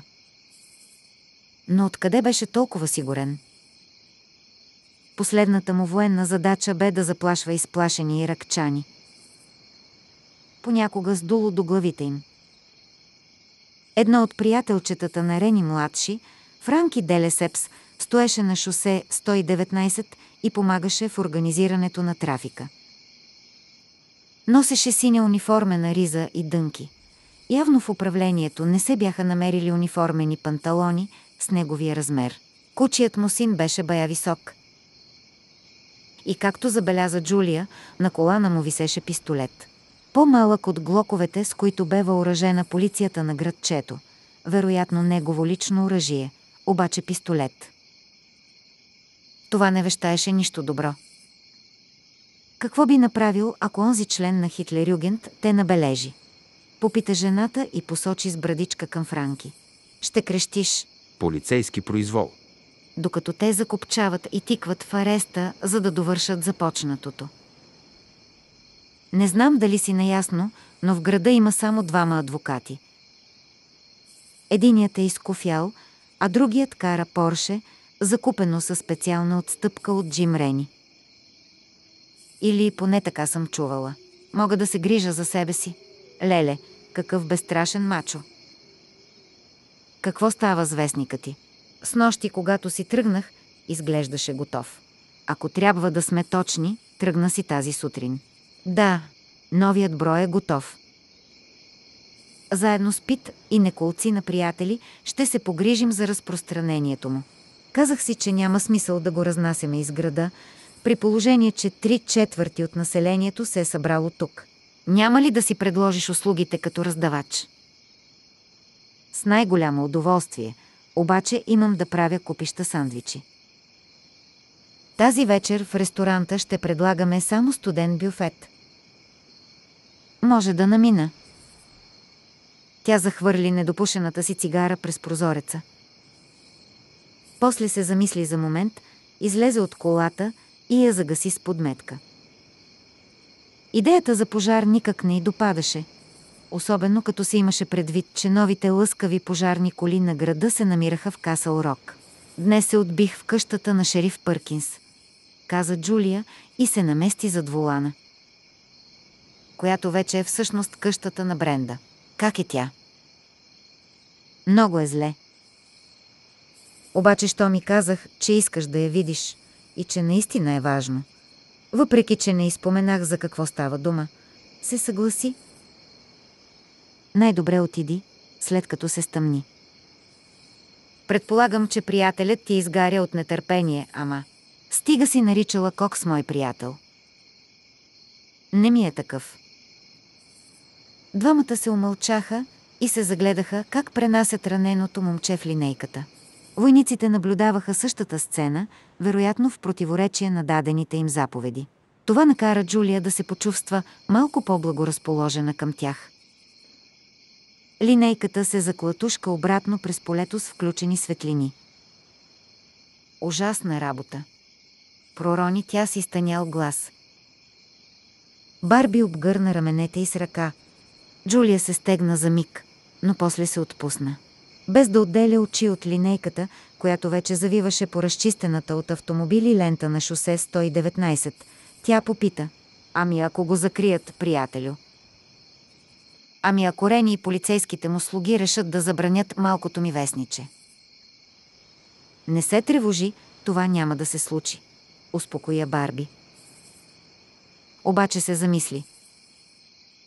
И си каза, че ако тази история продължи достатъчно дълго, единственото сигурно нещо в Честърс Мил щеше да бъде, че няма да има нищо сигурно. Останах с впечатлението, че в главата й се върти нещо друго, добави Джулия. Кой? Госпожа Пъркинс. Да. Разговорът ни беше доста странен. Навярно тъгува за съпруга си, отбеляза Барби. Мъката често кара хората да се държат странно. Днес поздравих Джак Еванс. Съпругата му загина вчера при появата на купола. И той ме изгледа така, сякаш изобщо не ме познава. А всяка сряда от миналата пролет насам, аз му приготвям знаменитото си руло Стефани. Познавам Бренда Пъркинс още от времето, когато беше Бренда Морс. Въздъхна тежко жената. Това са близо 40 години. Очаквах да ми каже какво я притеснява, но тя не го стори. Барби посочи към пътя. Мисля, че вече можем да потегляме. Джулия запали двигателя и в същия миг мобилният и телефон извъня. Тя зарови трескаво из чантата си и за малко да я изпусне, докато го търсеше. След като чу гласа на онзи, който я търсеше, подаде апарата на Барби с иронична усмивка. За тебе е шефе. Естествено, обаждаше се Кокс и имаше да му каже нещо. По-точно няколко неща. Барби от своя страна го прекъсна, за да му разкаже за случилото се с момчето, което в момента пътуваше към болницата. Обаче полковникът или не свърза историята на Рори Динсмор с онова, което имаше да каже, или просто не пожела да го направи. И слуша търпеливо Барби, след което продължи невъзмутимо от там, където бе прекъснат. Когато приключи, зададе един въпрос, който щеше да представлява заповед, ако Барби беше с униформа и под негово командване. Сър, разбирам какво ме питате, обаче не разбирате. тукашната политическа ситуация, както навярно бихте се изразили, и моето участие в нея. Имах известни проблеми още преди появата на този купол и... Знаем всичко за това, отвърна Кокс.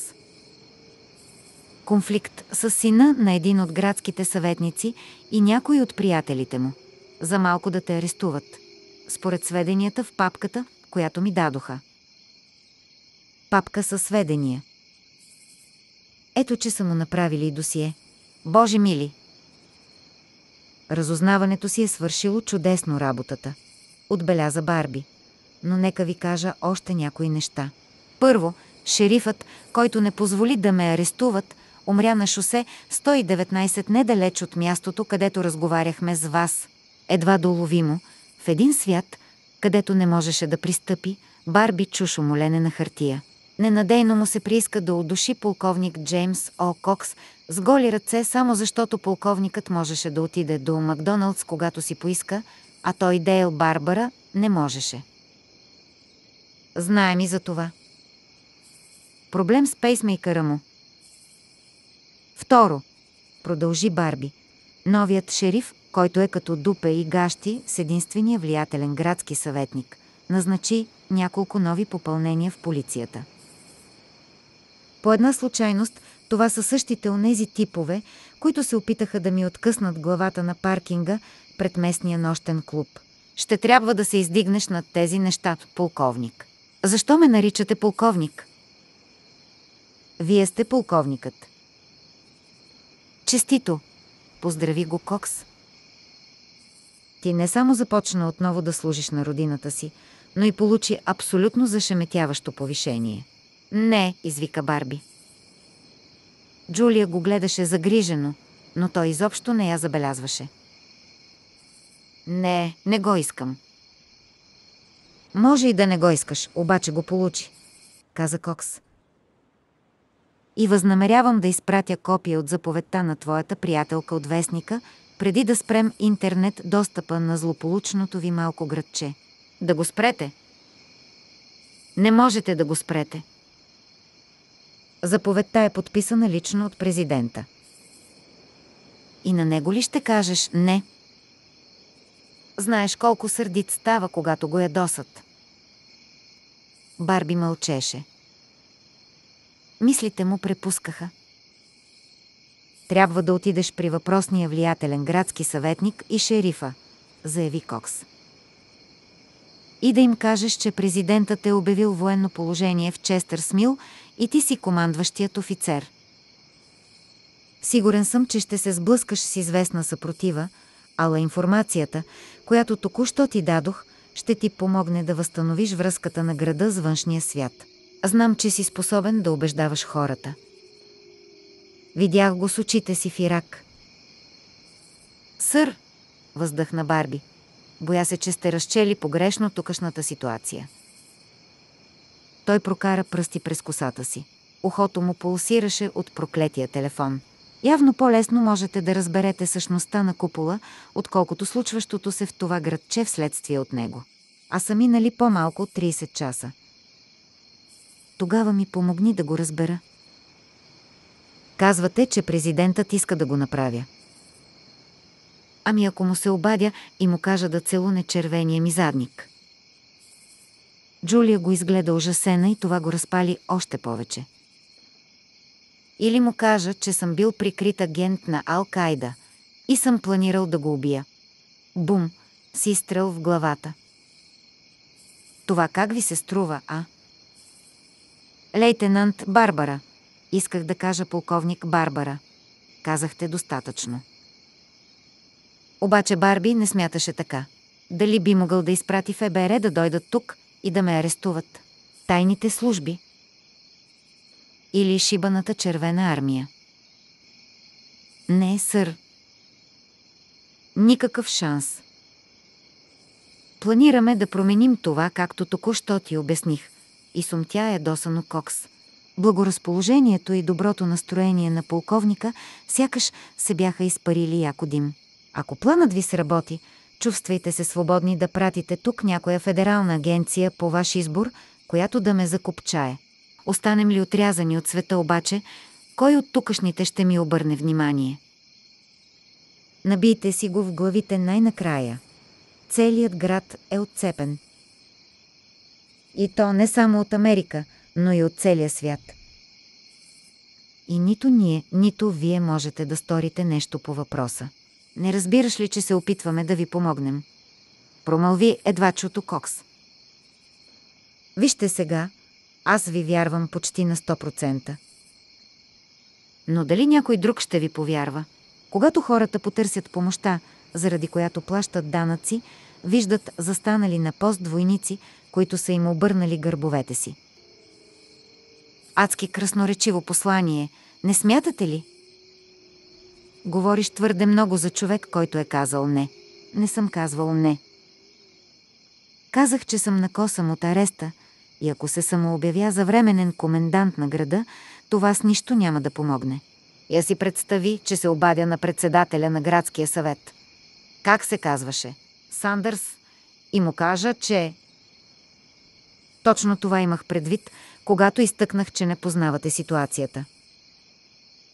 Тя е същата като в Ирак, само дето сега вие сте във Вашингтон и подобно на останалите канцеларски плъхове, нямате реална представа за случващото се. Понякога недостатъчната информация е по-лоша от липсата на информация.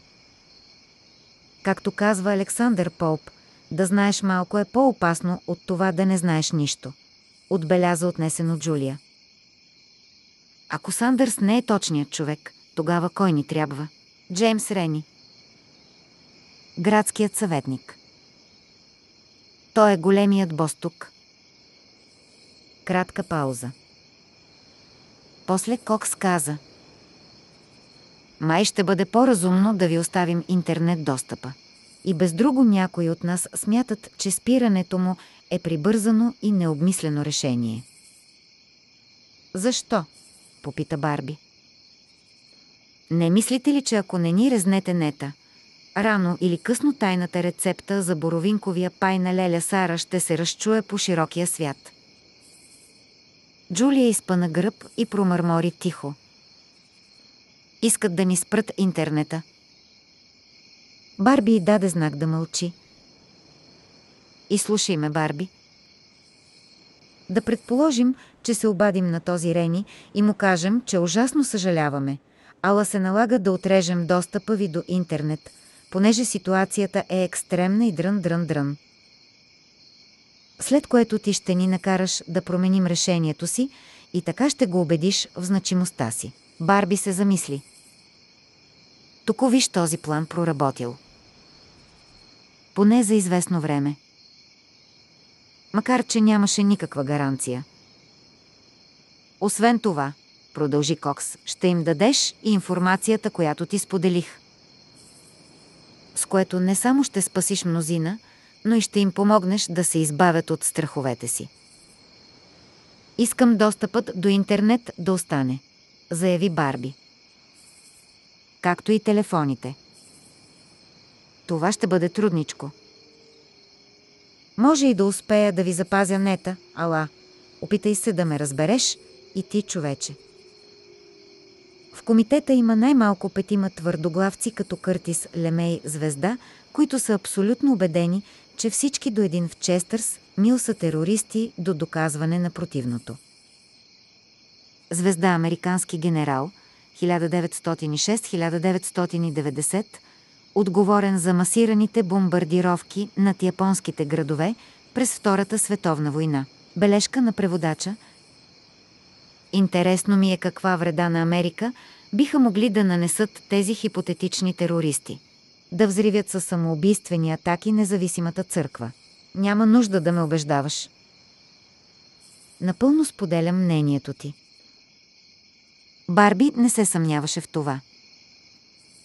Е, мога ли да разчитам на теб? Ще ви кажа, когато се чуем отново. Изчакайте обаждането ми преди да предприемете каквото и да било. Първо трябва да поговоря с вдовицата на шерифа.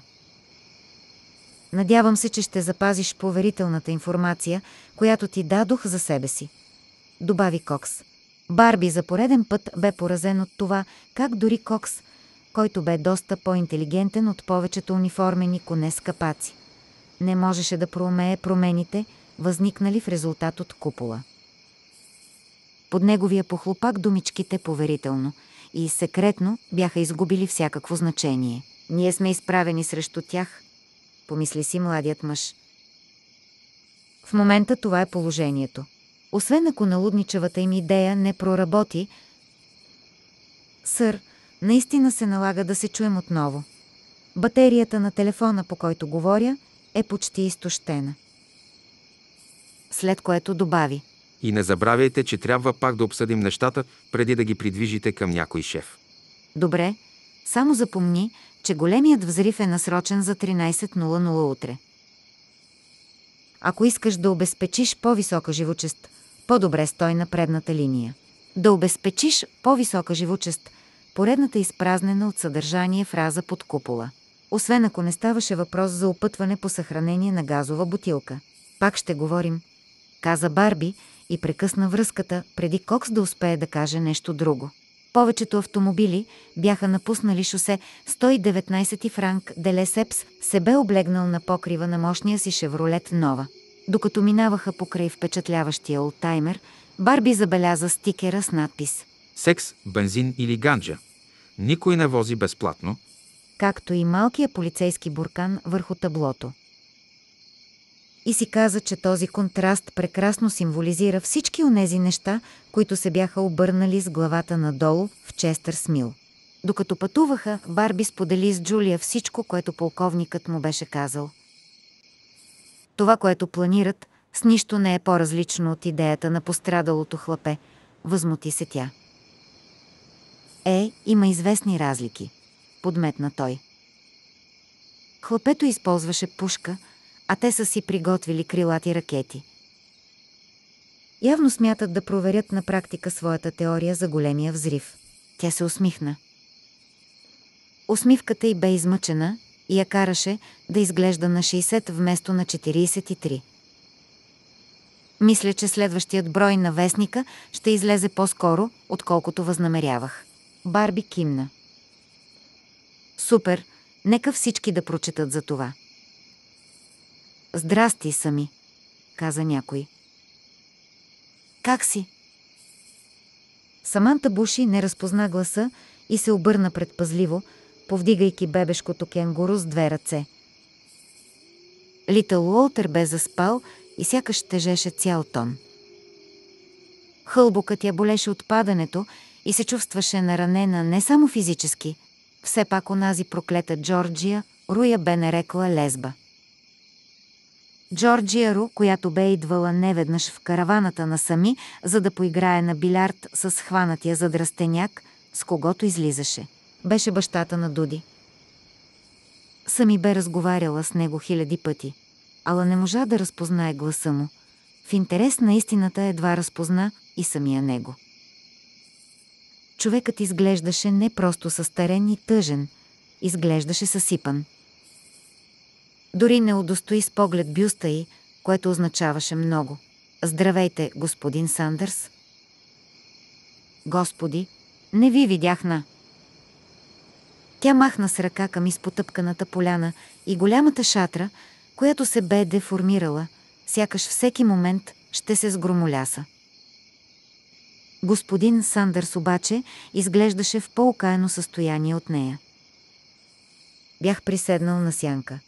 Отвърна с треперещ глас и се усмихна извинително. Беше болезнено човек да го гледа. Трябваше да пина нещичко. Не беше ли топличко за октомври? О, да. Какъв приятен следобед, казах си, прекрасен градски следобед. И после това момче. О, Боже милостиви, той се разплака. Ужасно съжалявам за жена ви, господин Сандърс. Моите съболезнования. Благодаря ти сами. Много си мила. Мога ли да ти помогна с бебето? Примерно да го занеса до колата ти. Мисля, че вече можеш да тръгваш. Пътят изглежда чист. Това бе предложение, което сами не можеше да откаже, въпреки че човекът продължаваше да плаче. Тя измъкна Литъл Уолтер от кенгурото, Все едно изваждаше голям и топъл самун хляб и му го подаде. Бебето отвори очи, усмихна се, оригна се и отново заспа. Струва ми се, че има колече в пелените си. Отбеляза Сандърс. Да, той е перфектна машинка за говна. Добрият стар Литъл Уолтер. Сладур. Уолтер е прекрасно традиционно име. Благодаря ви. Сами си каза, че няма смисъл да го осведомява, че първото име на бебето всъщност е Литъл Звезда. А, и беше сигурна, че вече се разговаряли на тази тема. Звезда Малкия, Анго. Бележка на преводача, той просто не си спомняше. Да повърви така с него, въпреки че той носеше бебето, бе ужасно досадният финал на един ужасно досаден следобед. Поне се оказа прав за трафика, автомобилното стълпотворение най-накрая се бе разчистило. Сами се зачуди след колко ли време целият град ще се върне отново към велосипедите. Никога не съм одобрявал идеята да пилотира самолет, заяви господин Сандърс. Сякаш продължаваше на глас вътрешен разговор, който е водил сам със себе си. Понякога дори се чудех дали Клоди не спи с този тип. Майката на Дуди да спи с Чък Томпсън. Сами бе едновременно потресена и заинтригувана. Едва ли, отбеляза мъжът и въздъхна тежко. Във всеки случай сега няма никакво значение. Виждала ли си Дуди? С нощи не се прибрал дома. Сами за малко да отговори. Да, вчера след обед. Но ако Дудстър не бе спала вкъщи предишната нощ, така щеше само да засили тревогите на съсипания и старец. И той ще се впусне в дълъг разговор с Сами, по време на който тя ще трябва да наблюдава стичащите по лицето му сълзи и полюшващия се от едната му ноздра сопол. Тази перспектива никак не я блазнеше. Стигнаха до колата й, стар шевролет с проядени от ръжда прагове на вратите. Тя пое бебето от ръцете на Сандърс и се намръщи при миризмата. Определено не ставаше въпрос за някакво си колече, а за цял ден кобемисти пратки. Не, господин Сандърс, не съм я виждала. Той кимна и избърса носа си с опакото на дланта си. Супълът изчезна, явно преместен някъде другаде. Сами изпита облегчение. Сигурно е отишла в мола с Анджи Маккейн, а после се е отбила при леля си пек в Сабатас, що ме разбрала, че не може да се върне в града. Да, вероятно е направила точно така. А после, когато Дуди се появи в Честър Смил, старецът ще се изненада приятно. Клетият човечец напълно го заслужаваше. Сами отвори вратата и положи Литъл Уолтер на предната седалка. Беше се отказала от детските столчета за кола още преди месеци. Създаваха само главоболия. Пък и тя беше извънредно внимателен шофьор. Радвам се, че те видях сами. Кратка пауза. Ще се помолиш ли за жена ми? А, -а, -а. разбира се, господин Сандърс. Никакъв проблем. Тя понечи да седне зад волана, ала в същия миг си спомни две неща. Че Джорджия Ру бе сритала гърдата и с тежката си моторджийска бота, вероятно достатъчно силно, за да я остави синина – и че Анди Сандърс, съсипан или не, беше председателят на градския съвет на Честърс Мил. Господин Сандърс. Да, сами. Някои от полицаите се държаха доста грубичко днес. Сигурно ще пожелаете да направите нещо по въпроса. Преди, нали разбирате, нещата да излязат от контрол. Тъжната му усмивка не се промени. Виж, сами напълно разбирам как вие, младите хора, се отнасяте към полицията.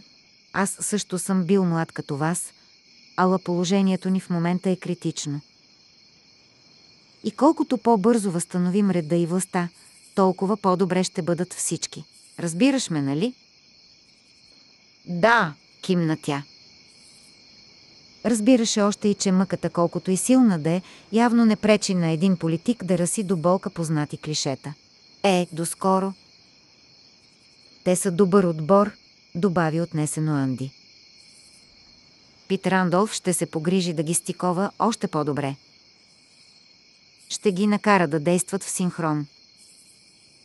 Да танцуват един и същи танц. Да служат и за крилят, нали така? Разбира се, подхвърли скептично Саманта.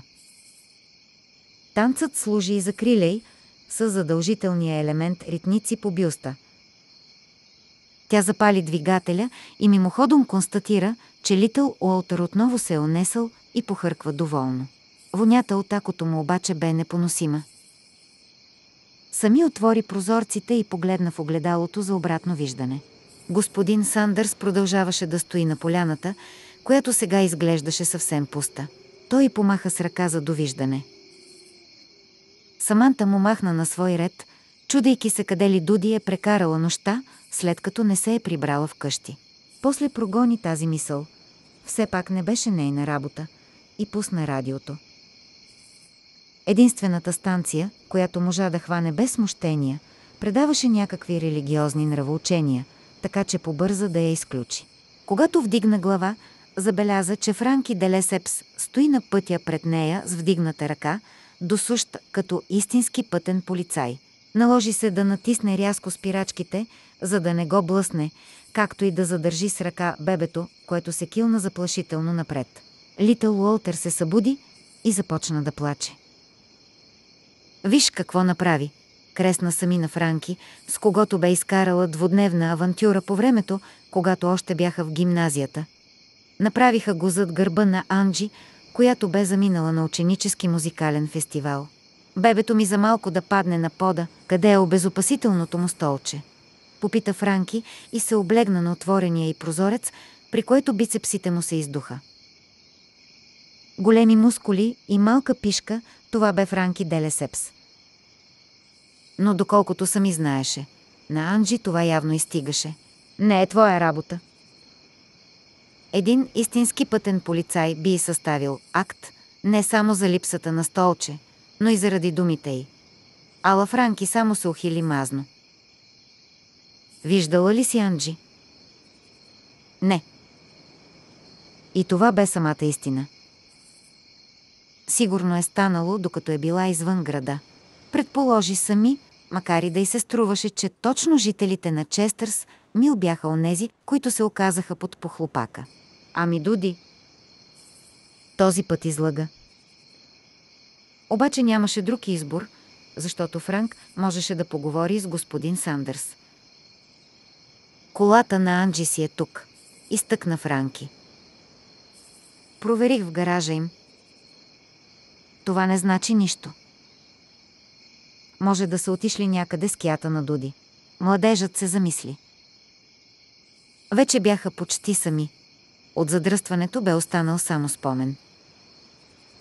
Ненадейно той каза Боли ли те циценцето захарче?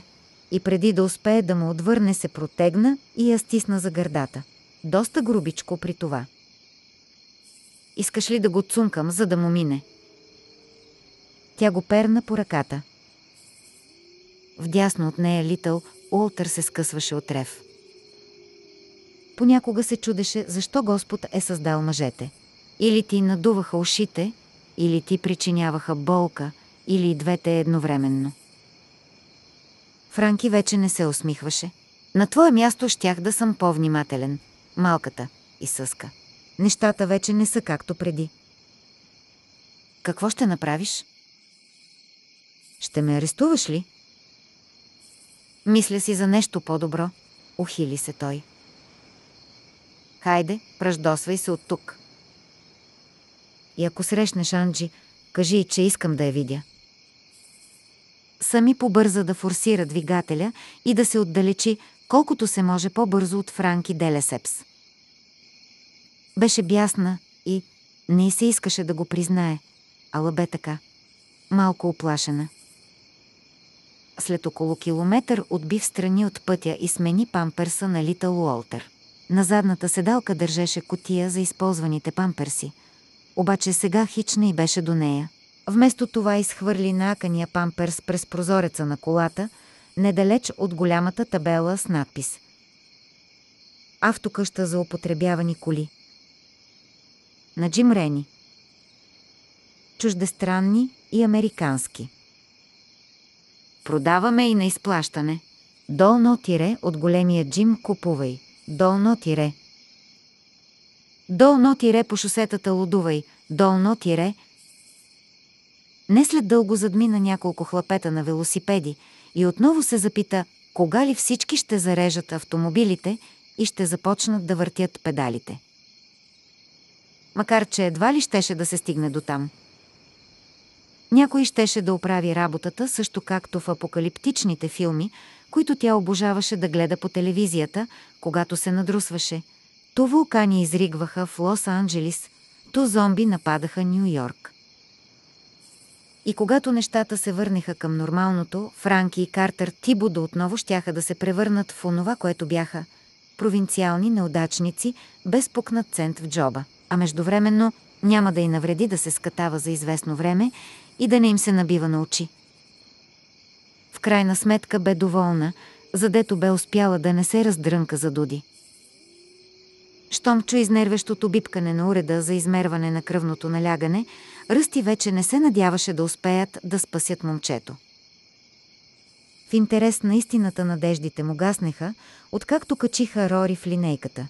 Вероятно съдбата му бе предрешена още от мига на рикошета. Ала въпросното пилкане изписа тази истина с огромни букви в съзнанието му.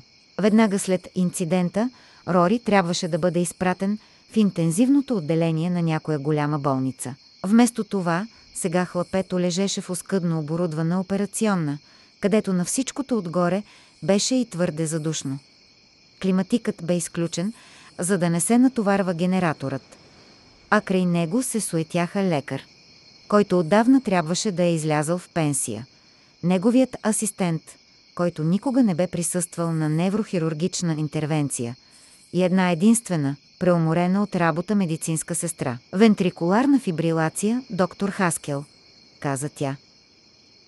В този момент мониторът, отчитащ сърдечната дейност, също се обади. Двата уреда забипкаха в дует. Разбрах, Джини.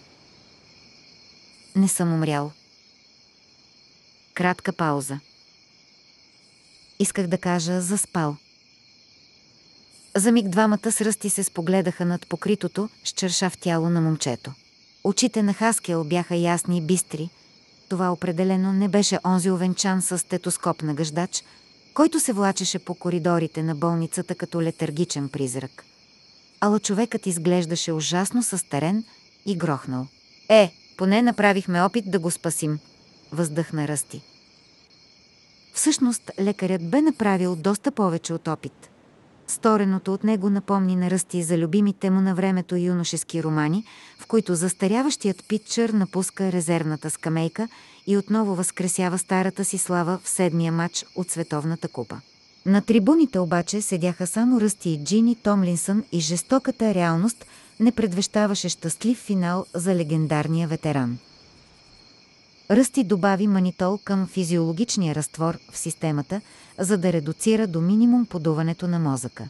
Хаскел пък напусна операционната и буквално хукна към лабораторията, за да направи пълна кръвна картина на хлапето. Друг не можеше да го стори. Ръсти нямаше нужната квалификация, а лаборанти просто липсваха. Болницата страдаше от отчаян недостиг на персонал.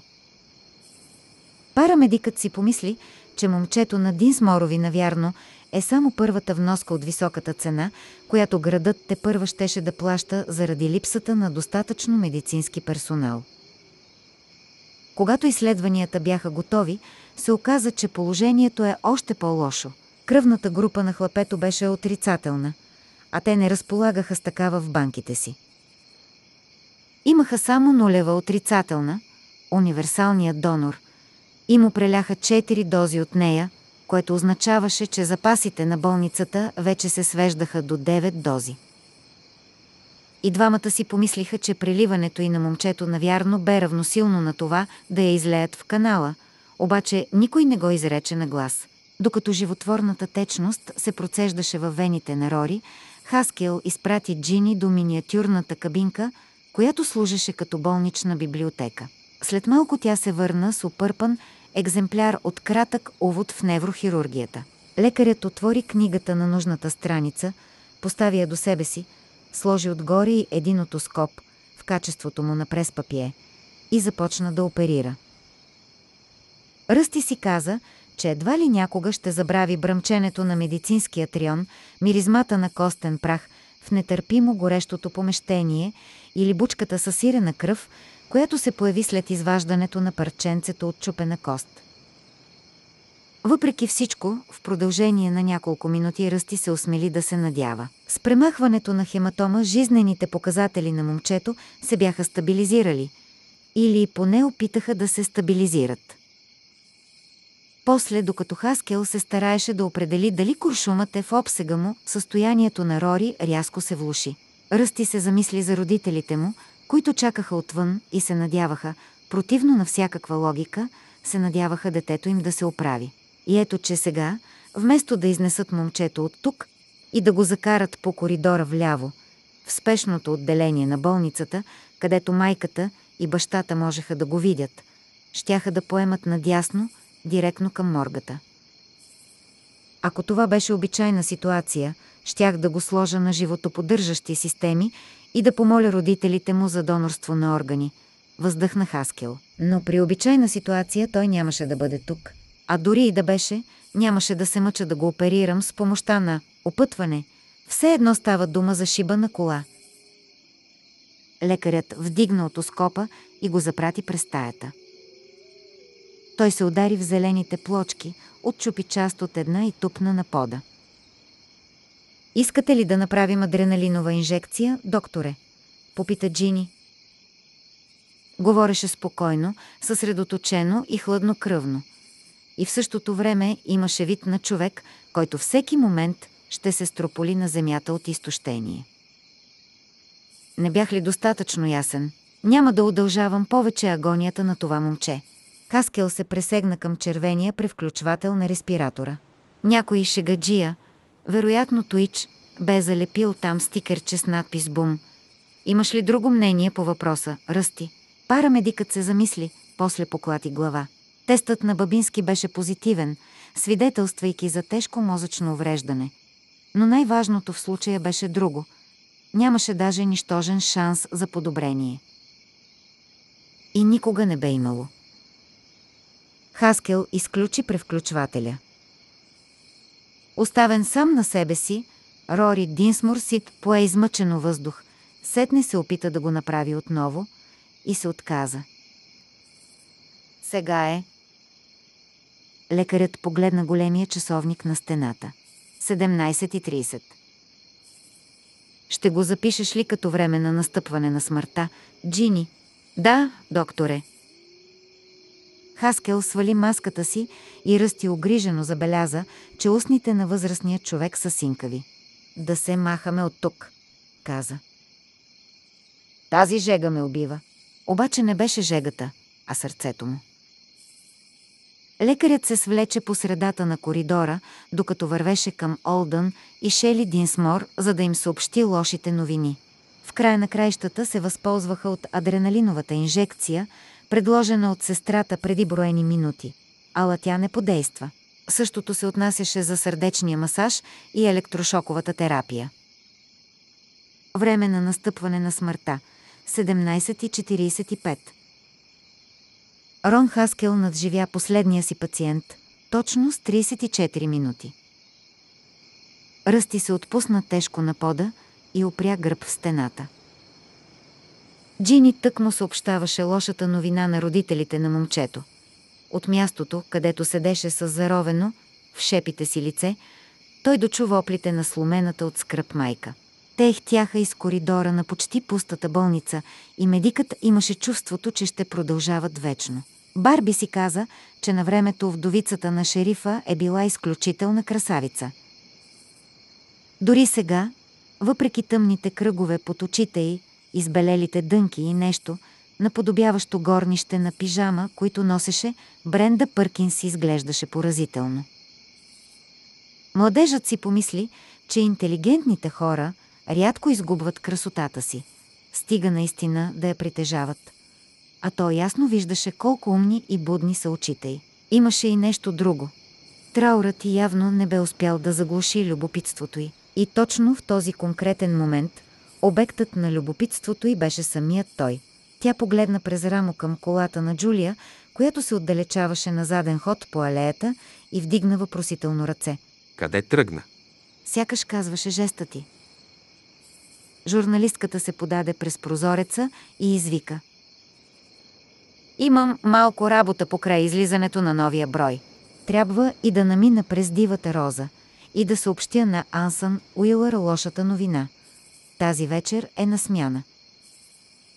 Не се тревожи, Брен, Барби е напълно безопасен. И преди Бренда да отвърне или да възрази, Джулия подкара по Морин Стрит жена, заела се с изпълнението на своята мисия. Изведнъж на Барби му се прииска да е с нея и единствената му задача да бъде приготвянето на 40 сандвича с шунка и сирене и още толкова с рибатон. Щом Джулия се скри от поглед, госпожа Пъркинс отново се зае да оглежда изпитателно посетителя си. Стояха от двете страни на мрежестата врата на верандата.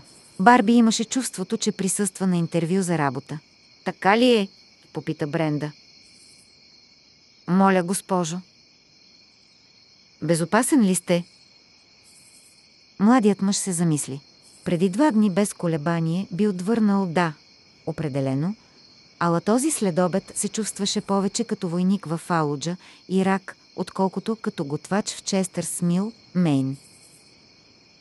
Накрая каза, че е послушно момче, което накара жената да се усмихне. Е, мисля, че трябва сама да се уверя в това, добави тя. Макар, че в момента способността ми за преценка не е кой знае каква. Претърпях голяма загуба. Знам, госпожо. Моите съболезнования. Благодаря ви. Погребението му е утре.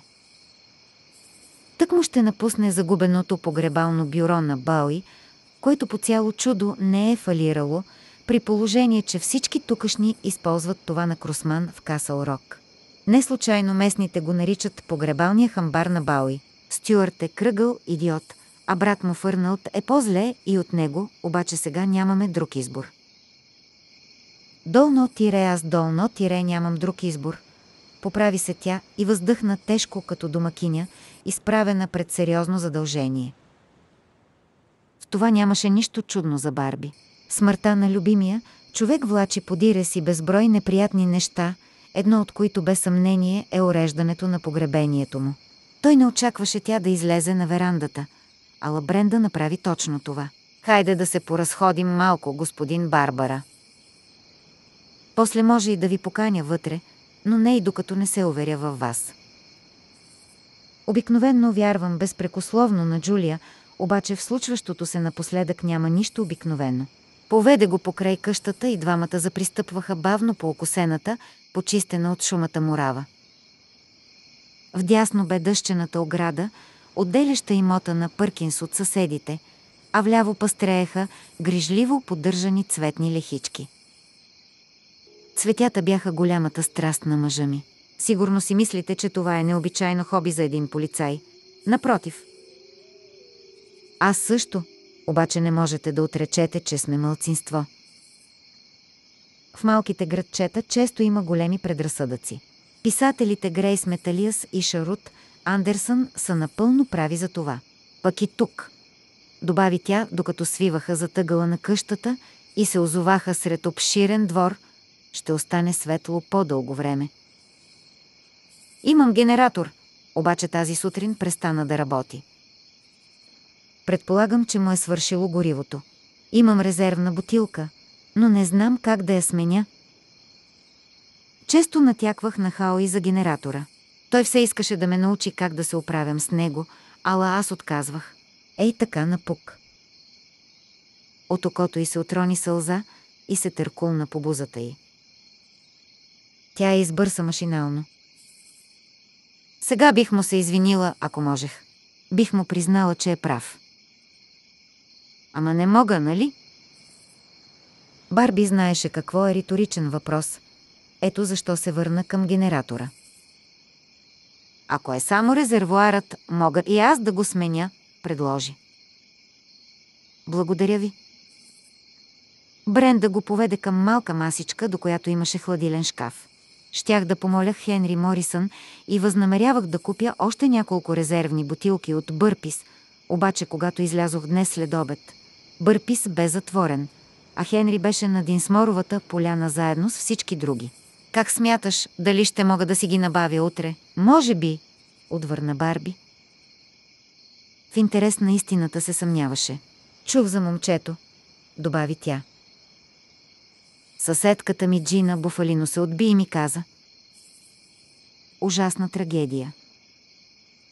Ще оживее ли? Не знам, вдигна рамене той. После обаче, навярно защото интуицията му подсказа, че с откровеност най-лесно ще спечели доверието на жената, добави. Не ми се вярва. Не, въздъхна тя и отново избърса очите си. Не, това е ужасно. Наведе се и отвори хладилния шкаф. Имам вода и диетична кола. Това бе единствената газирана напитка, която разрешавах на Хауи. Какво предпочитате? Вода. Бренда отвори две бутилки минерална вода. След като отпиха, тя го изгледа с тъжните си любопитни очи. Джулия ми каза, че искаш ключ за общината. Мина тя на ти. Разбирам, защо ти трябва. Също така разбирам, защо не искаш Джим Рени да узнае. Може и да се наложи да узнае. Ситуацията се промени. Нали разбирате, че... Тя вдигна ръка и поклати глава. Барби замлъкна. Преди да продължиш, искам да ми разкажеш за проблемите си с Рени младши и приятелите му. Госпожо, нали съпругът ви? Као и рядко говореше за случаите си, но този беше изключение. Сякаш не му даваше покой. Затова първо искам да видя дали твоята версия съвпада с неговата. Ако не съвпада, ще те помоля да си тръгнеш. Можеш да вземеш водата със себе си. Барби посочи малката червена барака до левия ъгъл на къщата. Това ли е генераторът ви? Да. Ако сменя резервуара, докато си говорим, ще ме слушате ли внимателно? Да. Искате цялата истина, нали, госпожо? Точно така. И ако още веднъж ме наречеш госпожо, кълна се ще те фрасна. Вратата на бараката се придържаше затворена от лъскава медна кукичка. Явно мъжът, който до вчера бе живял тук, се бе грижил добре за нещата си. Макар, че не би трябвало да оставя резервуара само с една бутилка. Барби си каза, че без значение от развоя на разговора, утре ще направи всичко възможно да набави поне няколко резервни бутилки на жената. Междувременно ще й разкаже всичко, което тя иска да узнае за онази нощ. Тък му щеше да му е по-лесно, докато е обърнат с гръб към нея. Не му беше никак приятно да разказва, че всичко е започнало заради Анджи Маккейн, която го бе възприела като желан, сексуален трофей и бе тръгнала да го сваля. Бъди възпитан, напомни си той и заразказва историята си. Най-яркият му спомен от изминалото лято бе онази песен на Джеймс Макмърти, която сякаш звучеше от всякъде. Разговор на бензиностанцията. А стихът, който се беше запечатал в съзнанието му, бе как в малкото градче всеки трябва да си знае мястото.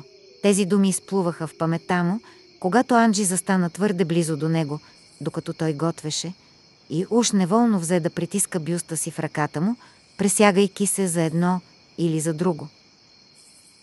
Барби добре знаеше кое е гаджето й. Знаеше още и, че Франки Делесепс е близък с местната власт, пък макар и само заради приятелството си с сина на големия Джим Рени. Дейл Барбара от друга страна си беше малко или много скитник. И не се вписваше в социалния пейзаж на Честър Смил. Една вечер Анджи протегна ръка покрай бедрото му и го стисна леко за чатала. Той реагира и миг по-късно разбра от дяволитата и усмивка, че тя също е почувствала реакцията му. Можеш да получиш нещичко отзад, ако искаш, каза тя. Намираха се в кухнята и тя повдигна ръба на късата си пола, показвайки дантелено розово бельо. Съвсем честно. Мисля да пасувам, отвърна той и Анджи му се изплези. Бе ставал свидетел на подобни случки в половин дозина ресторански кухни, дори се бе включвал от време на време в някой от тях. Специално тази навярно се дължеше на мимолетното момичешко увлечение по по-възрастния и сравнително симпатичен колега. После обаче Анджи и Франки се разделиха и една вечер, докато Барби изхвърляше буклука след края на работното време, тя го изненада с доста фриволен ход. Барби се обърна и видя, че Анджи стои пред него. Тя го притисна към себе си, впи устни в неговите и в началото той отвърна на целувката й. После обаче, когато момичето улови едната му ръка и я постави върху лявата си гърда, той дойде на себе си. Бюстът ти бе разкошен, твърд и стегнат, ала щеше да му създаде само неприятности. Опита се да се отдръпне, обаче Анджи овисна на врата му, впила ногти в тила му. Тогава Барби приложи малко повечко сила, отколкото възнамеряваше, за да я отдели от себе си, в резултат на което момичето се блъсна в контейнера за смет. Тя го изгледа ядосано, попипа дънките си и му хвърли изпепеляващ поглед. Мерси. Сега панталоните ми са целите в буклук. Трябваше да се пуснеш сама, отвърна тихо той. На теб ти хареса. Може би, каза Барби, но не харесвам теб. В следващия миг обаче забеляза как гневът и оскърблението й се струпват като черни облаци в изражението й и побърза да добави. Искам да кажа, харесвам те, но не по този начин. Анджи обаче добре знаеше, че в подобни ситуации хората казват точно това, което са искали да кажат. Четири дни по-късно, докато си седеше в Дипърс, някой заля сбира гърба му. Барби се обърна и видя Франки Делесепс. Хареса ли ти ба Арби? Ако ти е харесало, мога да го направя пак. Днес бирата е по 2 долара голямата халба. А ако не ти е харесало, можем да се разберем отвън, разбира се. Не знам какво ти е казала, обаче не е така, каза Барби.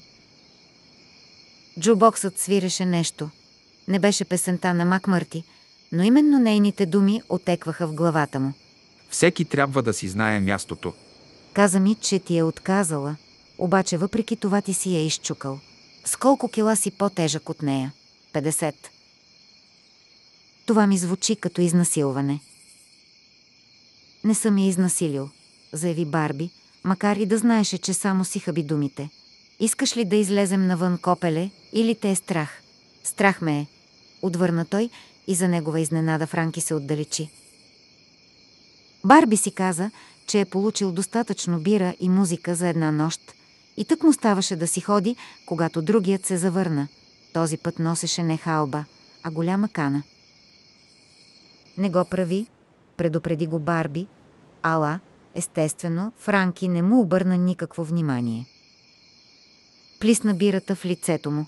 Истински душ от Будвайзер светло. Няколко души се изсмяха и изръкопляскаха в пиянски възторг. Сега можем да излезем и да си уредим сметките, каза Франки. А ако не искаш, ще почакам. Последно предупреждение Баа Арби. И Барби тръгна с него, осъзнавайки, че трябва да действа светкавично. Ако проснеше Франки на земята, без много хора да го видят, това щеше да сложи край на конфликта. Можеше даже да му се извини и да повтори, че никога не е спал Санджи. Нямаше да каже, че тя му се натискаше, въпреки че доста хора го знаеха, включително Роуз и Ансън. Току виж, разбитият му нос го освестил и Франки ще прозре онова, което бе очевадно за Барби, че всичко е замислено от малката фръцла, за да си го върне тъпкано на готвача. В началото му се струваше, че няма причина ситуацията да не се развие по този начин. Франки стоеше здраво стъпил на земята, вдигнал юмруци, като легендарния боксьор Джон Ула, Съливан, и хвърляше двойна сянка под светлината на лампите в срещуположните краища на паркинга. Изглеждаше зъл, силен и прост. Типичният селски отворко. Явно бе свикнал да поваля противниците си с един единствен мощен удар, след което да ги довършва със серия бързи крушета, докато не започнат да циврят за милост.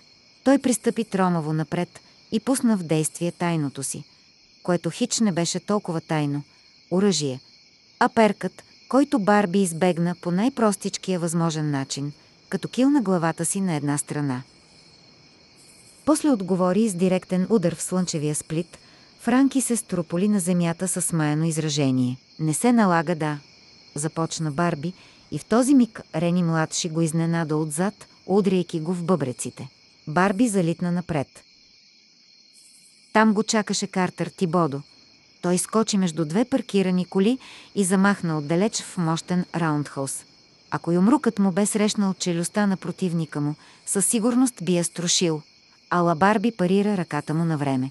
Въпреки това, именно тогава получи най-сериозната си травма, която дори в деня на появата на купола не бе избледняла и изпъкваше в грозноват жълтеникъв оттенък. Завъртя се рязко настрани, осъзнавайки, че е попаднал в капан и си каза, че трябва да се махне възможно най-бързо от тук, преди някой да е пострадал сериозно. Нямаше предвид себе си. Бе готов да побегне. Не страдаше от глупаво честолюбие обаче направи точно три крачки преди Мелвин Сирос да го спъне. Барби се просна по корем на чакъла и в същия момент ритниците започнаха да се сипят отгоре му. Закри главата си, но ръцете, краката и задникът му се оказаха незащитени от яростната атака на масивните кожени обувки. Един от ритниците го оцели в ребрата точно преди да успее да се понадигне на едно коляно зад пикапа за стари мебели на стъби Норман. Тогава желанието му да намери разумен изход от ситуацията се изпари и той престана да мисли за бягство. Изправи се, обърна се с лице към нападателите си и протегна длани към тях в знак, че ги очаква. Проходът, където бе застанал, беше тесен. Трябваше да го нападат един по един. Рени младши се пробва пръв. Ентусиазмът му бе възнаграден с хубав ритник в корема. Барби носеше маратонки, а не кожени боти, ала въпреки това ритникът му бе достатъчно мощен, за да запрати младши до пикапа, където той се приведе, мъчейки се да си поеме дъх. Франки беше вторият и Барби го награди с два удара в лицето, болезнени, но не твърде силни, за да му щупят нещо. Започваше да идва на себе си. Чакълът зад гърба му изхрущя. Той се обърна тъкмо на време, за да отнесе крушето на Картер Тибодо, който се бе промъкнал зад гърба му. Юмрукът го фрасна в слепоочието и пред погледа му затанцуваха звезди. Една от тях бе ярка, като комета. Сподели пред Бренда, докато отваряше вентила на новата газова бутилка – Тибодо направи крачка напред и бе удостоен с подсичащ ритник в глезена, в резултат на който самодоволната усмивка на Картер бе заменена от болезнена гримаса. Той падна на едно коляно, подобно на състезател по американски футбол, стиснал топката миг преди да се хвърли в атака. Само дето футболистите обикновенно не се държат за глезените –